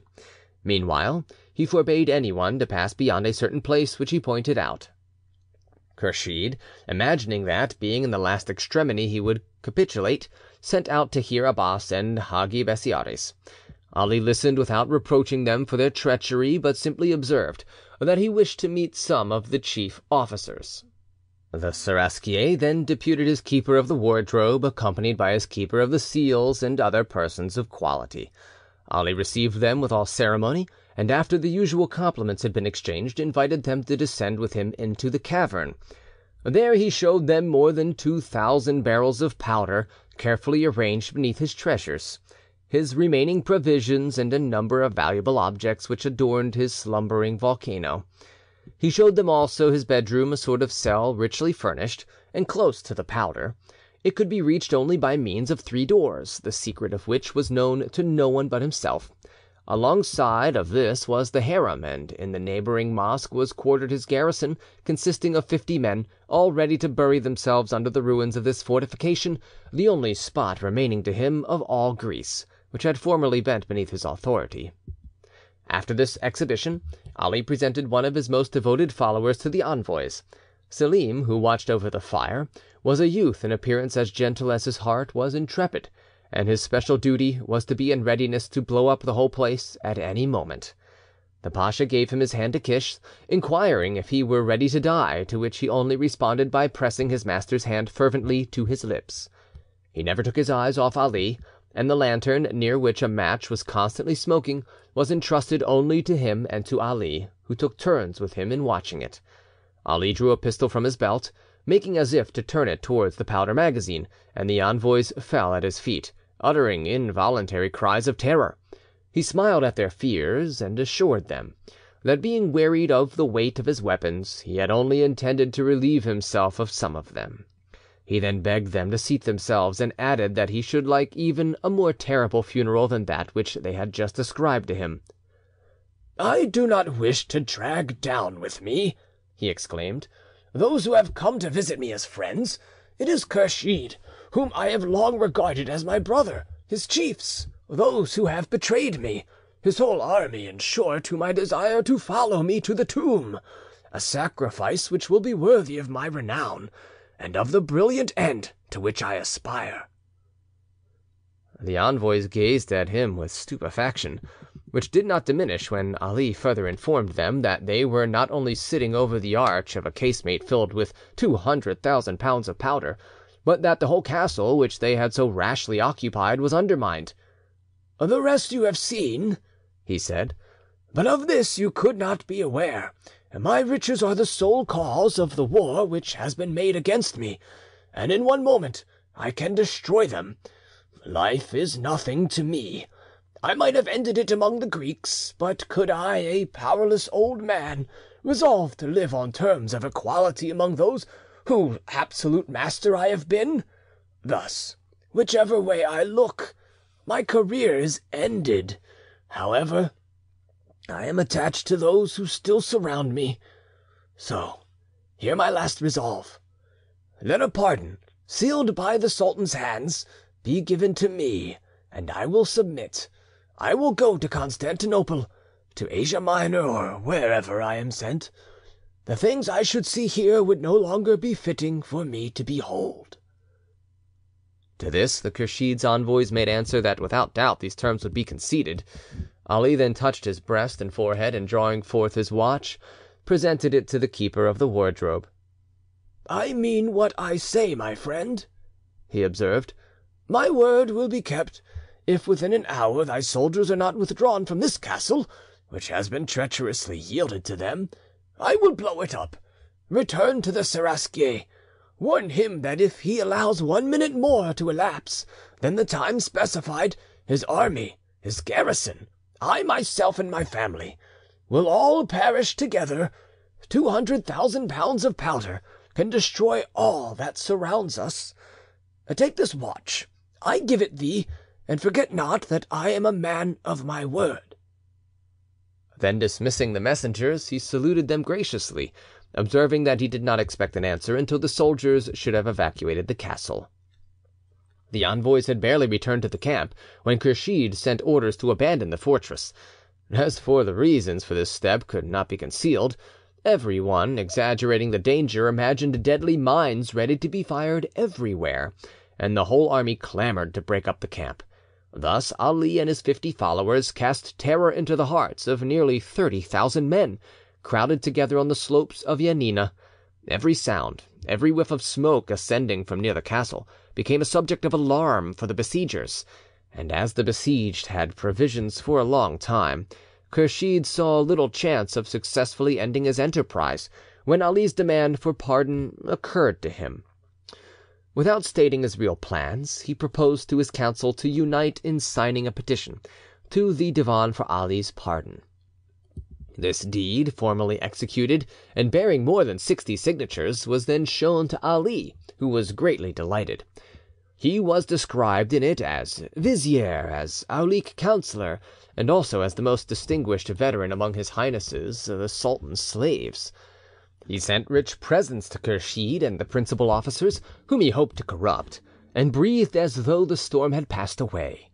The following night, however, he heard the voice of Emineh calling him several times, and concluded that his end drew nigh. During the two next nights he again thought he heard Emineh's voice, and sleep forsook his pillow. His countenance altered, and his endurance appeared to be given way. Leaning on a long Malacca cane, he repaired at early dawn to Emineh's tomb, on which he offered a sacrifice of two spotted lambs, sent him by Tahir Abbas, whom in return he consented to pardon, and the letters he received appeared to mitigate his trouble. Some days later he saw the keeper of the wardrobe, who encouraged him, saying that before long there would be good news from Constantinople.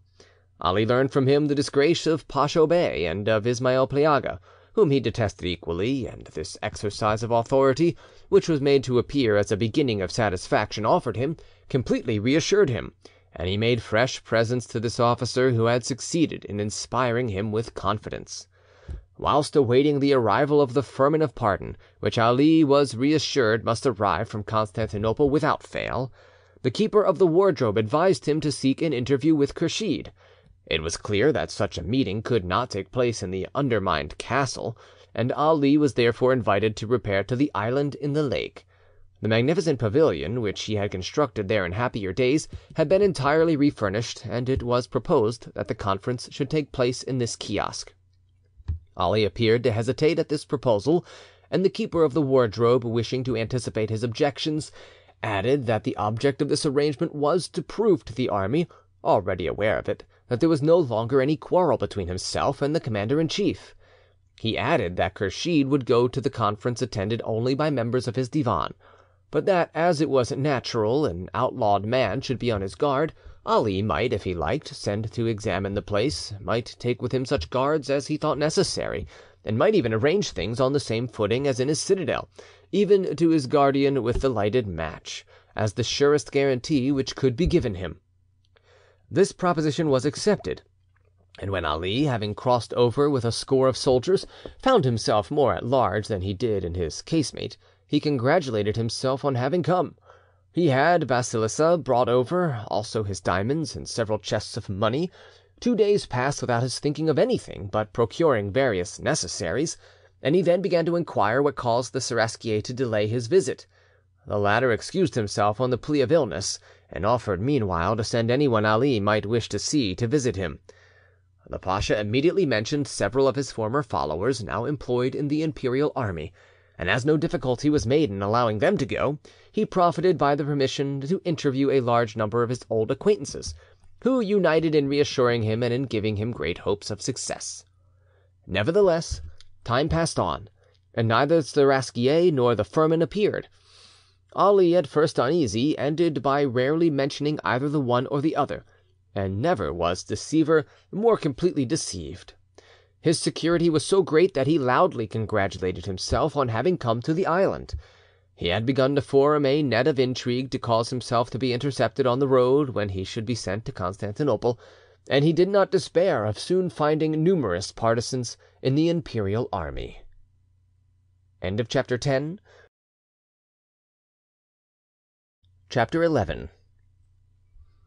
For a whole week all seemed going well, when on the morning of February 5th Kursheed sent Hassan Pasha to convey his compliments to Ali, and announce that the sultan's firman so long desired had at length arrived.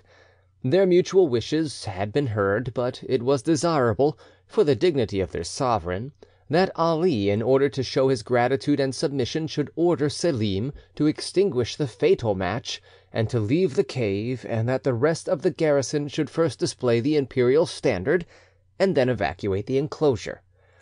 Only on this condition could Kursheed deliver into Ali's hands the sultan's decree of clemency. Ali was alarmed, and his eyes were at length opened. He replied hesitatingly that on leaving the citadel he had charged Selim to obey only his own verbal order, that no written command, even though signed and sealed by himself, would produce any effect, and therefore he desired to repair himself to the castle in order to fulfil what was required. Thereupon a long argument ensued, in which Ali's sagacity, skill, and artifice struggled vainly against a decided line of action. Now, new protestations were made to deceive him, oaths were even taken on the Koran that no evil designs, no mental reservations were entertained. At length, yielding to the prayers of those who surrounded him, perhaps concluding that all his skill could no longer fight against destiny, he finally gave way. Drawing a secret token from his bosom, he handed it to Kursheed's envoy, saying, "Go, show this to Selim, and you will convert a dragon into a lamb." And in fact, at sight of the talisman, Selim prostrated himself, extinguished the match, and fell stabbed to the heart. At the same time the garrison withdrew, the Imperial standard displayed its blazonry, and the lake castle was occupied by the troops of the Seraskier, who rent the air with their acclamations. It was then noon. Ali in the island had lost all illusions. His pulse beat violently, but his countenance did not betray his mental trouble. It was noticed that he appeared at intervals to be lost in profound thought, that he yawned frequently and continually drew his fingers through his beard. He drank coffee and iced water several times, incessantly looked at his watch, and taking his field glass, surveyed by turns the camp, the castles of Janina, the Pindus range, and the peaceful waters of the lake. Occasionally he glanced at his weapons, and then his eyes sparkled with the fire of youth and of courage. Stationed beside him, his guards prepared their cartridges, their eyes fixed on the landing place. The kiosk which he occupied was connected with a wooden structure raised upon pillars, like the open air theatres constructed for a public festival, and the women occupied the most remote apartments. Everything seemed sad and silent. The vizier, according to custom, sat facing the doorway, so as to be the first to perceive any who might wish to enter.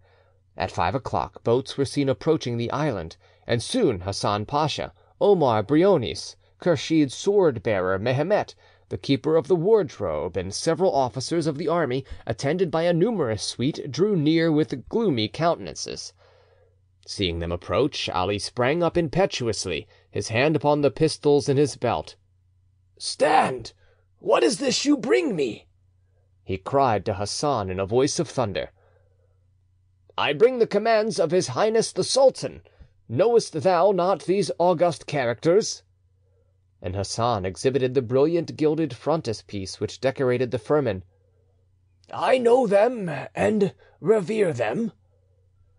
Then bow before thy destiny, make thy ablutions, address thy prayer to Allah and to His prophets, for thy head is demanded." Ali did not allow him to finish. "My head," he cried with fury, "will not be surrendered like the head of a slave." These rapidly pronounced words were instantly followed by a pistol shot, which wounded Hassan in the thigh. Swift as lightning, a second killed the keeper of the wardrobe, and the guards, firing at the same time, brought down several officers. Terrified, the Osmanlis forsook the pavilion. Ali, perceiving blood flowing from a wound in his chest, roared like a bull with rage. No one dared to face his wrath, but shots were fired at the kiosk from all sides, and four of his guards fell dead beside him. He no longer knew which way to turn. Hearing the noise made by the assailants under the platform, who were firing through the boards on which he stood, a ball wounded him in the side, another from below lodged in his spine.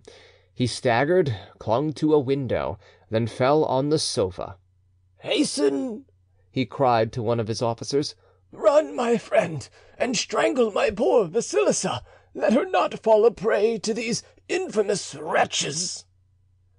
And the door opened, all resistance ceased.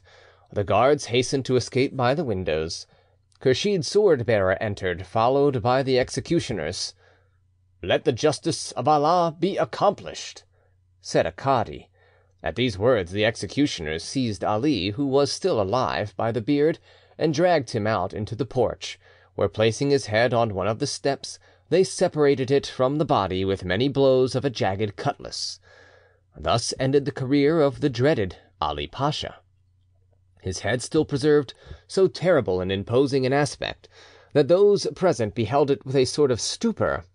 Kursheed, to whom it was presented on a large dish of silver plate, rose to receive it, bowed three times before it, and respectfully kissed the beard, expressing aloud his wish that he himself might deserve a similar end. To such an extent did the admiration with which Ali's bravery inspire these barbarians efface the memory of his crimes. Kursheed ordered the head to be perfumed with the most costly essences, and despatched to Constantinople, and he allowed the Skipetars to render the last honours to their former master. Never was seen greater mourning than that of the warlike Epirotes. During the whole night the various Albanian tribes watched by turns around the corpse, improvising the most eloquent funeral songs in its honour. At daybreak the body, washed and prepared according to the Mohammedan ritual, was deposited in a coffin draped with a splendid Indian cashmere shawl, on which was placed a magnificent turban adorned with the plumes Ali had worn in battle. The mane of his charger was cut off, and the animal covered with purple housings, while Ali's shield his sword, his numerous weapons, and various insignia were borne on the saddles of several led horses. The cortege proceeded toward the castle, accompanied by hearty imprecations uttered by the soldiers against the son of a slave, the epithet bestowed on their sultan by the Turks in seasons of popular excitement. The Selaon Aga, an officer appointed to render the proper salutes, acted as chief mourner, surrounded by weeping mourners, who made the ruins of Janina echo with their lamentations. The guns were fired at long intervals. The portcullis was raised to admit the procession, and the whole garrison, drawn up to receive it, rendered a military salute. The body, covered with matting, was laid in a grave beside that of Emineh. When the grave had been filled in, a priest approached to listen to the supposed conflict between the good and bad angels who dispute the possession of the soul of the deceased. When he at length announced that Ali Tepelenzadi would repose in peace amid celestial houris, the Skipetars, murmuring like the waves of the sea after a tempest, dispersed to their quarters. Kursheed, profiting by the night spent by the Epirotes in mourning, caused Ali's head to be enclosed in a silver casket and despatched it secretly to Constantinople. His sword bearer Mehemet, who, having presided at the execution, was entrusted with the further duty of presenting it to the sultan, was escorted by three hundred Turkish soldiers. He was warned to be expeditious, and before dawn was well out of reach of the Arnaouts, from whom a surprise might have been feared. The Seraskier then ordered the unfortunate Basilissa, whose life had been spared, to be brought before him.